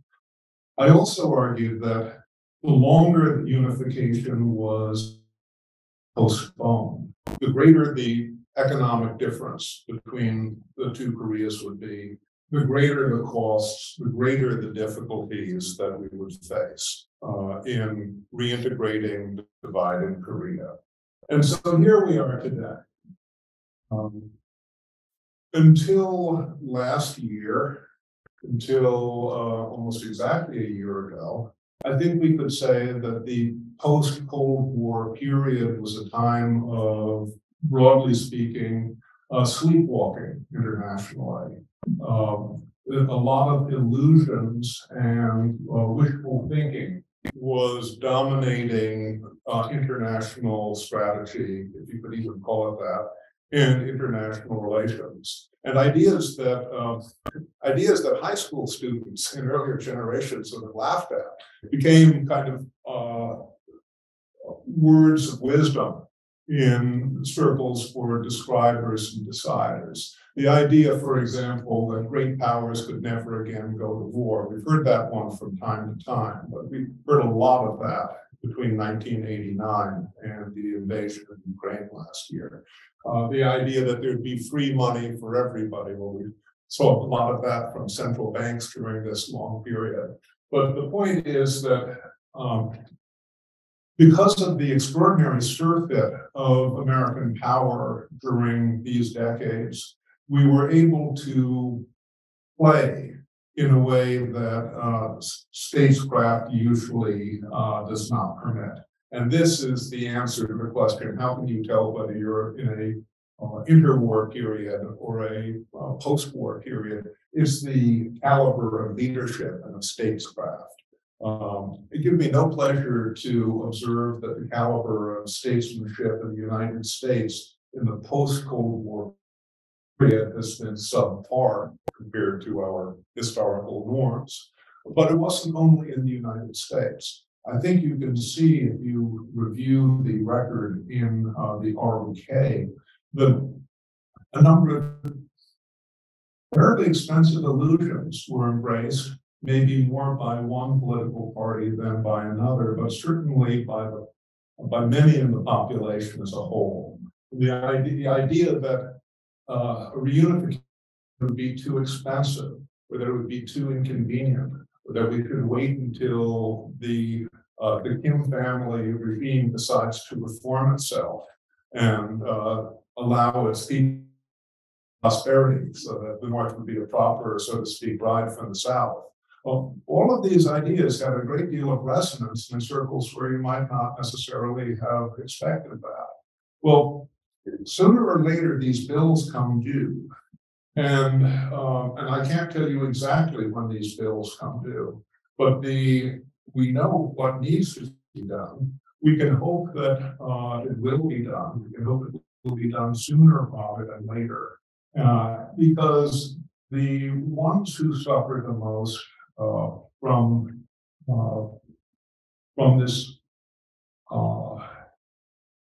politics of convenience, uh, are the most inconvenient people on the uh, Korean Peninsula, the North Korean people. Their freedom and their integrity is so inconvenient, um, but it's so essential to building uh, a free and uh, decent and respectable future for the peninsula as a whole. Thank you very much. Know, his article in nineteen ninety-three, that's thirty years ago, and it doesn't need to change at all. It's still very relevant. Um, thank you, Nick. And next speaker is, um, Colonel David Maxwell. So he also holds many positions. He is a board member of HRNK. He is senior fellow at the Foundation for Defense of Democracies and senior fellow at the Global Peace Foundation. But most recently, he is now the vice president of CAPS, the Center for Asia Pacific Strategy. So I don't know, did you already started or you, you just got appointed? Yeah, yeah, yeah, so that's, uh, that's his latest, so we look forward to, um, you know, his, uh, leadership there. Um, but I cannot leave out the fact that he spent thirty years in the US Army and his specialty was special operations and he, uh, um, had multiple tours in, in Korea. So he knows what it's like to work with the, uh, Republic of Korea military as well as the importance of the alliance. Now, um, he often has to explain, there are two things that I, whenever I see him, he is explaining this over and over. One has to do with OPCON transition, which is, which, uh, was sold as sovereignty issue in Korea, and it's not. So he has to explain, uh, what that really is. Um, and, and the other thing that he often talks about is the need to understand the Korean regime, its goals and its strategies. And he repeats this over and over, and I'm sure he'll say it again, but um, the regime wants to survive, and it does it through war, through coercion, through subversion. And uh, so uh, I know uh, Colonel Maxwell wants to say, so uh, I'm sorry on that. Thank you. Thank you, Tara, and um, thank you to uh, HRNK, and uh, thank you to Ambassador Joseph for your leadership and uh, allowing all of us to be part of uh, a great project. Um, you know, first, let me say that uh, I'm glad that Nick uh, brought his article there because uh, that had some impact on me.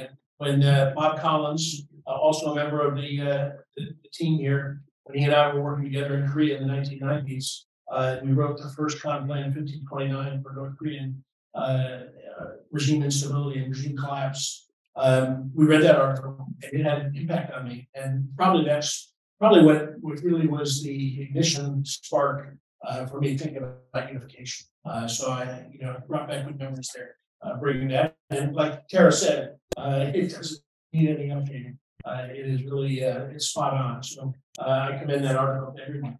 Um, I want to start out, uh, uh, frame, I'm not going to talk about that transition, so. uh, yeah, fine. But Tara's right. First, I want to talk a little bit about, that, about North Korean strategy, and then I'm going to dive into unification, uh, planning, which I think is so important and urgent. Um, you know, first of all, just to set the stage, I talk about the big five in Korea. Uh, the big five is, number one is war. Uh, and the, the prime directive for the military is to deter war. Our presence in Korea is to prevent war. I mean, that's, that's the number one, one job. Uh, I'm not gonna go into that, but that's why the foundation of all strategy is deterrence and defense. Uh, the second is regime collapse, uh, which is also very dangerous. It is unlikely to be like Eastern West Germany. Uh, and, uh, you know, two things. It is likely to involve some level of conflict up to and including civil war.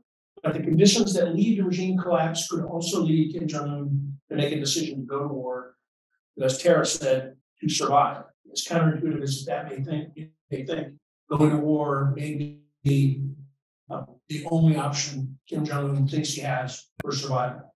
Uh, the third is human rights. And we talked a lot about that. And I will just say, uh, human rights is not only a moral imperative, it's a national security issue. Uh, and I say that for two reasons. One, Kim Jong Un denies human rights of the Korean people in the North in order to survive, to remain in power. Uh, and I would, would add to that Dr. Jung Pak, the uh, Deputy Assistant Secretary for East Asia and Pacific.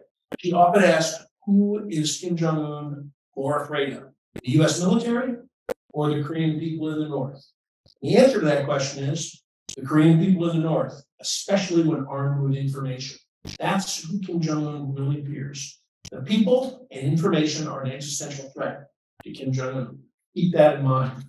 Um, second part of human rights, and this is part of uh, our information strategy that needs to be every time we talk about North Korean nuclear weapons, missiles, and the threat, we reinforce regime legitimacy. Now we have to talk about it. But whenever we talk about it, we should also talk about human rights. And we should talk about the development of nuclear weapons and missiles is at the expense of the Korean people. Kim prioritizes nuclear weapons over the welfare of the Korean people. The Korean people are suffering not from sanctions, not from natural disasters, not from the failed economy. They are suffering from the deliberate policy decisions made by Kim Jong un. Please keep that in mind. Uh, the fourth are the asymmetric threats. North Korea is a global threat. It proliferates weapons to conflict zones around the world. It is conducting cyber warfare around the world. Um, it, uh, it counterfeits our hundred dollar bills. It counterfeits medicine, cigarettes. Uh, it tra- uh, launders money, and of course, it traffics, you know, enslaved labor uh, in, in countries around the world. So it is a global threat. Uh, and the last of the big five is unification. Unification is at, at one hand, on one hand, the biggest challenge, but it's also the solution. Okay, so that's the big five. Now, Kim Jong Un is conducting really his strategy is, is really made of three things political warfare. Hera already outlined a, a lot of subversion. Uh, the Reconnaissance General Bureau, the Cultural Engagement Bureau, uh, you know, the United Front, they are conducting active subversion operations in South Korea to subvert South Korean society, as well as to subvert the ROK US alliance, which is a key, uh, a key element of, of the strategy. It's conducting blackmail diplomacy. Uh, it is using increased threats, the rhetoric, tensions, and provocations to gain political and economic concessions. And the main concession Kim Jong un wants is sanctions relief. Not that he really needs it, because he's conducting sanctions evasion activities, but because he promised his elite and the military that he could get it. And he's failed to do so. One of the biggest failures of the regime. And so I commend President Moon and President Trump and President Yoon and President Biden for not lifting sanctions. That's key. Okay, as much as uh, we, we people think that lifting of sanctions will cause him to negotiate as a responsible member of the international community, I think we need to, to set that aside.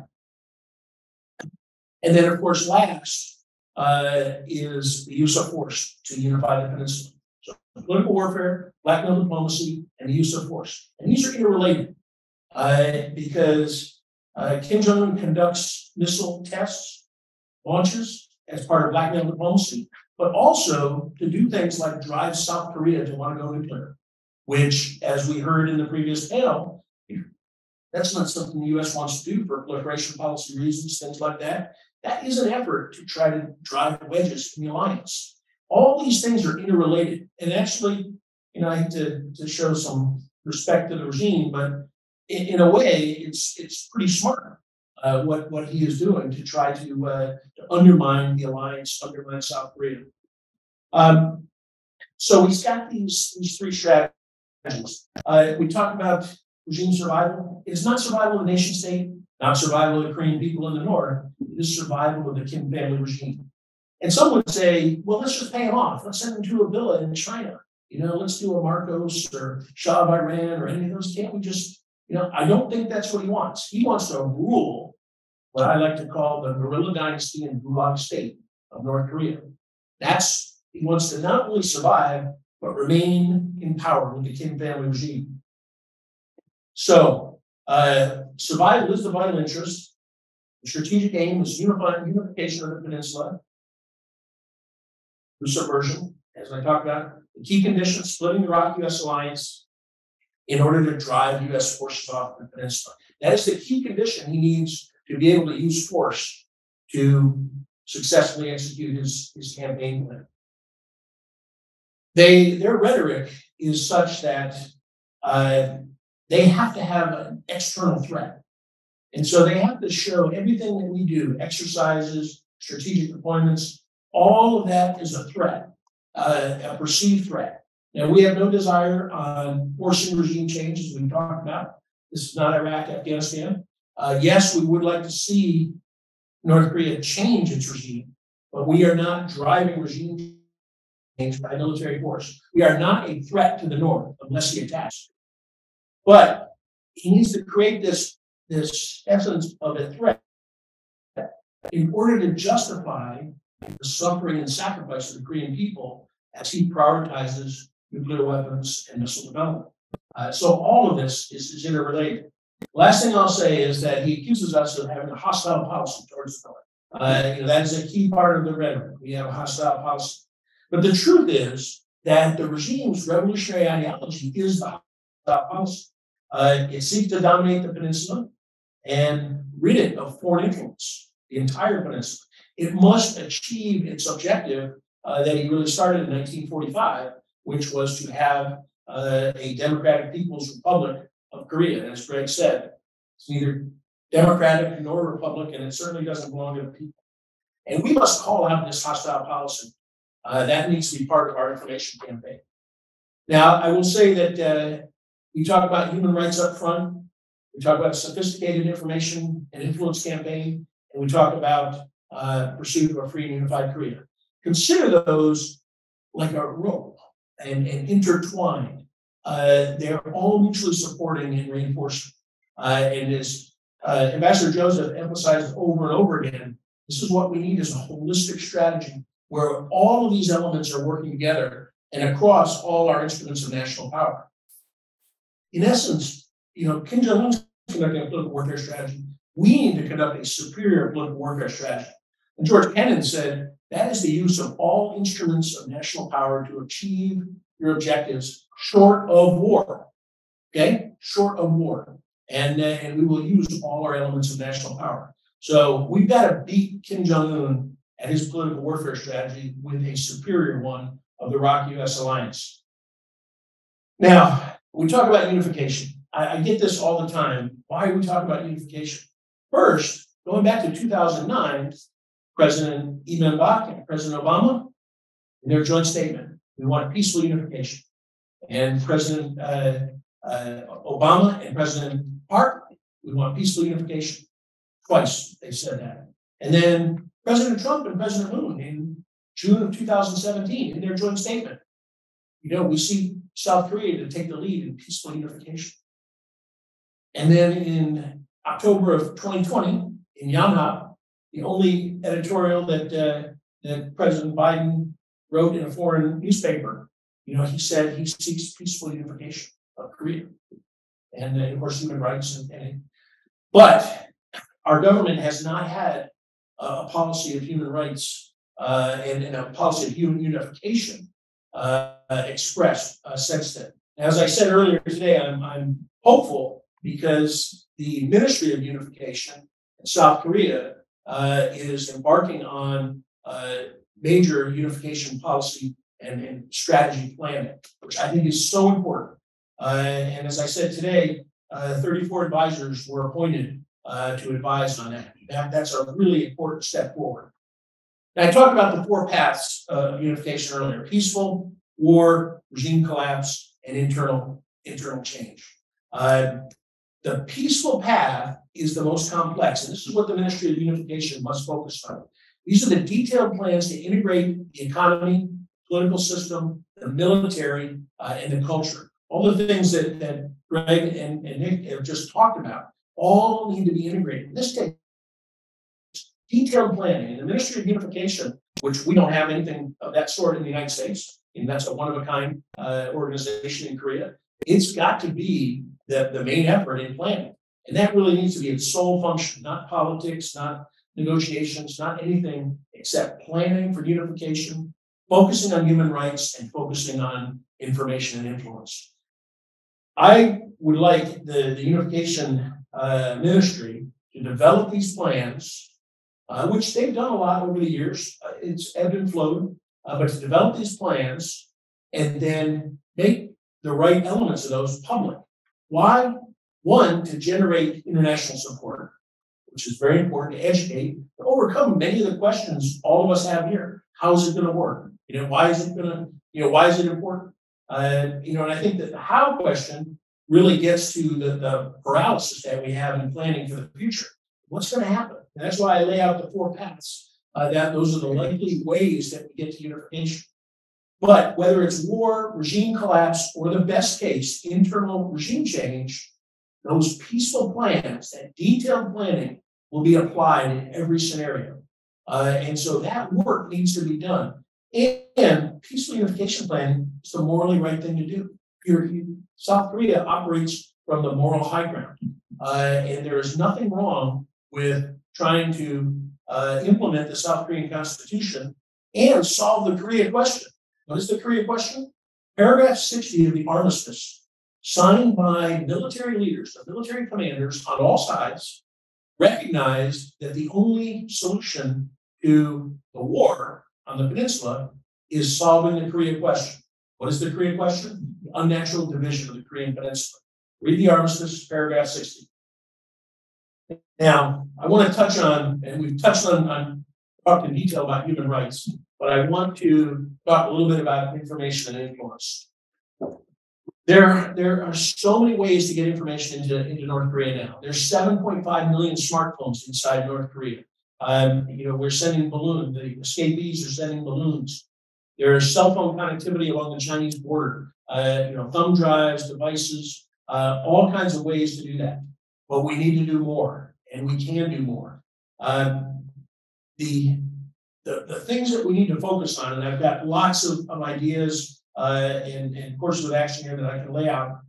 And but let me give you just uh, uh, a couple points. First is the point of information influence is really three things: change Kim Jong Un's decision making, give him the opportunity to change, use the elite and the military to change Kim Jong Un's decision making, their pressure, force him to change, and then last is for the people to change and change the regime. So those are the three things. Now, there are four things, four parts. Everybody, information is not spy stuff. It's not, uh, it's not a, uh, you know, very, very sophisticated. What we need to do is focus on four things. Number one, information, massive quantities of information from news to entertainment. And entertainment is very, very important. The second is knowledge, practical knowledge better best practices for agriculture, best practices for markets, best practices for collective action, uh, and to seek political change. We need the truth, the truth about the outside world, the truth about uh, inside North Korea, the truth about South Korea. And then last is understanding. Help the Korean people in the North understand their inalienable and universal human rights, which is so difficult for us to understand uh, but people in the North do not have a, a concept of freedom like we have, and they need to be educated. Now, I'll, close with this. Um, we need a superior political warfare strategy founded on a, a foundation, built on a foundation of deterrence and defense, with a human rights upfront approach, a sophisticated influence campaign, and the pursuit of a free and unified Korea. Because the only way we're going to see an end to the nuclear threats, to the crimes against humanity uh, being committed against the, the Korean people in the north uh, by the mafia-like crime family cult we know as the Kim family regime is through the achievement of unification, the establishment of a united Republic of Korea. UROK. That is secure, stable, non-nuclear, economically vibrant, and unified under a liberal constitutional form of government determined by the Korean people. A united Republic of Korea UROK, which you could pronounce as Iraq. I'll stop there. And thank Dave, that passionate um, well, presentation, but especially at the end. Iraq. Okay, um, I will, uh, Maxwell, he covered a variety of different issues, uh, from challenges to, uh, and, and he concluded the information portion. Um, I had some questions, but, um, I'm actually going to open the floor first, um, to make sure that you all get a chance to ask questions. Please identify yourself and then wait for the microphone. Yeah. Peter, I'm uh, Peter Humphrey, an intelligence analyst and a former diplomat. Um, I hate strategic surprises. And one way to uh, evade strategic surprises is to prepare for most possible outcomes. One that is on nobody's viewing screen is that, that atomic testing in North Korea at some point produces such radioactive clouds that the People's Republic in China decides it's enough. And they go in and they arrange a putsch and they create a Vichy government in North Korea. And all the nuclear weapons are in trucks headed for Tualapan. That possibility is never discussed. It's the fifth to Colonel Maxwell's list of four. I don't know why it's never discussed, what we can do to raise that possibility that that needs to be admitted to as something to study. Well, I've been involved in track twos with China and South Korea. Uh, one of the scenarios was a meltdown of, of of Pyongyang. And, uh, and what does China do in that situation? And of course, they're gonna take action if the radiation goes towards north. Uh, however, I think your scenario of a putsch and, uh, putsch and, and, uh, you know, they're, they're not gonna occupy, uh, uh, and, and try to take over North Korea. I don't think they wanna, they don't want that burden, uh, on that. She. Yeah, I, I got it, but you know, there's no love between North Korea and China. either. Uh, and I think that, I think you find a lot of resistance by Koreans in the north, uh, to, uh, uh, a, uh, a uh, Chinese dominated government, you know, controlled government, but your point about, uh, taking their nuclear weapons back to China, you know what? Okay, they, they take their nuclear weapons. What, what, what damage does that do to us? Do, do we really need to, you know, in my opinion, if they took all the nuclear weapons out of North Korea, that would be, a that would be a good thing. Uh, but I don't, I don't see that scenario as, as really being, uh, you know, as really being very likely. Um, I guess, uh, two points to that. The first, as you know, is that, uh, uh, the CCP has already given considerable thought to a province, uh, an extra province in China that would look almost exactly like North Korea's current borders, the uh, historical Goguryeo. So, uh, that's not just a talk among historians, that's a sort of, uh, implicit policy planning question there already. And it's also supposed to be a message to the, uh, DPRK regime. The other thing that I was talking about this age of illusions that I think we're still kind of mired in. I mean, you're not saying this, but one of the illusions that American policymakers have had is the idea that the CCP would be this sort of deus ex machina that would rescue us from the difficulties that we faced in dealing with the DPRK. And that the Chinese government would rescue us through the six-party talks, or would really be able to put pressure on the North Korean government to uh, denuclearize or reform or become uh, an economically viable, self-sustaining uh, government. All of this was just uh, our talking to ourselves and convincing ourselves of fantasies. Uh, so one can certainly imagine circumstances under which the Chinese government might feel it was compelled to do something in the north. But I get the sense that the Chinese government is actually kind of scared of the North Korean government. Strange as that sounds, such a tiny country compared to such a big country, But I'm saying you can think of it this way, if you were living in the apartment next door to Joey Gallo, and he had nuclear weapons. Um, and he seemed to have like a little bit more moxie than you have, you might be a little bit careful. Before you try to use your great dispreponderance of power, I guess. Right, anything, yeah? No, really. Thank you. Okay, so, um, we'll take another question. Kenji? Global Peace Foundation, uh, in Soleil. Um, yeah, that's a great, uh, conversation about the unified Korea. Then first, um, international support for free unified Korea. So this, um, yeah, human rights upfront strategy that's very important. So by the way, the now the um, current Biden administration, so of course, first priority is uh, Russia issue, uh, invasion, right? So how we can promote uh, in the worldwide for uh, civil society? Um, so like we say that, um, yeah, control book was one, and also uh, testimony of um, defectors and uh, maybe museum or something. But uh, could you tell us that how to more support the worldwide to maybe some difficult? Oh, uh, CSO networks are very important. Um, and actually the UNCOI was very much the result of coordination among civil society organizations from the United States, from South Korea, from Japan, from Europe, from Australia, and from Latin America as well. This is extremely important. What it takes is that galvanizing theme or that galvanizing moment. And the UNCOI was one of those themes. We do hope that human rights up front will be such a theme. Uh, we've had great press coverage today, um, and this is a way to gain some momentum. Um, this is part of a longer campaign.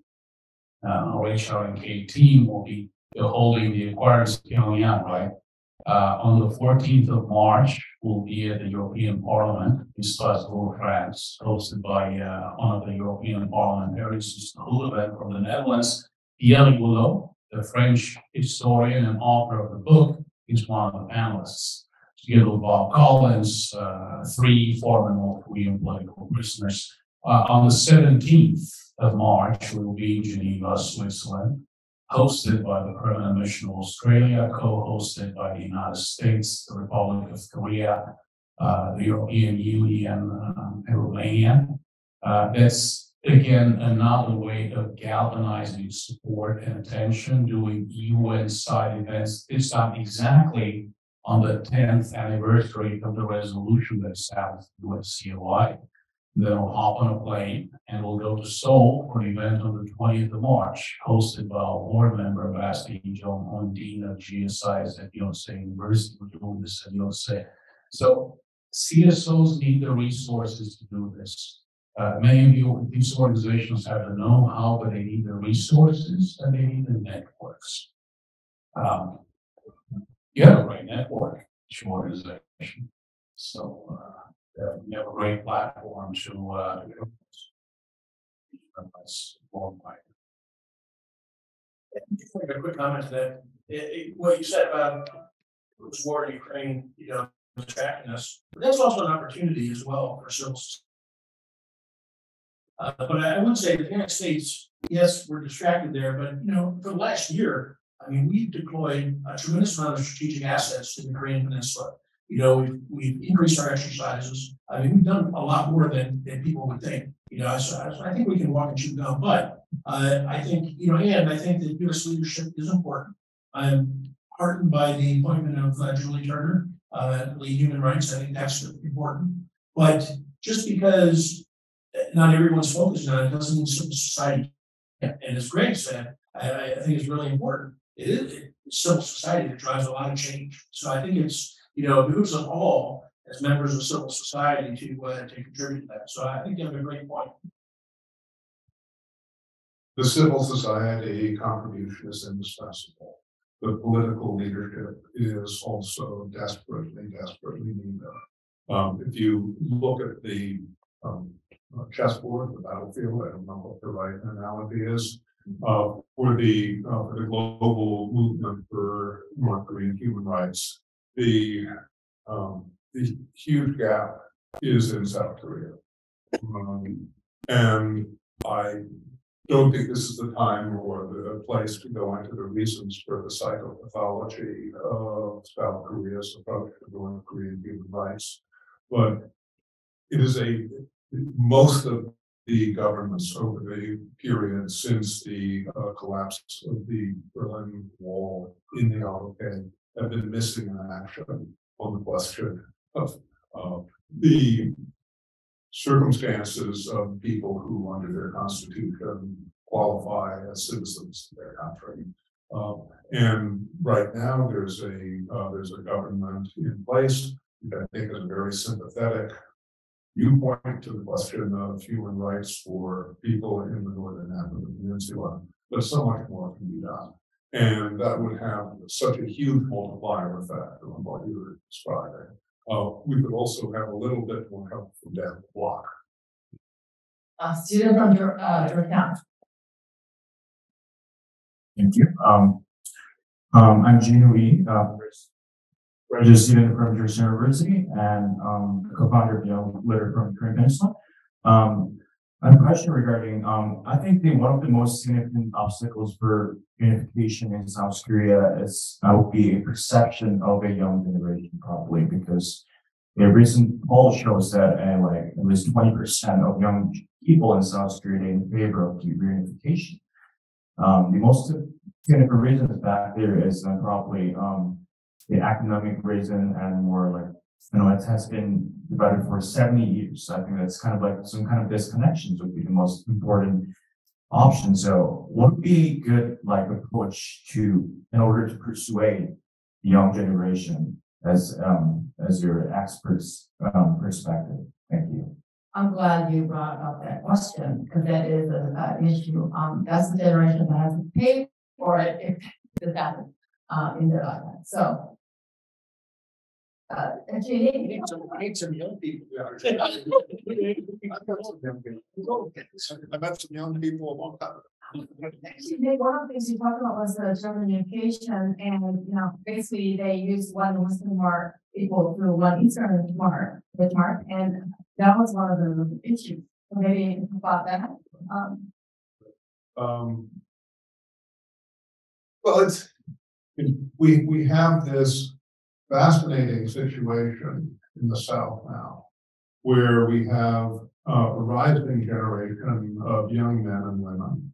Who are the best educated, the most prosperous, the most secure, I dare say the most pampered. Of any people that have ever lived on the Korean Peninsula. And almost everything seems to be too inconvenient to do. Uh, it's too inconvenient to get married. It's too inconvenient to have children. Uh, reunification is way too convenient. That's a whole, that's a whole other story altogether. But history is just a funny thing, you know, um.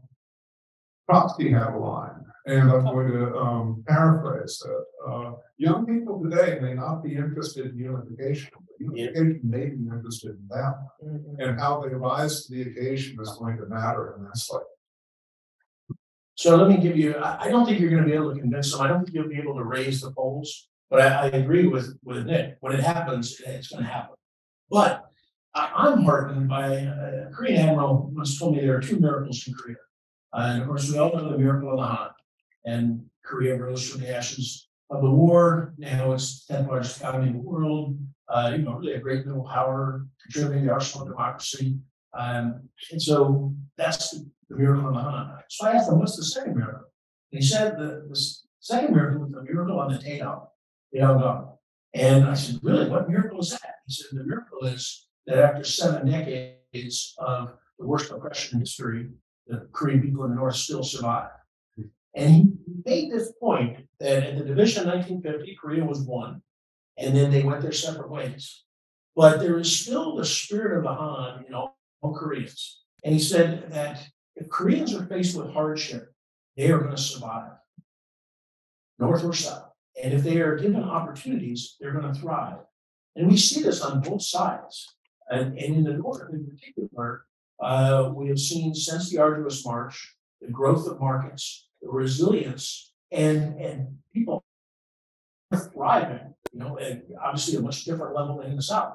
But that, that innate spirit of the Han is, is, you know, all Koreans. And when unification occurs, I think most people will get on board. I just don't think you're gonna be able to convince people before it happens. They'll stand up and they, they will step up, uh, when the time comes. Okay. Or so, no, I, I agree, but uh, I think Nick, the Trotsky quote is great, so I agree with both of you. Unification is inevitable. Uh, what I tell my younger audiences in South Korea is that, um, again, Koreans lived together under the same political system for one thousand years prior to this uh, separation, with the great differences today. Uh, Germans lived under one unified German stages for about a hundred years prior to separation, so there's a big difference right there. So it's simply not a matter of choice, it's a matter of destiny. It's a great opportunity to be part of the generation that managed to reunify Korea. This can only be taught through textbooks, again, through information. We need information in the north, we also need information campaigns in the south. There's no doubt about that. Measure as not talking education or communication that North Korea means. Hello, my name is Yunus Lee. I'm a North Korean KP and College Global Foundation. Um, I'm very glad to see uh, the paper, the comprehensive strategy, conquer North Korea, and I'm glad we are talking about education. So I escaped North Korea October 2014, and I wa- I was surprised at many things happening in South Korea and United States, but there are particular things I was surprised, especially uh, it seems to me South Korea didn't for unification. And even though uh, President Park mentioned about unification exponential, but there's no practical strategy and the policies focus communication. So on the other hand, North Korea is all about unification and in their constitution, they mentioned the final victory of North Korea's revolution is unification by force. So I was surprised, I think. And the second thing I was surprised was North Korea has been very consistent on um, influential campaign against the United States and South Korea. They never stopped the information influence campaign. I would say psych- psychological warfare. And um, if you look at the uh, North Korean propaganda websites, they were very persistent for many decades. And but I don't see any the influential campaign from the US and South Korea side. So my question is, so why we stopped or abandoned psychological warfare, even though we know it's very difficult. And the second question is, to me, unification can solve everything. As Dr. Um, Eberstadt mentioned, unification will benefit Koreans, but it, I would say it also benefits Alliance, United States, and China too. So to me, I think unification solve the polarization, human rights issue, and then all the economic benefit for Korean people. So why US and South Korea talk about not talking about unification issue? That's my question. There are two parts to it, and uh, one about the psychological operations. Why is our Korea doing that or doing more of it? It's simply North Korea is confident. So uh, maybe we'll start with the special operations, psychological operations colonel there. But I hate to speak for South Korea, but it seems to me that uh, they, they stopped, uh, you know, using psychological warfare uh, in an attempt to, uh, you know, focus on diplomacy, as if that would somehow appease uh, Kim Jong Un. And, uh, and so I think that's, that's one, one thing. You know, I'd say for the United States, we are risk averse. We are averse to information. I've said this many times. It's easier to get permission to put a hellfire missile on the forehead of a terrorist than it is to get permission to put an idea between his ears. We're very afraid of, of using information that it would backfire. And, uh, and that's something we have to overcome. I, I mean, I think you, know, you are asking the question that both presidents should hear. You know, why aren't you using information? You know, and and you as a state from the north, does information from the south and from the U.S. work on you? Does it? Yeah. Okay. Yeah. There you go. That's justification right there. So you know that that's what we need to. But I think the U.S. is afraid of information, and we got to get over it. Anyone else?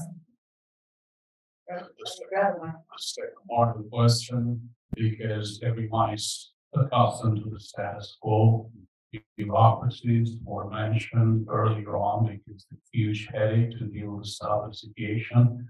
Uh, there are some tremendous examples of reconstruction, the Marshall Plan after the Second World War. Why not Eastern Europe after the end of the Cold War? They're not the richest country in Europe, but they're so much better off than they were years ago in terms of their economies, uh, political scene, and also in terms of security, since many of them have joined NATO now what they're facing, a threat from the east. Um, but of course, uh, the war in Iraq and uh, Afghanistan as well uh, did not help. Uh, the whole idea of uh, a nation building, building nations that have been around for thousands and thousands of years, it was not a nation that had to the issues were different. So uh, in the case of North Korea, things will be very different.